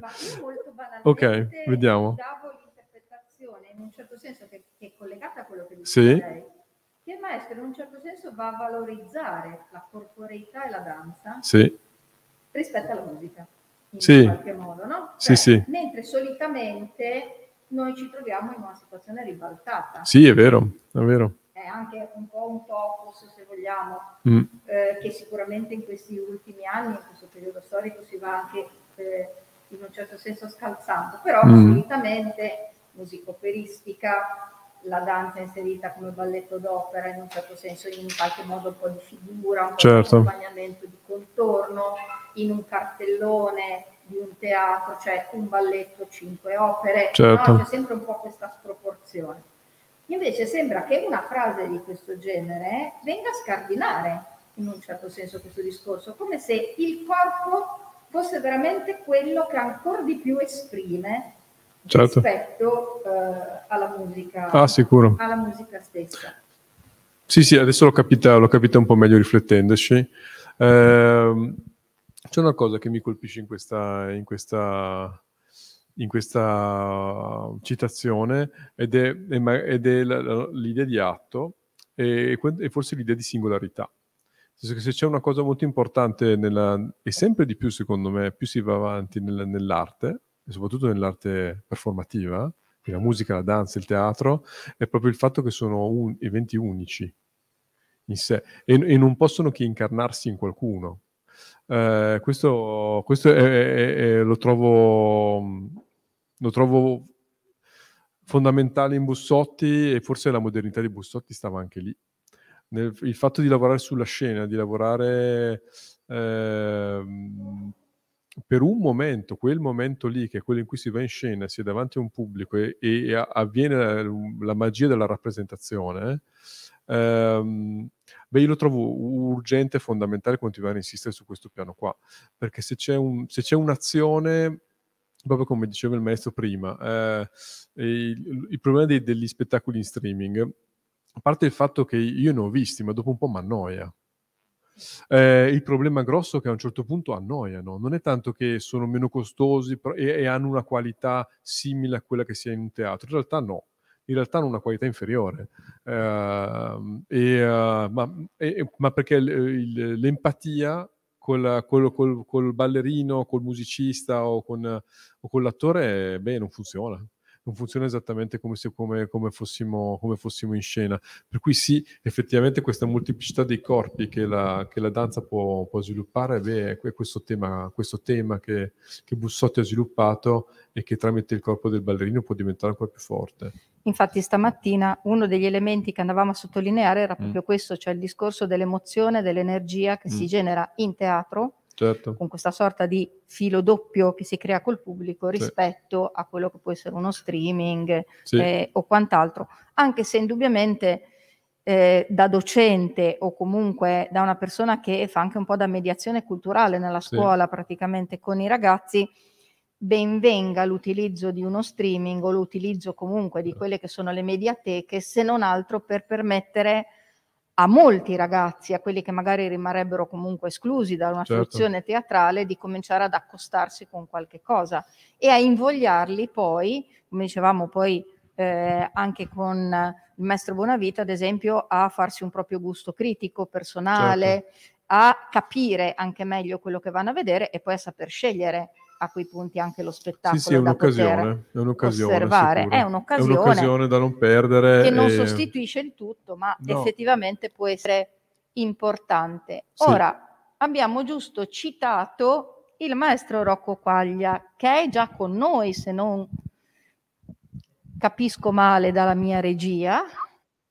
Vediamo se c'è. Eccolo, trasmissione, sì, sono in trasmissione. eccolo Rocco. Buongiorno. Buongiorno a tutti. Buongiorno. Non so se sei, se hai già ascoltato. Certo, certo, ho ascoltato, sì. Benissimo, il fatto che abbiamo cercato di interpretare questa frase così particolare e significativa che hai suggerito del, Purtroppo del questa è una frase che viene a conclusione di un, di un, tutta- di uno- di un tutt'uno e quindi estrapolare la frase, eh, cioè dare un significato a un'estrapolazione di un tutto diventa molto complicato. Capisci cosa intendo dire, Claudia? Assolutamente sì. Allora, noi abbiamo provato, Ora, tutto quello, ovviamente, no? detto, tutto quello che avete detto va benissimo, però volevo sottolineare che questa era la conclusione di un testo in pratica. Ecco, allora ci aiuti tanto già a capire un attimino meglio, visto che questa era la conclusione, no? Quindi questo rapporto tra musica e danza del, del maestro Bussotti, tu che l'hai vissuto direttamente e in prima persona, effettivamente mh, su, su quali basi essenzialmente si fondava, su quali emozioni fondamentalmente si fondava. Quello che ritieni più opportuno che soprattutto i ragazzi che ci ascoltano sappiano eh, di questo modo di collegare musica e danza. Allora, eh, la danza eh, per Silvano nasce, nasce insieme a lui in pratica, perché lui ha cominciato a interessarsi di danza quando ancora era al conservatorio, che studiava piano, che faceva delle, de- delle, suonava delle cose a quattro mani al pianoforte con Antonietta Daviso, quindi Antonietta Daviso è stata una ballerina, poi ha fatto la maestra di danza e quindi e già allora si interessava alla danza. In pratica per lui la danza, la danza è stato sempre eh, un'espressione del corpo nella sua musica, diciamo. E quindi quando io ho conosciuto Silvano e quando ho conosciuto, ho cominciato a lavorare con la sua musica, come diceva giustamente il maestro che hai a fianco, eh, la cosa importante era ascoltare la musica, cosa che in genere i ballerini contano la musica, non, non ascoltano, che è una questione molto diversa, molto sottile e molto diversa, ascoltare la musica mentre danzi anziché contarla. Capisci cosa intendo dire? I ballerini penso che sanno cosa intendo dire. Assu- no, no, assolutamente sì. Il eh, discorso del contare è un modo per semplificare la partitura Certo, musicale. certo, no? certo, ma, Cioè, as- e- ma ascoltandola invece la interpreti, capisci? Esatto, esatto. E quindi, e quindi è un- non solo ci sono partiture musicali semplificabili e e- quindi e altre no. e altre, e altre no, e non solo semplificandole, anche se stiamo usando un termine veramente orripilante, Sì, però certo, certo. cioè, mh, eh, accettiamolo eh, per adesso, semplificandole andiamo a snaturarle e andiamo a perdere. Quindi a questi punti una annotazione importante che dobbiamo fare per i ragazzi è prima di tutto questa, cioè quella che è l'importanza della conoscenza della storia della musica, delle grandi personalità della musica ed è la storia della musica quindi altrettanto importante quanto la storia della danza, la storia della letteratura, quindi un buon danzatore non è soltanto colui che sa muoversi in un determinato modo, col codice espressivo, corporeo, classico, contemporaneo che sia, ma è anche colui che ha delle conoscenze comunque eh, storiche, culturali importanti. Quindi il liceo coreutico effettivamente da questo punto di vista è sicuramente una svolta fondamentale, così come sono fondamentali eh, le linee guida e eh, ovviamente le strutture eh, dell'alta formazione accademica e musicale artistica, vale a dire i conservatori, l'Accademia Nazionale di Danza e quant'altro, proprio perché la formazione deve essere una formazione completa eh, a tutti gli effetti. No- non si può giusto danzare Bussotti senza avere una minima idea no, della personalità, eh, delle, delle tematiche fondamentali, giusto del, del, modo con cui viene costruita una partitura, di quella che è la gestualità che giusto il maestro Maestri diceva prima no, sul calligramma musicale che viene, eh, che viene presentato. Eh, ti sembra che eh, mh, possa funzionare, no, Rocco, come tipo di certo. approccio chiaro, a questo certo, punto di vista? È molto importante a questo punto di vista. E ovviamente però un, un ballerino, tu capirai, un ballerino dovrebbe avere 100 vite per arrivare a tutto questo. Una vita non gli basta, capisci? Infatti la cosa importante è imparare, secondo me per un ballerino serve imparare ad ascoltare, esatto. tutto, il repertorio contemporaneamente, eh, dove, magari ascoltare anche pochi pezzi, ma bene. Eh, così magari il musicista dovrebbe imparare a muoversi eh, a muovere il corpo. Eh, e, e, sicuramente la musica cambierebbe, forse anche la danza, se un, il musicista imparasse a muoversi e il ballerino ad ascoltare. Eh, per cui sì, ovviamente è molto importante lo studio delle nozioni, delle storie, dei compositori, eccetera, ma è ancora più importante, secondo me, che si, si, si, impari ad ascoltare. E in questo senso la musica contemporanea di oggi è molto importante, perché essendo libera in qualche modo da, da nozioni pregresse, beh, obbliga ad ascoltare. Ed è, proprio, ed è, proprio, lì la difficoltà della musica contemporanea, che lì devi per forza ascoltare, non puoi appoggiarti sulle tue rappresentazioni certo, eh, pregresse e lì, e lì, diventa difficile. E quindi secondo me non è difficile perché è complicata, cioè a volte è complicata, ma a volte no, ma spesso è difficile perché ti obbliga a fare una cosa in cui non ci siamo tanto abituati, cioè ad ascoltare, ad ascoltare, eh, che è un'attività e forse delle attività musicali è una delle più difficili. Uh, ed è l'attività comune con la danza. Vedete un ballerino che sa ascoltare, eh, beh, uh, uh, quasi il corpo va da solo, direi. Eh, esatto. No? Non solo, per quanto riguarda la musica contemporanea e in particolare faccio riferimento anche alle prime volte in cui io ho ascoltato ehm, le musiche del maestro Bussotti, eh, non solo imparare ad ascoltare, mh, mm, lasciarsi anche prendere e trasportare. E ehm, lo si può facilmente comprendere e voi, mh, mm, lei e, e, Rocco dall'altra parte eh, lo capite benissimo. Eh, vale a dire lasciarsi trasportare ed essere anche pronti ad accettare una musica, una situazione che mi sconvolge, che in qualche modo mi turba profondamente, proprio perché è inaspettata, proprio perché mi dà delle sonorità o delle immagini o una gestualità ben diversa da quella eh, cui sono abituato come danzatore, come persona, come pubblico, eh, in qualunque modo, e soprattutto un qualche cosa che sconvolge le mie sicurezze che eh, sicuramente ribalta anche tutto ciò che di certo e di definito ho fino a quel momento. Mm, questo è, secondo me, un elemento importante che, che, i ragazzi affrontino, cioè il non avere paura del lasciarsi trasportare dalle emozioni che la musica contemporanea eh, porta in, in sé a un certo punto, e lasciare mh, lontano quella comfort zone invece eh, nella quale molto spesso siamo, siamo abituati. Ora, in questa conversazione, chiedendo giusto di nuovo aiuto ai nostri tecnici, se la professoressa Fucciarelli è collegata anche lei, così coinvolgiamo anche lei nella conversazione. Eccola. Buongiorno. Buongiorno. Sandra, ben arrivata. Non so, hai ascoltato anche tu? Sì, sì, ho ascoltato, ho preso degli appunti anche, eh, condivido quello che è stato detto finora eh, con la gioia sempre di ascoltarvi e di ascoltare Rocco.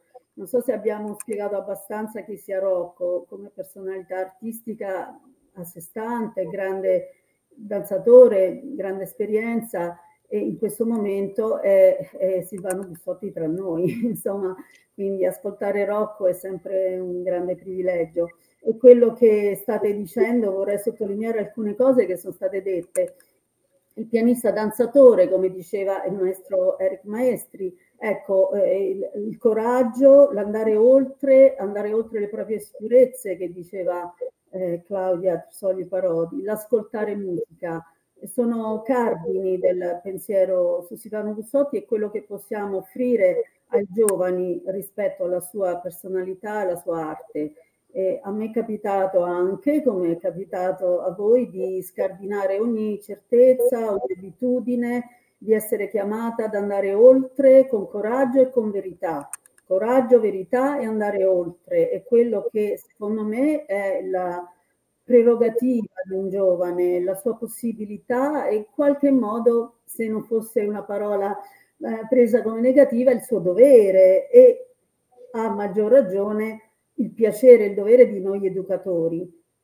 Eh, io insegno composizione della danza, dunque il mio compito non è di trasmettere um, qualcosa da eseguire come una tecnica, ma è quello che eh, è un po' mh, quello che gli americani chiamano coaching, è come un allenatore. Cosa fa l'allenatore rispetto a un atleta? Cerca di insegnargli i modi per andare al suo massimo e questo è uh, il mio compito e quindi il maestro Bussotti, Rocco con lui sono stati una grandissima scuola anche per me come insegnante e da loro non si smette mai di imparare anche dalle opere del maestro credetemi, non ci se la fa a star, a star dietro a tutte le opere del maestro, tanto che una, eh, la sua biografia, la prima è corposissima e bellissima di Luigi Esposito, si intitola Un male incontenibile e Rocco vi può dire eh, l'aneddoto per cui originariamente sarebbe stato un mare incontenibile, vogliamo dire una fonte, una scuola, inarrivabile e dunque ci sono delle prospettive molto, molto importanti e, e, spero si seguirà a partire da questo primo incontro, ci saranno altre occasioni per condividere con gli studenti questa avventura meravigliosa che è accostarsi all'opera del maestro Bussotti.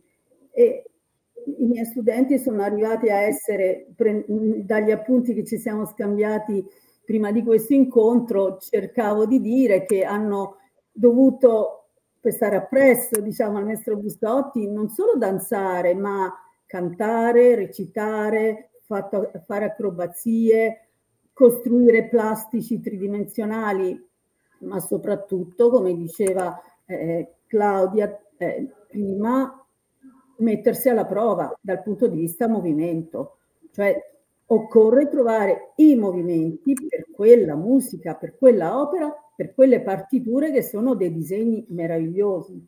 Non so se posso mostrare al volo, è solo una tra le più famose partiture del maestro. Cioè, sono opere d'arte meravigliose. Tanto e... vorrei ascoltarvi. ascoltarvi. Sì, sì, ma eh, quella che facevi vedere eh, è eh, sicuramente una partitura significativa dove eh, quel senso di unione tra le arti è esplicitata chiaramente. E questo che è estremamente interessante, cioè non è una partitura semplicemente no, di note, eh, ma eh, è, ben, è, ben, di più. Ora, a questi punti, giusto anche seguendo eh, un pochino quelle linee no, di cose importanti che avevamo detto vorremmo comunicare con i nostri ragazzi, primo punto eh, su cui vorrei ragionare con Rocco è, eh, è questo. L'essere interprete e l'essere coreografo della musica del maestro Bussotti, che cosa ha significato uh, a livello di emozioni, di difficoltà, di crescita tua personale, professionale, tutto quello che ritieni importante, cioè in quei momenti la musica da una parte, la figura del maestro accanto, la sua personalità, che cosa si mette in gioco? Che cosa si mette in gioco? Tutto, la vita intera. Allora, eh, per, per farti un esempio, le, le, Le coreografie che Giancarlo Vantaggio ha fatto per me sulla musica di Silvano sono state fatte sempre seguendo la partitura. Potrà sembrarti strano, ma con Giancarlo, Giancarlo mi faceva vedere, guarda, qui c'è questo, eh, questo, questo scritto, ci sono queste note e dobbiamo fare dei passi su queste note. E allora a seconda del- della- delle note che c'erano e ascoltando le note che venivano eseguite, sì, eh, Giancarlo ci metteva sopra dei passi. Devo dire che eh, in questo modo la musica entrava completamente nel mio corpo. Io non avevo più bisogno neanche di ascoltare la musica, perché al minimo impulso musicale il mio corpo reagiva. Non so se eh, riesci, a capire cosa intendo dire, perché è molto sottile il, il, il discorso, capisci? È veramente molto sottile. Per esempio, Giancarlo aveva fatto questa coreografia per me brillante sul quinto movimento di Bear Crystal e, ed è una, una, un pezzo musicale, eh, circa sei minuti, una variazione che sei minuti non sono pochi, come sai, e di, di, di grosso impegno danzato e musicale nello stesso tempo. Io ho ballato questo pezzo diverse volte e una volta eravamo in, con la compagnia di Giancarlo in una piazza qualsiasi e improvvisamente veniamo a sapere che c'è Silvano che viene a vedere lo spettacolo.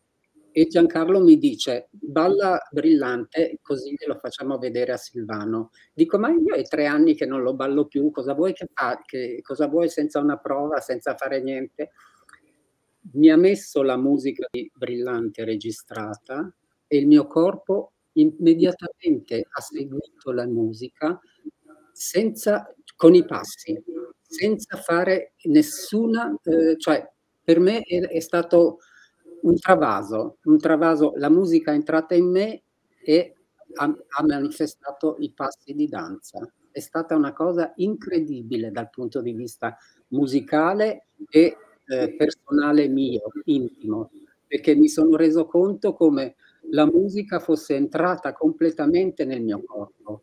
Capisci cosa intendo dire? Poi il Capisco benissimo. Chiaramente il rapporto con Silvano, Silvano in pratica mi ha preso che ero un, un piccolo solistino, mi ha buttato in scena e adesso riempi la scena e fai. E, e, e così per me è stato il, il massimo, cioè io dovevo in qualsiasi modo avevo gli occhi su di me, dovevo riempire quegli occhi, sia con il mio atteggiamento, sia con la mia interpretazione musicale e con tutto quello che potevo dare. Per me Silvano è stata una scuola incredibile da questo punto di vista. La consapevolezza che mi ha dato nel, nell'ascoltare la musica è stata eccezionale, insomma non saprei che altro dire, è stata una cosa... Allora, eh, Rocco, io mi permetto di fermarti perché sì. hai detto due eh, cose eh, fondamentali e penso che mh, mm, quelli che stanno ascoltando siano uh, d'accordo con me. Cioè, quando praticamente il tuo corpo diventa tutt'uno con la musica. Esatto. Quando un danzatore riesce a ottenere questo, che poi tra le altre cose è un qualcosa di istintivo, non è un atto razionale. Non lo non puoi è... spiegare, Claudia, non lo puoi spiegare, lo puoi provare. Esa- cioè, non è il mio cervello che a quei punti si mette in moto e dice adesso io voglio fare così. No, no. è un no. qualcosa di immediato che accade. Accade, certo. A prescindere dalla mia volontà. Però te ne rendi conto, questo è molto sì, importante. Questo sì. Lì che cos'è, cosa scatta? Scatta la magia di due arti, la musica e la danza, di due dee, come a me piace chiamare la dea tersicore, che si fondono insieme e di rispetto alle quali io danzatore sono solo uno strumento. Sono loro in qualche modo che suonano, sono loro no? che mi fanno muovere in assoluto. Io sono consapevole del fatto dell'essere strumento, dell'essere testimone, dell'essere una vestale, un sacerdote di quello che sta accadendo, ma sono semplicemente nelle mani di questa forza artistica. Ma è Ed è quello un che è un ballerino, è quello che è un ballerino, è uno strumento nelle mani di un coreografo, no? quello che è un ballerino, permettimi Rocco, vero, cioè quello che lo è come musicista fondamentalmente nell'anima, non colui che esegue dei passi, non colui che esegue semplicemente una tecnica, un virtuosismo o quant'altro, non colui che cerca il palcoscenico per esibizione personale o per primeggiare in qualche modo, ma di colui che si mette con molta umiltà, perché ci vuole umiltà per fare questo, al servizio di. Allora accade questa magia che stai dicendo tu, che è qualche cosa di unico. E ai ragazzi che ci stanno ascoltando e a coloro che magari vedranno la registrazione in seguito, io auguro proprio questo, che se sono danzatori nella loro carriera riescano ad avere solo che un momento come quello che raccontavi tu, che poi può essere un attimo, ma che Certo. diventa un qualcosa che ti segna nel profondo. E lì c'è lo scatto in avanti, il cambiamento, il dire ci sono. Chiaro. Sono effettivamente in sintonia con un qualcosa. Sai Claudia, anche, se vogliamo. certo, sai Claudia, quando io, quando abbiamo iniziato con Silvano la scuola spettacolo a Genazzano, io ho avuto tra le mani delle persone che con la danza avevano mh, veramente poco a che fare, hanno avuto poco a che fare, soprattutto le ragazze grandi. Quello che ho cercato di trasmettere loro è appunto questo ascolto musicale. E se poi guardate in Battaglia Blu, che tra l'altro è la mia coreografia ma non è sulla musica di Silvano, c'è questa ragazza che all'inizio, semplicemente all'inizio, loro devono scendere delle scale, c'è questa danzatrice e una ragazza che, eh, Tommasella Calvisi, che è una vocalista e lei esegue queste, eh, queste eh, vocali, questi vocalizzi e la danzatrice danza. Ma all'inizio entrambe devono scendere tre gradini per dire e prendere la loro posizione. Ora la vocalista scende e va al microfono per fare il suo lavoro. La danzatrice consapevolmente prima di muovere un passo, si vede come studia il passo per scendere il primo gradino, cioè poi, vabbè, poi la, la visione cambia, il- e, però la consapevolezza che ha avuto questa ragazza nello scendere i primi gradini già ti fa capire che è, sa stare sulla scena. Poi certamente magari la tecnica lascia desiderare, però già il fatto della- di ottenere una consapevolezza di come si sta sulla scena, già aver toccato il cielo con un dito. eh. Non so. Vivè se lo vediamo questo video, ce l'abbiamo. Sì, no, no, no, eh, stiamo provvedendo a, a mandarlo. Ecco, perché... Sì, sì, sì, perché effettivamente così almeno ci rendiamo conto meglio. Se È il video numero due, Battaglia due. Blu. È il video Mentre numero due. preparate, posso Sì, sì. una citazione dal maestro, visto che agganciandomi a quello che diceva Rocco, che commuove, è, è stato un attimo musicale e intimo.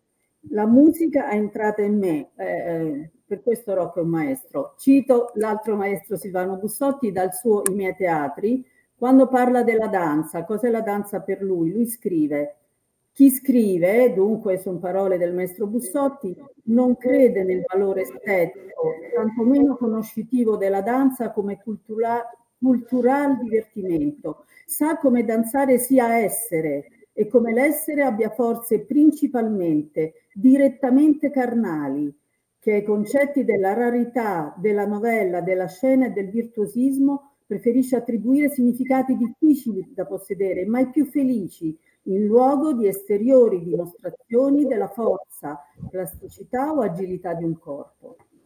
Questa era la danza per, tra le altre cose per il maestro Bussotti. Se abbiamo battaglia blu, Sì, direi, direi di sì che possiamo mandarlo. Eccolo.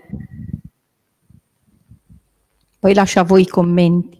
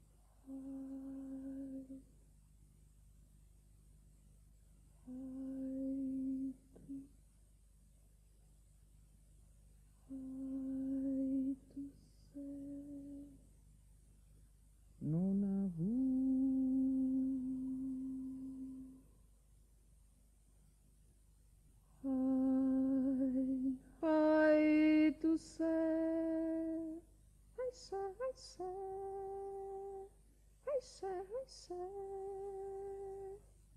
Urra! Quellui.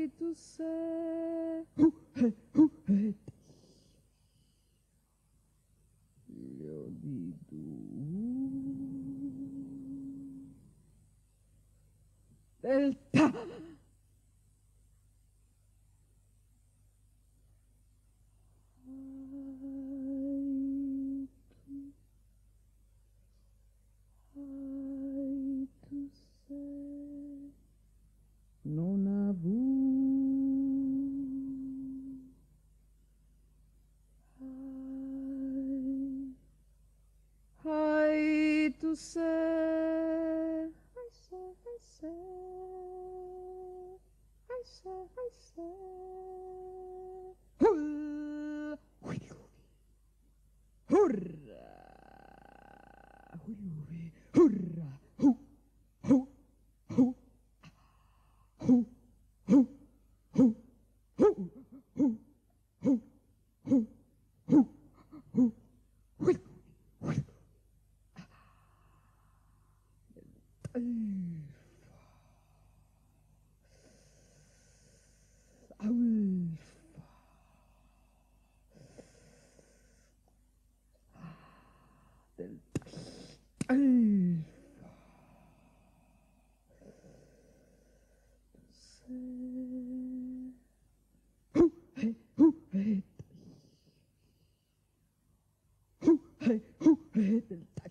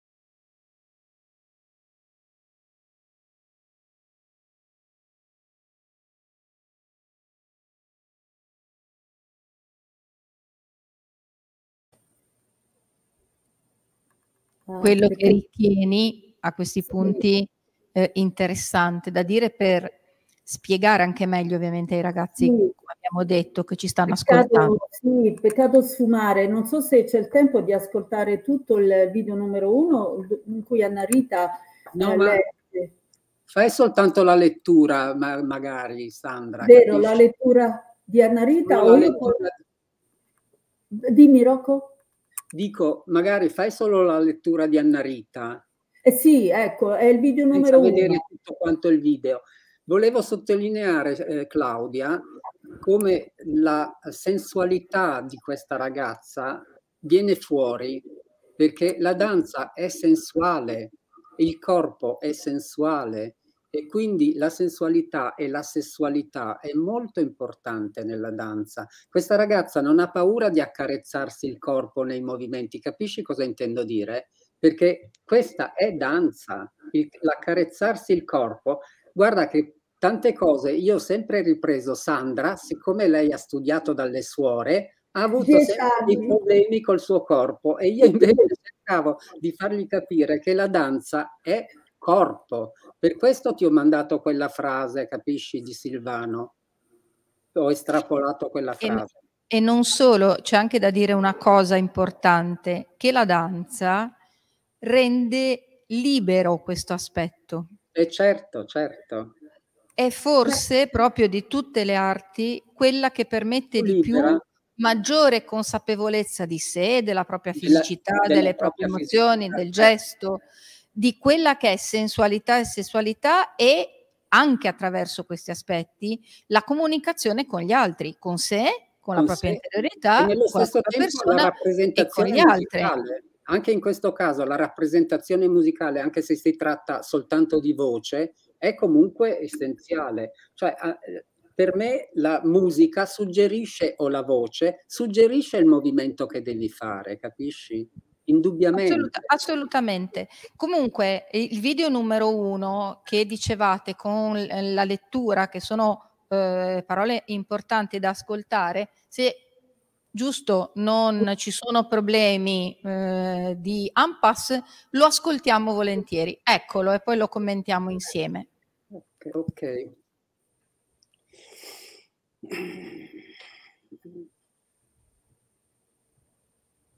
Antiche tradizioni, forse leggende, anche vecchie consuetudini, dai ruderi e castelli che ci guardino dall'alto di un paese arroccato o aspettino i nostri passi in fondo alla piccola valle, mostrano alla contemporaneità un viso tutt'altro che assopito e dimostrano una forza invano imitata dal progresso tecnologico attuale. Che un musicista e artista teatrale si imbattesse in simili paesaggi poteva sembrare momentaneo smarrimento, caro a romantiche nostalgie. Oggi questi luoghi si provano a confutarlo, ponendosi a confronto con aerei e metropoli. L'arte musicale, così come le arti visive, lo spettacolo, ha energie che possono misurarsi con quelle dei secoli, ma questa misura è probabile riesca a svolgersi ormai solo in presenza di questi ruderi e castelli. Vi è infatti nella contrapposizione abituale dei concetti di avanguardia e tradizione una ottusa pigrizia. Per la verità tali concetti vanno fusi e confusi nella nozione imperitura dell'uomo e del bello che, sia pure doppiamente espressa, fa nell'opera un tutt'uno. L'opera balla e quell'artista che ne guida i passi deve studiare sempre, senza lasciarsi distrarre. Ma in una scuola, e di quale spettacolo si tratta bisognerà scoprirlo. Questo l'invito, non tanto enigmatico, simbolico, di certo allegorico, a seguire i nostri passi, scoprendo che un fabbro armonioso martella suoni, ritmi e gesti delle musiche nuove, si finirà per vedere con le labbra, con le orecchie parlare, agire con lo sguardo, con magia precisa e tecnica che debbono sapere gli studiosi.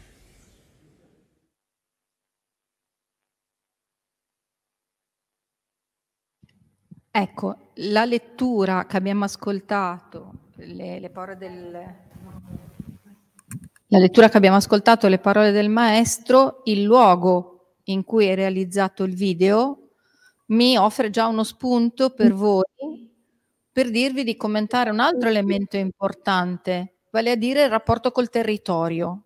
Oggi se ne parla tanto, è di gran moda, no? la riscoperta del territorio, dei luoghi e quant'altro, il maestro Bussotti è stato forse anche in questo senso no? all'avanguardia, eh, un pioniere nel portare la danza sul territorio, nel riscoprire il territorio e coinvolgerlo nel fare danza. Ditemi ovviamente se sbaglio perché eh, siete voi che, No, no, certo che non sbagli. esperienza.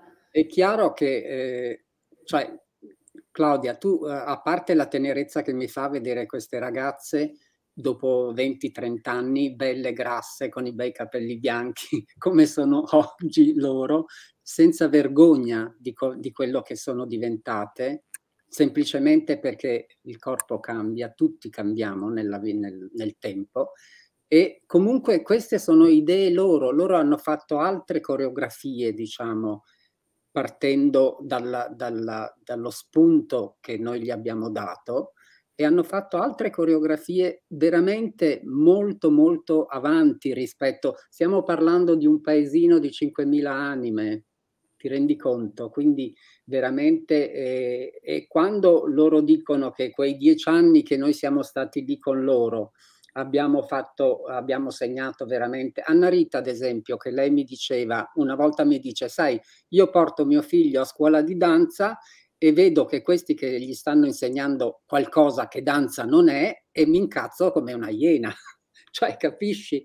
Dico, ora se è stato sufficiente, cioè anche per una sola persona riuscire a fargli capire che cos'è la danza, già è aver toccato il cielo con un dito, come, come cioè è eh, aver raggiunto uno scopo, insomma. Ricordiamo infatti eh, Rocco quello che tu citavi, il paesino da 5.000 anime è Gennazzano. Genazzano, sì, e quello che ha era fatto- il ninfeo del Bramante, è tuttora il ninfeo del Bramante, de- detto del Bramante, però questo è. E lì facevamo Ecco, gli ti- ti spettacoli. chiedo una cosa che mi ha sempre incuriosito da questo punto di vista. Perché proprio Gennazzano? Oh, è stato un caso. Cioè, noi, eh, Silvano voleva and- trovare un, un posto in campagna dove eh, andare a vivere, lasciando Roma, e abbiamo trovato questa occasione di questo posto. Non sapevamo che c'era il ninfeo, non si sapeva niente. Abbiamo trovato l'occasione di un pezzo di terra con una stalla eh, in pratica e abbiamo detto bene, questo noi ci stabiliamo qui. Dopo diversi anni che eravamo lì, un giorno arriva il sindaco del paese e dice ho saputo chi siete e vorrei che voi aprite una scuola a Genazzano. Questo è, è tutto è nato così. Il caso. E sono quelle coincidenze, quei casi fantastici per cui poi però Genazzano diventa il luogo del cuore in un certo senso, no? poi Certo, diventa certo. simbolicamente eh, collegato alla figura del maestro Bussotti, al Bussotti Opera Certo, Ballet, eh, a, tutti, a tutti gli effetti. Alla scuola Sandra, spettacolo, sì. Possiamo aggan- sì, eh, eh, devo dire, tra l'altro Rocco, se vogliamo nominare la bellissima manifestazione di Daniela Tortora, che ha, ha avuto molte tappe in Italia in, in occasione dell'85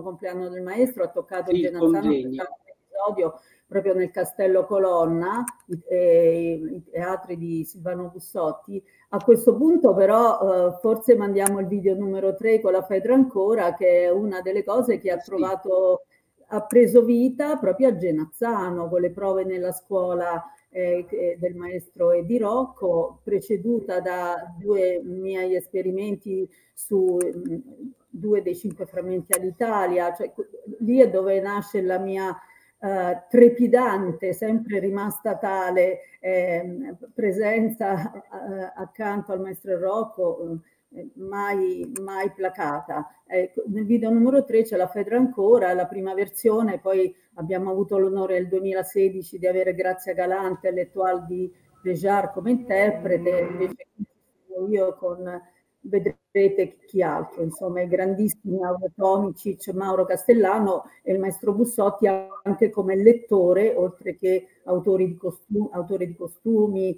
eh, dell'opera ovviamente e della traduzione da Rassina. Prego. Benissimo, allora quindi guarda, mandiamo il video numero 3 che è il Fedra ancora del 1994 e eh, poi lo commentiamo e magari lo agganciamo anche alle altre coreografie, agli altri lavori della professoressa Fucciarelli eh, e quindi poi avremo a maggior ragione da la, passare eh, la palla, no? la staffetta in questa giornata al liceo coreutico col professor Abascià e con i suoi ragazzi. Allora, quindi il Fedra ancora, che ci godiamo anche questo, tra questi video così particolari e interessanti.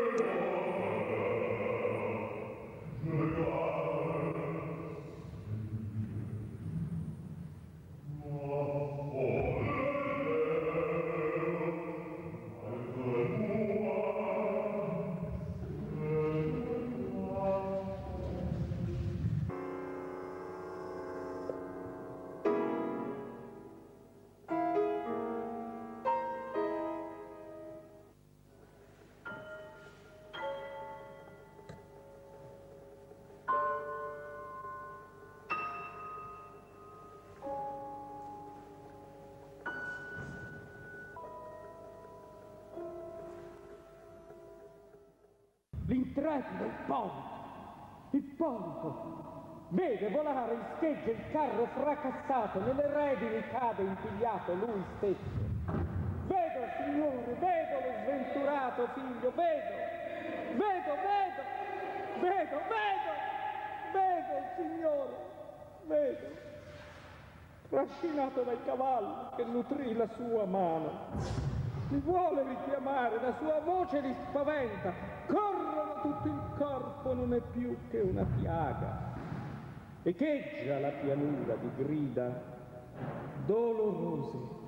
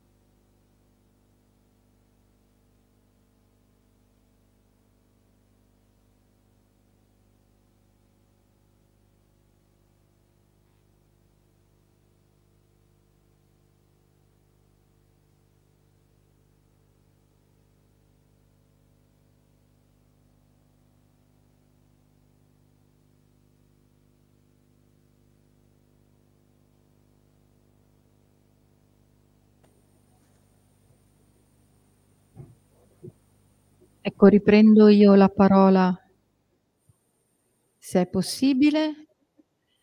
Quello che notavo è il eh, fatto di eh, cimentarsi sulla figura di Fedra. Come dicevi eh, tu, Rocco, eh, e tu, Sandra, anzi, e mh, mm, ancora una volta eh, ribadisco l'onore che mi fate tutti quanti, voi e anche i relatori precedenti, mh, mm, per cui mi onorate di amicizia, di confidenza, e quindi vi chiamo per nome, no, non riesco Abbiamo a fare, così finora, in modo diverso. E eh, maestro Rocco Quaglia, che ha collaborato, è stato al fianco del maestro Bussotti per tanti anni, la professoressa Fucciarelli dell'Accademia Nazionale di Danza, così come prima il maestro Giannetti dell'Opera di Dessau, il maestro Piccone, eccetera, eccetera. Dicevo, quello che mi ha colpito è il fatto che sia stato scelto come mito quello della Fedra, che di tutti i miti classici del mondo antico è forse comunque uno dei più particolari, mh, pericolosi anche da trattare, se vogliamo, di una modernità straordinaria, no? perché comunque questo eh, quasi incesto questo, eh, comunque questa passione travolgente di una donna anziana per il figliastro, questo assassinio poi da parte del padre nei confronti del figlio, cioè quindi è sicuramente di tutti i vari miti classici quello più spinoso, se vogliamo. Ecco, il coraggio del ripresentarlo, di riprodurlo, ma io l'ho trovato in questo, in questo video di una delicatezza, di un una, eh, veramente rispettoso nei confronti delle figure praticamente dei protagonisti, pur centrandole pienamente, pur dicendo le cose, esprimendole in tutta la loro realtà e crudezza. E estremamente incisivo, accanto mi venivano in mente i versi di Euripide della tragedia greca dell'Ippolito. Quindi ecco, se io dovessi presentare a scuola la tragedia di Euripide, farei vedere questo video, perché in qualche modo, no, in sinergia, si potrebbero effettivamente, eh, potrebbe essere più facile per i ragazzi comprendere meglio no, le dinamiche di questa, di questa tragedia, che nei versi risulta più difficile sicuramente da, da seguire. il maestro ha preso, eh, è partito da Racine, ha fatto lui una traduzione e Rocco ha danzato la prima versione, eh, prima di lasciare la parola a Rocco che sa tutto, come è successo a me di, di incontrare Fedra, perché il maestro mi aveva vista danzare appunto quei due primi esperimenti sulla sua musica e mi disse mi fai pensare a Fedra. Io non lo conoscevo il mito, di Fedra, pur avendo compiuto studi classici nel liceo classico, non, non è un mito che si studia. E perché mi ha appassionato, tornando alle suore e a quello che diceva Rocco, perché, perché Fedra eh, si eh, uccide alla fine per una colpa che non ha commesso. E questa è un po' la nostra educazione eh, tradizionale, no? Noi nasciamo con un peccato e passiamo la vita a farci perdonare, ma non è così. E la mia educazione sentimentale, se posso dire, è stato ai miei teatri del maestro Bussotti. Lì c'è la vita, c'è la vita vera. E questa sensualità e sensua- sessualità di cui parlava Rocco, non è vero che è sempre nella danza. C'è di fatto, ma spesso non è riconosciuta. E non vuol dire essere sexy o fare i sensuali, vuol dire che la danza è corpo e spesso i nostri danzatori muovono i loro corpi, ma senza riempire di movimento con la loro vita, col loro essere persone. E questo riconoscere la sensualità non vuol dire es- eh, esporla, vuol dire essere più presenti, essere presenti in modo totale, come l'arte della danza è un'arte totale. Non so, adesso Rocco dirà meglio.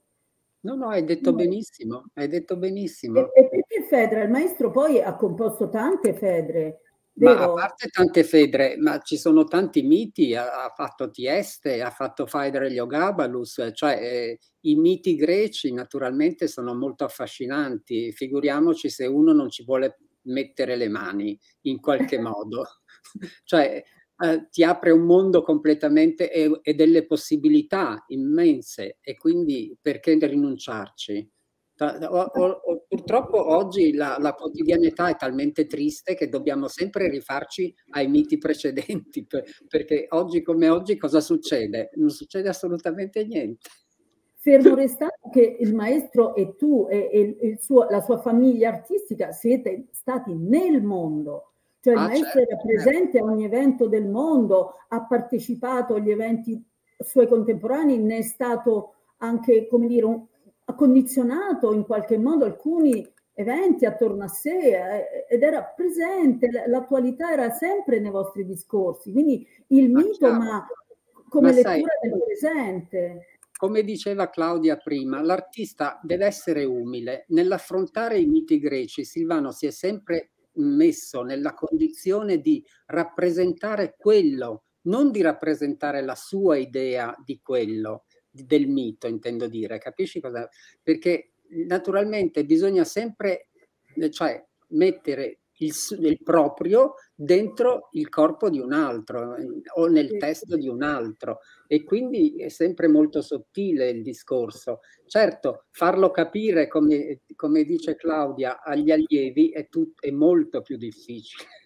Io alzo la mano a scuola, ovviamente mi permetto, alzando la mano come a scuola e dialogando con voi, però di sottolineare come tu, Rocco, abbia con due parole detto un qualcosa di fondamentale, ovvero il discorso dell'umiltà, il discorso dell'umiltà, ma non solo, eh, l'essere calati comunque al vivere il mondo, il vivere la modernità di tutto quanto, ma tu hai detto poco fa, non accade nulla.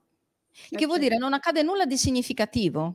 Certo. Ora, su questo discorso che intorno a noi non accada nulla di significativo se non il fatto che veniamo spesso riempiti di parole senza un valore incisivo no? e che in qualche modo ci aiutino a comprendere meglio noi stessi, quello che viviamo e quant'altro. Questo è fondamentale per i ragazzi. Certo. Quindi è fondamentale il discorso del silenzio, dell'introspezione, della riflessione, della classicità, no? cioè del ritornare alle radici, del guardare indietro il passato, ma nel contempo anche il saper far silenzio certo. e certo. distaccarsi da quel rumore esterno, quelli che erano i rumores che dicevano i latini, quello che Jacobson chiama rumore, confusione di fondo, che impedisce la comunicazione vera, fondamentalmente, e di quanto invece l'arte, da questo punto di vista, ci possa aiutare veramente a capire ciò che è significativo, ciò che non lo è. Quindi questa tua frase, non c'è nulla intorno che in fondo effettivamente è importante. Io mi riallaccio a questi punti e poi eh, se giusto dalla regia siamo pronti con il video numero 7 poi passiamo a quello e quindi scusa- Scusate eh, Claudia, eh, quanto Sì, abbiamo Sandra. Fino a, a Vincenzo e ai suoi danzatori? Perché se potessimo vedere l'inizio del video numero 5, il sì, maestro sì, sì, parla il della 5, danza, il 5 e il 7. agganciandolo Assolutamente. adesso, il 5, è solo vedere solo l'inizio, perché è una bellissima eh, musica al Bartok Busoni, ma Esatto, non esatto. tempo. Andiamo, andiamo, andiamo Ecco, con quello, andiamo con quello e lo commentiamo, Esatto, certo. l'inizio del Bartok Busoni, ok.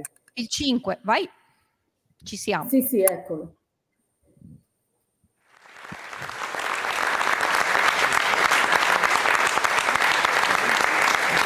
Ringraziando, eh, preferirei lasciar parlare eh, la danza, alla quale non finirò mai di accostarmi con un certo, non timore ma tremore, che eh, è un termine che si riferisce anche al fatto musicale, eh, a parte il tremolo dei violini, che è una cosa banale, ma e mm, chiamerei accanto a me Sandra Fucerelli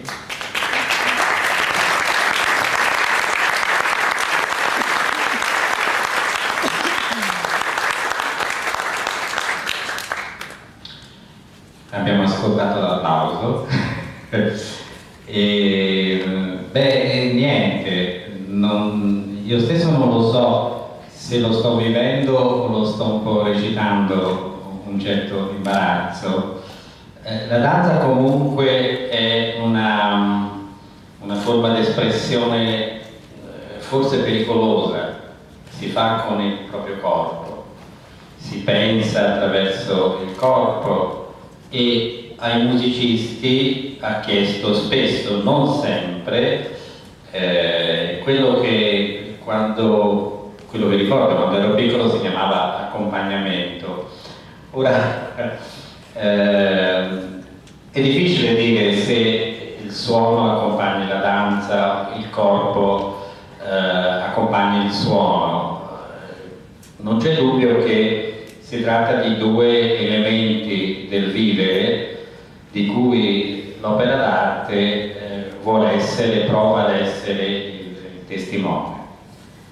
Con Sandra eh, c'è un filo di imbarazzo anche perché è vestita molto meglio di me e dunque c'è, un filo di imbarazzo per questa sua luminosità ma anche per un, fatto davvero importante, al di là delle battute, una antica fedeltà, un antico, eh, siamo giovanissimi tutti, ma un antico, antichissimo rapporto eh, di, di dialogo e di dialogo eh, tra Sandra nel suo lavoro di danzatrice coreografo e, e la mia musica, ma credo che, e questo lo dirà un momento lei, che è da sottolineare il fatto che nel suo lavoro di composizione per la danza, quello che abbiamo incominciato a vedere e continueremo a vedere questo, questo programma, la creazione sia in larga misura di chi danza. E questo un po' la, eh, dire, la croce delizia di chi ha fatto della danza eh, la sostanza fondamentale della propria espressione artistica. E ehm, non è certo mio compito, ne voglio annoiare il pubblico con dei facili excursus storici, ma sappiamo quanto la danza abbia saputo sorprendere i compositori. Io come compositore di musica faccio parte di quella schiera sempre meravigliata eh, per quanto la danza, in questo caso tramite eh, il danzare del, della scuola di Sandra mi regala.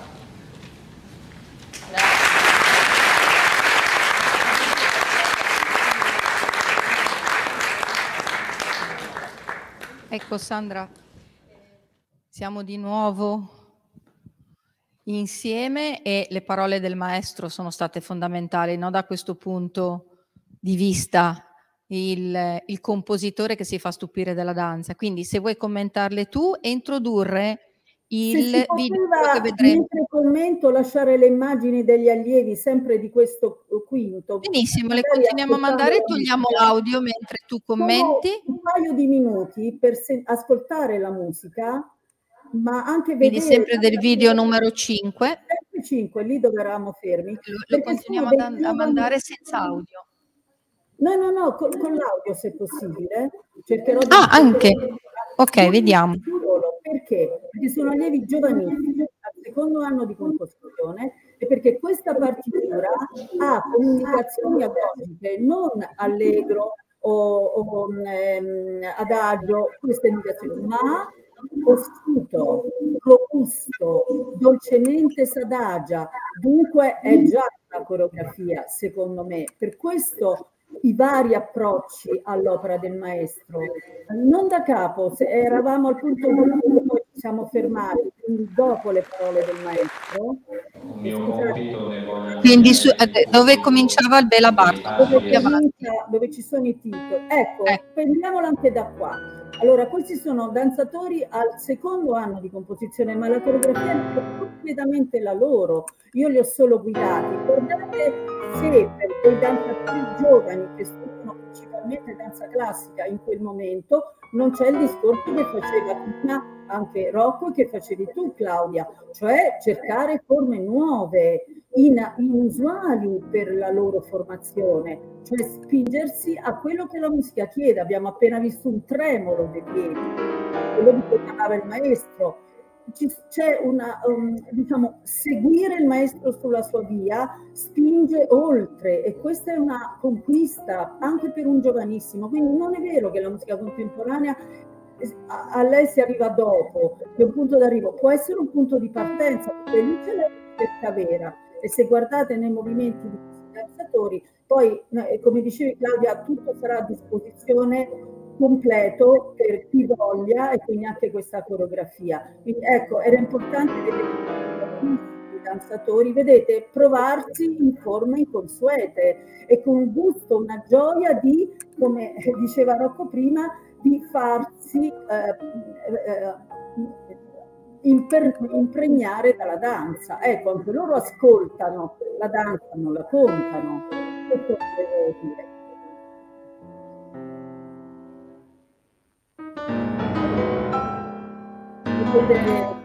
Quando volete, così lasciamo tempo a, a chi altro. Ecco, io chiederei a entrambi di introdurre invece il prossimo video che andiamo a vedere, che è il numero 7, che è eh, quello invece dedicato alle 24 voci adulte bianche, dove poi a quei punti passiamo il testimone della nostra conversazione al professor Abasha, perché è uno dei protagonisti di quella coreografia, perché eh, è collegato anche lui dal liceo coretico con le sue ragazze, dove se avete anche voi eh, modo di vedere, saranno i suoi ragazzi adesso che ci faranno vedere come hanno realizzato eh, durante il lockdown, tra l'altro, a distanza, come hanno in modo autonomo interpretato eh, Bussotti. E ci sono effettivamente da parte di questi ragazzi delle, ehm, potremmo dire, eh, degli spunti di creatività estremamente interessanti e anche il fatto che possano eh, avere no, un po' il vostro riscontro credo che sia importante. Mm, quindi Sandra, il video eh, numero 7 che è il circo dell'amore, di che cosa tratta? Quindi Aspetta Sandra, non ti sentiamo. Ah, scusate, Eccoci. Eh, è una coreografia eh, completamente costruita dall'allieva Valeria Pediglieri del corso eh, di Vincenzo a Bascià quell'anno e ne vedremo, vedremo anche di questa solo una piccola parte. Ehm, è, un lavoro appunto che semplicemente ho guidato, ecco, vedete dai titoli e eh, abbiamo cercato nell'editing di Giorgia De Angelis di eh, sovrapporre proprio la visione di questo rigo musicale che è stato lo spunto per questa coreografia di Valeria Pediglieri. Abbiamo lasciato il tempo di lettura perché è importante che gli interpreti, i nomi degli interpreti siano letti ed è, la partitura Cinque frammenti all'Italia, è la quarta parte di questa partitura che si intitola Per 24 voci adulte o bianche.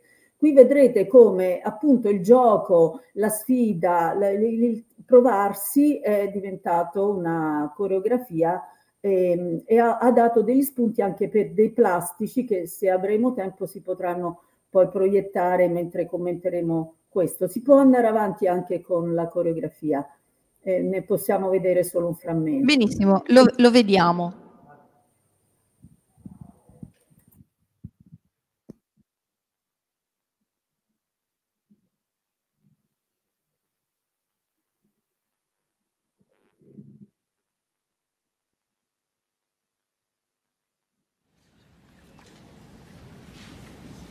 J, J, J, J, J, J.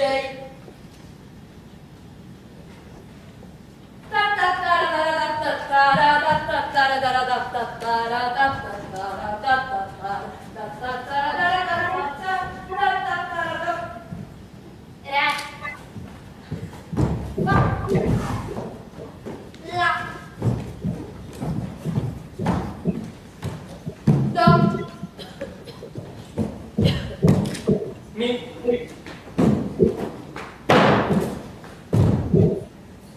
Sol.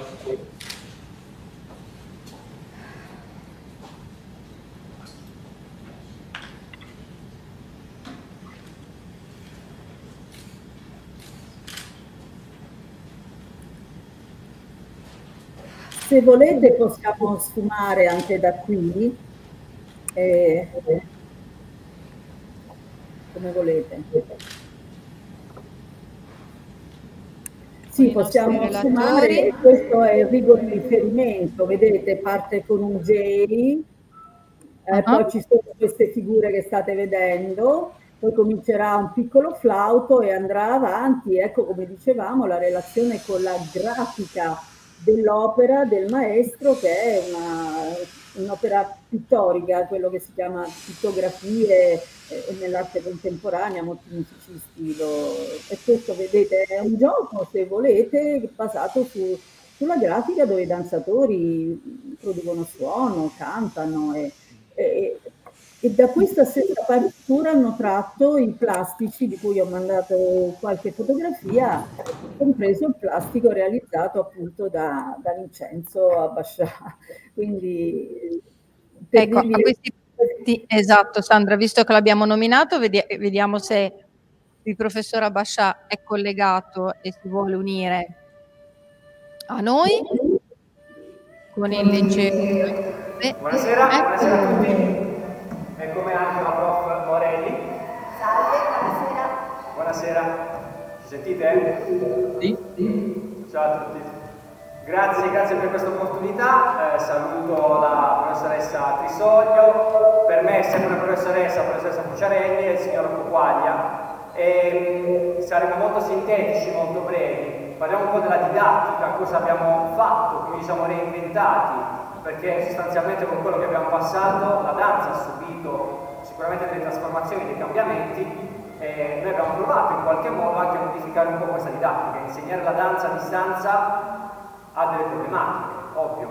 eh, anche noi spingiamo molto sulla questione del, della presenza dello spettacolo dal vivo, però appunto ci siamo dovuti un po' reinventare, un po' ricreare questa didattica e quindi abbiamo un po' unito le due strade. La prima strada quella di esplorare la, tra virgolette, la videodanza, più che altro lo spazio virtuale, e poi l'altra strada è quella di far avvicinare gli studenti a musiche eh, come quelle appunto di, del, del maestro Bussotti, che sono, possiamo dire, tra virgolette, per una fascia di età adolescenziale un po' complessa da comprendere, però devo dire che le, eh, le nostre studentesse sono comprese anche abbastanza bene, hanno un buon livello di maturità e quindi hanno reagito, hanno reagito anche molto bene alla composizione di questi soli, di questi brevissimi assoli che hanno fatto all'interno delle, delle loro case.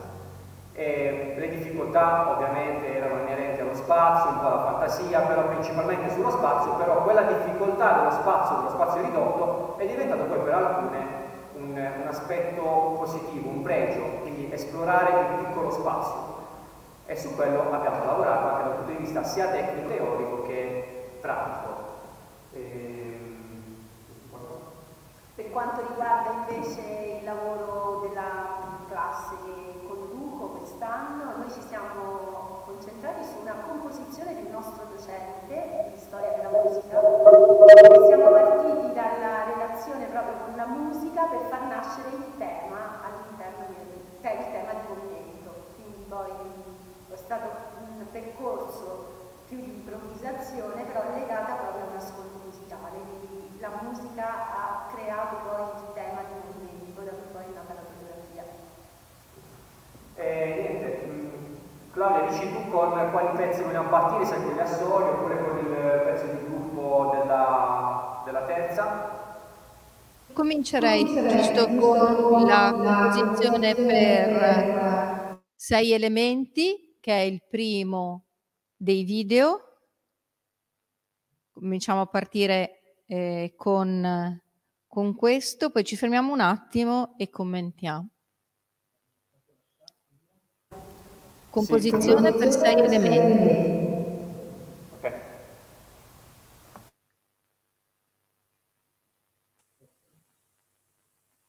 Thank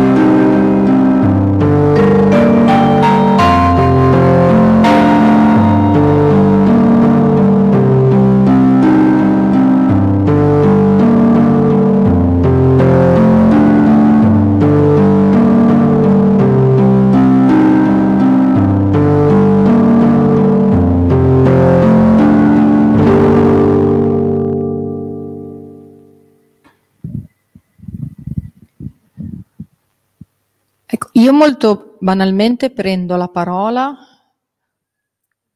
per eh, fare comunque i complimenti a queste ragazze, anzi ragazzi, perché cioè, non sono eh, soltanto eh, ragazze, perché comunque è una terza liceo coreutico, giusto?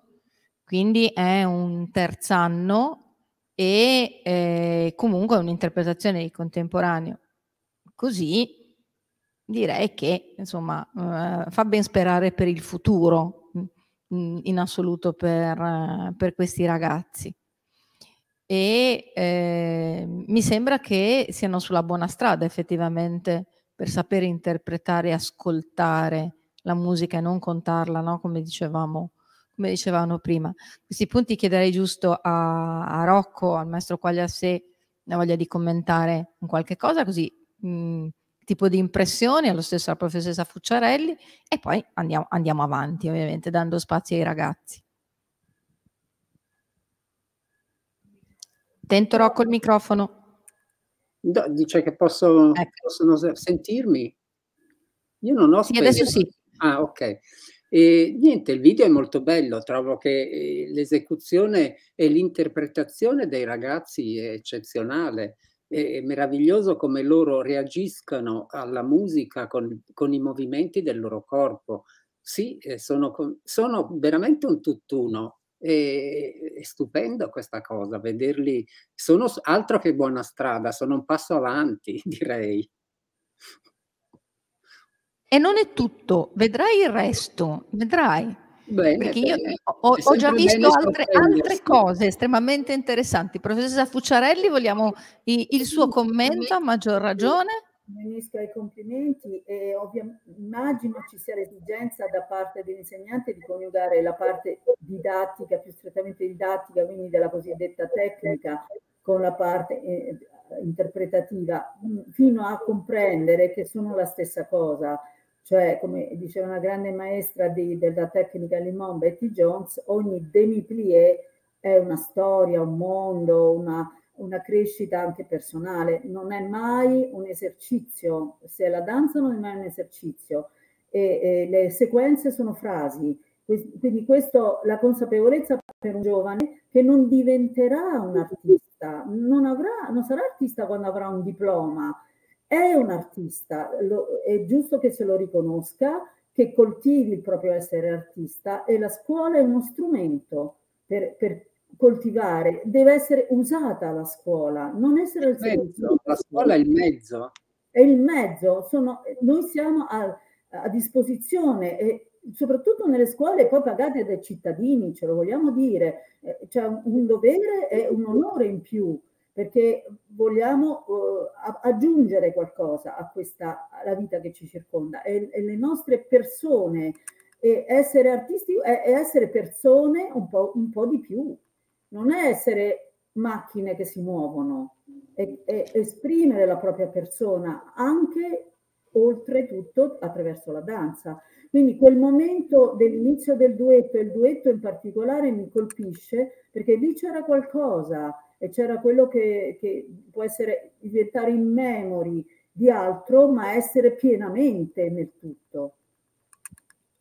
Direi che queste sono parole, sia eh, le tue sia eh, quelle del maestro Quaglia, che faranno estremamente piacere ai docenti del liceo coreutico. E allora a questi punti, sulla scia di questo, e anche perché di chiacchiere da stamattina ne abbiamo fatte tante, di parole ne abbiamo fatte tante, e non è neppure giusto perché la danza è la danza, io proporrei di mandare uno di seguito all'altro gli altri video che abbiamo in bacheca, che abbiamo acquisito dal liceo coreutico, che se il professor Abascià mi dà eh, l'ok e il benestare, sono della classe quinta di quest'anno, giusto? Sì, volevamo solo far dire due parole a una ragazza di terza che voleva giusto parlare del video che avete appena visto e poi secondo me possiamo eh, far vedere dei video delle ragazze appunto che anticipava già la professoressa Trisoglio dell'attuale quinta fatti l'anno scorso, quindi durante un quarto anno. Eh, però io farei un po' il contrario, farei parlare prima eh, ogni singola ragazza che sarà molto sintetica e poi proiettare il video, che dite? Mandiamo tutti i video. Si sente? È muto. Ascoltiamo la ragazza. Ascoltiamo la ragazza. Sì, vai, vai Sandra. Allora, Composizione per sei elementi è una proposta che è nata da una proposta musicale di un professore di storia della musica. E, mm, è importante perché non siamo partiti da un tema principale per svilupparla, è nata, proprio il tema è nato durante lo sviluppo e la composizione stessa della coreografia. E, infatti rispecchia molto, abbiamo studiato molto la- la- proprio l'approccio alla schema musicale della- della- del brano. Eh, all'inizio sono note forti, ripetute, infatti portano anche a un andamento quasi meccanico del movimento. Poi c'è una variazione anche proprio nel- nella musica e porta poi sia ad una- uno schema musicale che ad una qualità di movimento molto più leggera più- e più fluida che dal punto di vista poetico è un po' ciò che succede nella vita di tutti i giorni. Noi siamo abituati ad una vita frenetica e molto spesso perdiamo proprio la percezione di noi stessi ed è ciò che poi, mh, su cui si punta e che si recupera durante proprio la, la- la variazione alla composizione stessa.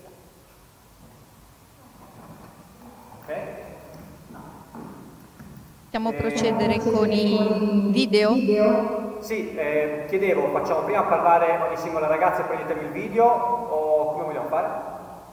Facciamo Così, facciamo il video e poi le singole ragazze intervengono alla parte conclusiva. Mi spiego meglio. Se noi facciamo ora i video, ce li godiamo così, non abbiamo spiegazioni, non sappiamo niente. Vediamo cosa recepiamo immediatamente dalla visione di questi video, da come le ragazze hanno interpretato. Poi dialoghiamo ancora eh, tra di noi e chiudiamo questa giornata. Ok?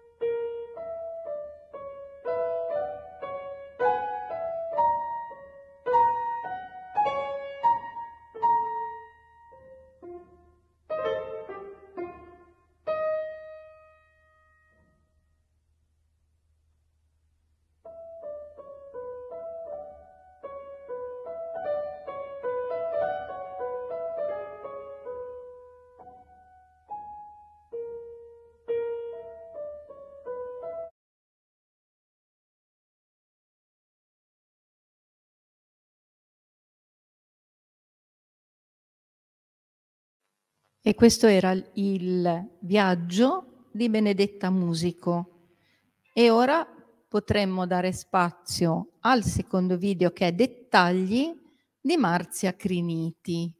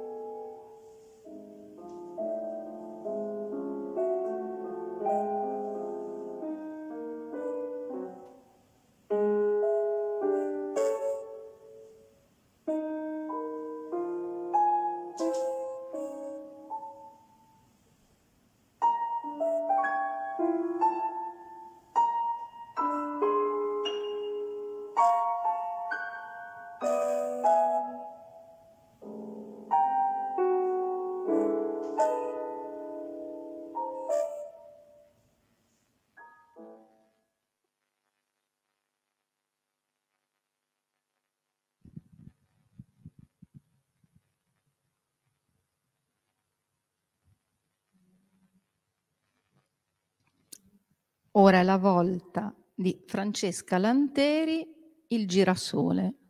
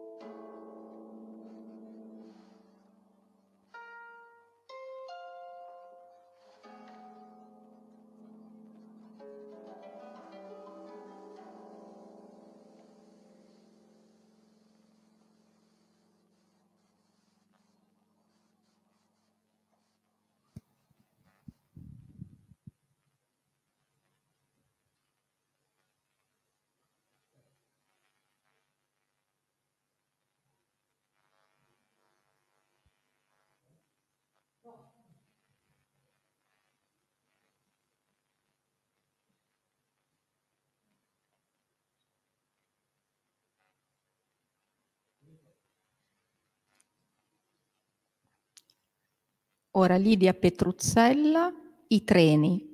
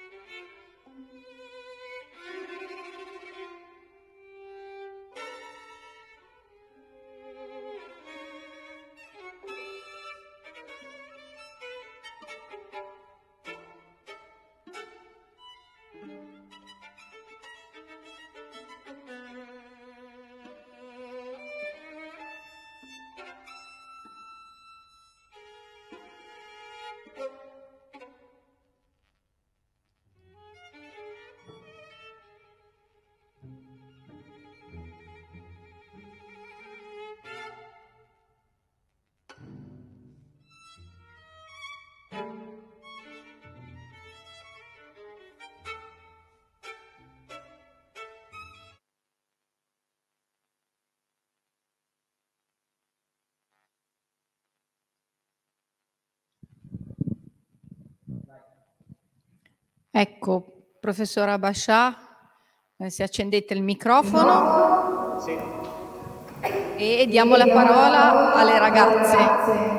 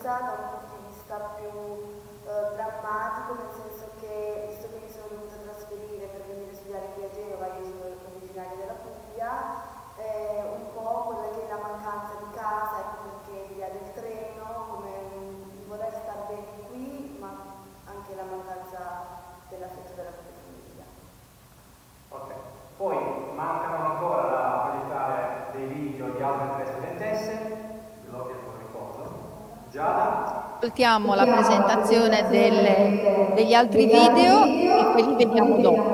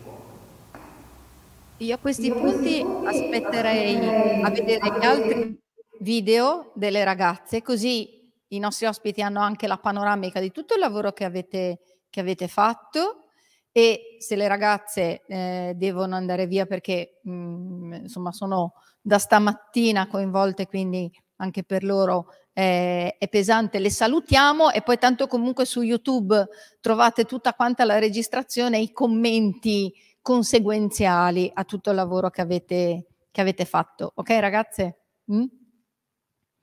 Quindi tanto vi salutiamo e facciamo partire subito eh, l'altro video che ancora ci manca che è Maschere di Giada Paladino.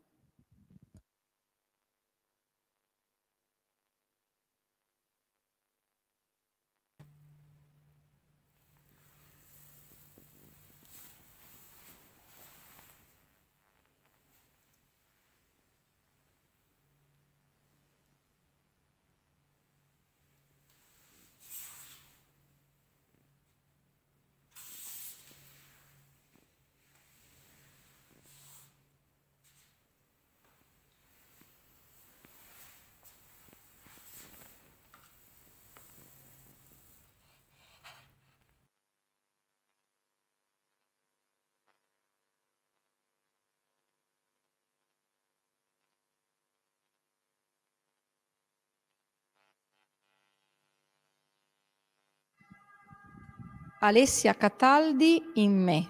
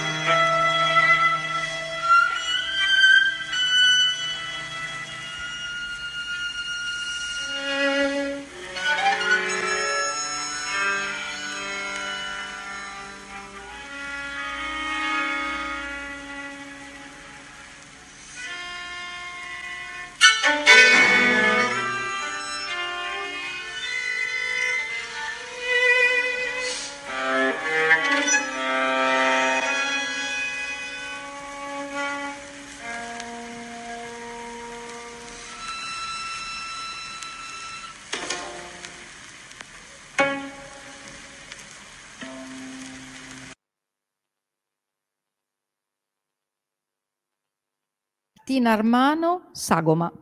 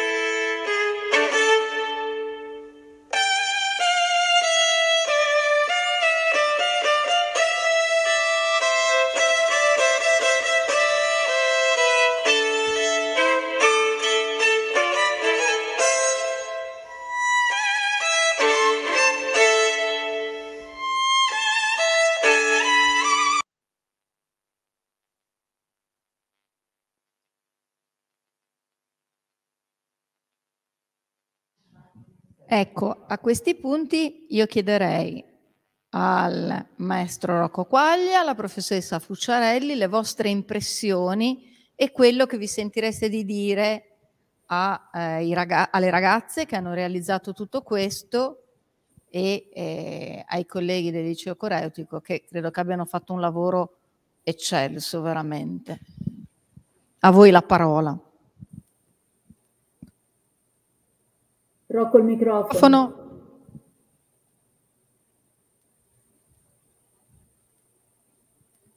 Ok? Sì. Ora sì. Grazie. Scusa Sandra se, se mi prendo la parola, ma sono dei lavori bellissimi, e, oltretutto con il coraggio dell'uso del proprio corpo, non soltanto del proprio corpo, ma anche di coinvolgere gli oggetti, i, anche intervenendo sulla musica con delle, del, delle sembrerebbero delle eh, operazioni elettroacustiche, cioè è veramente incredibile il coraggio che hanno queste ragazze di mostrarsi senza problemi, senza nessuna, senza nessuna remora, che dire, eh, brave, brave davvero. E sì, eh, sono molto belle eh, queste coreografie che hanno fatto. Immagino che siano completamente opere loro, non, non credo che sia interventi di, di Vincenzo.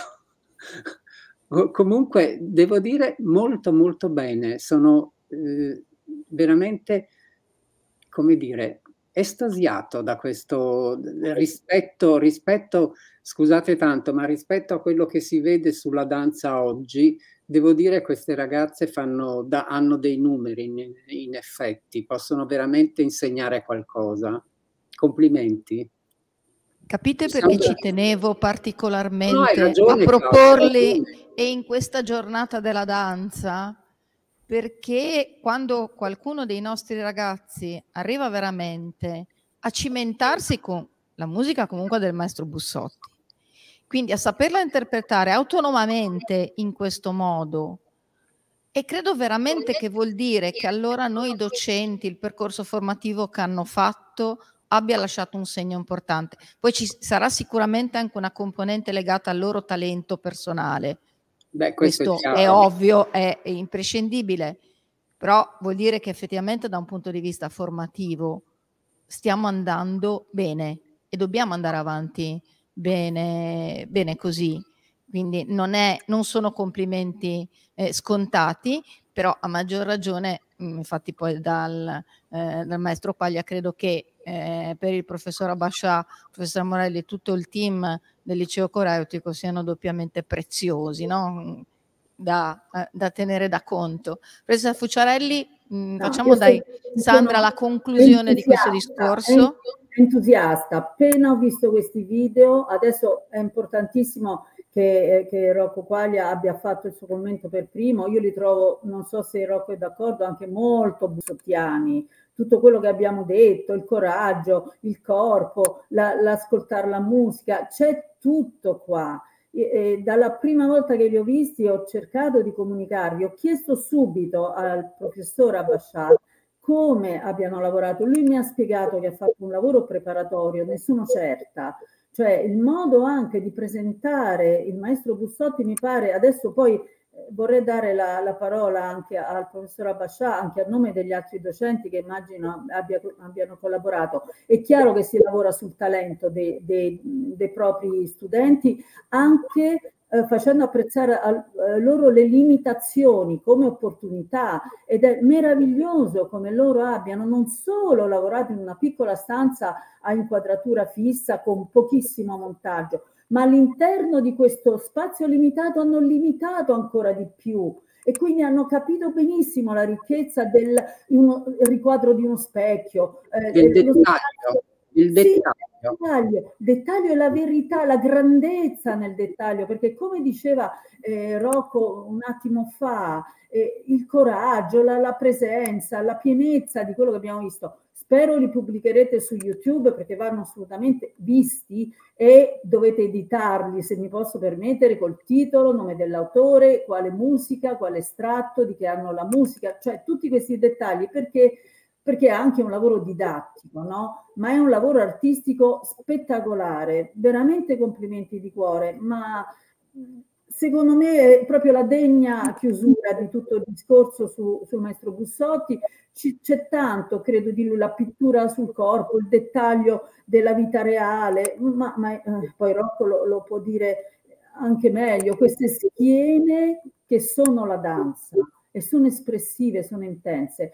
Non so se si può lasciare la parola a, a Vincenzo Abbascià a questo punto, anche per spiegare come ci siete arrivati a fare Assolu- assolu- assolutamente Come sì. arrivati? complimenti.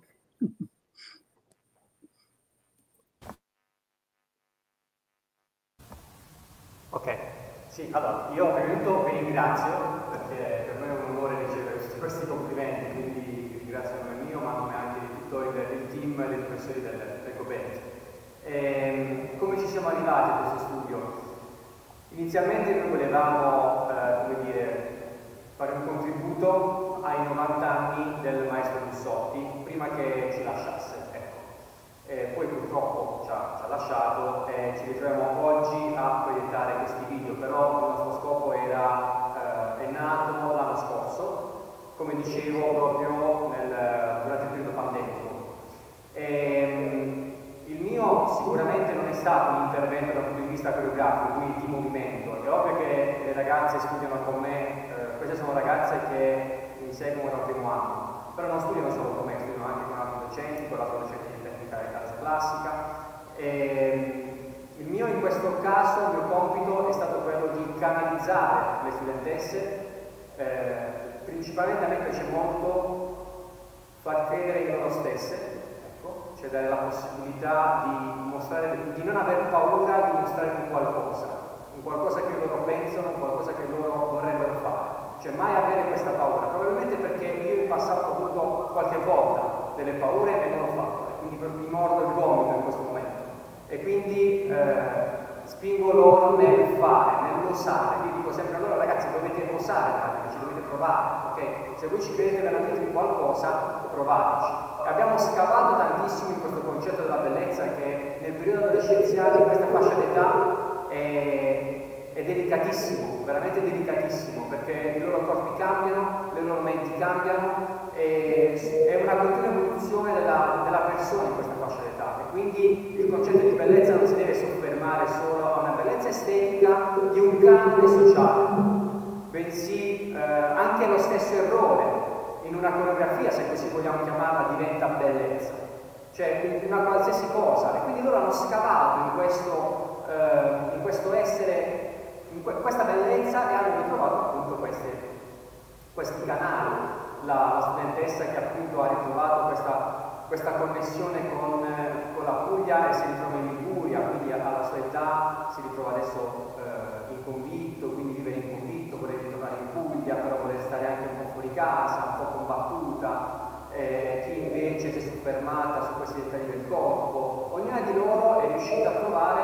un, un giusto canale e siamo andati a fondo in quel canale. Per quanto riguarda invece il montaggio dei video, io devo essere sincero, non ho grandissime com competenze per quanto riguarda la videodanza, però eh, la necessità nasce virtù, come si vuol dire, cioè a un certo punto eravamo tutti a casa ho detto ok, facciamoci degli aggiornamenti, aggiorniamoci, vediamo un po' come funzionano questi video, quindi con degli aggiornamenti, devo essere sincero, ho visto anche dei video di altre compagnie abbastanza famose e conosciute, eh, Abbiamo, abbiamo, provato un pochettino a fare questi effetti, tra virgolette, speciali con materiali veramente basilari che si trovano in casa tranquillamente, che può essere un di carta, che può essere una torcia, eh, ma anche con i telefonini, cioè le riprese, la maggior parte delle riprese sono fatte con i telefoni e abbiamo creato, hanno creato questi, eh, questi brevi, brevi assoli, ecco, diciamo così. Bravo, Grazie. Ti ringraziamo, ringraziamo le ragazze che ci hanno regalato questi eh, piccoli eh, così, frutti del, del, loro lavoro. Io ringrazio eh, la professoressa Sandra Fucciarelli, il maestro Rocco Quaglia, ringrazio tutti gli intervenuti di Grazie. oggi, ringrazio eh, questi santi a dir poco dell'equipe territoriale formativa, la professoressa Taiano e il professor Dodero, che ci hanno permesso la realizzazione di tutto questo perché se no non ce l'avremmo fatta.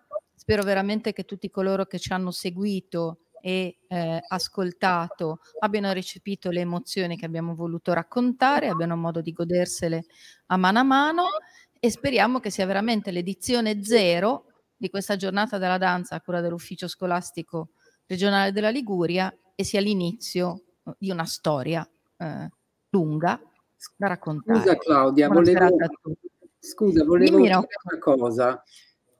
Volevo far notare la melodia nella musica di Silvano, che c'è sempre, anche se a volte è interrotta, a volte, però si percepisce sempre. E vedo nei video di queste ragazze che ne hanno tratto, eh, cioè che l'han- l'hanno seguita. Capisci? L'hanno seguita, l'hanno colta, l'hanno fatta colta, propria. L'hanno colta, sì. Ed è questo che è assolutamente fondamentale e, e importante, il seguire la melodia, il Esatto. cogliere la melodia di quello che ci circonda, anche se nascosta. Grazie di nuovo a tutti. Bravi, Buona serata. grazie, A grazie. presto, arrivederci. Grazie.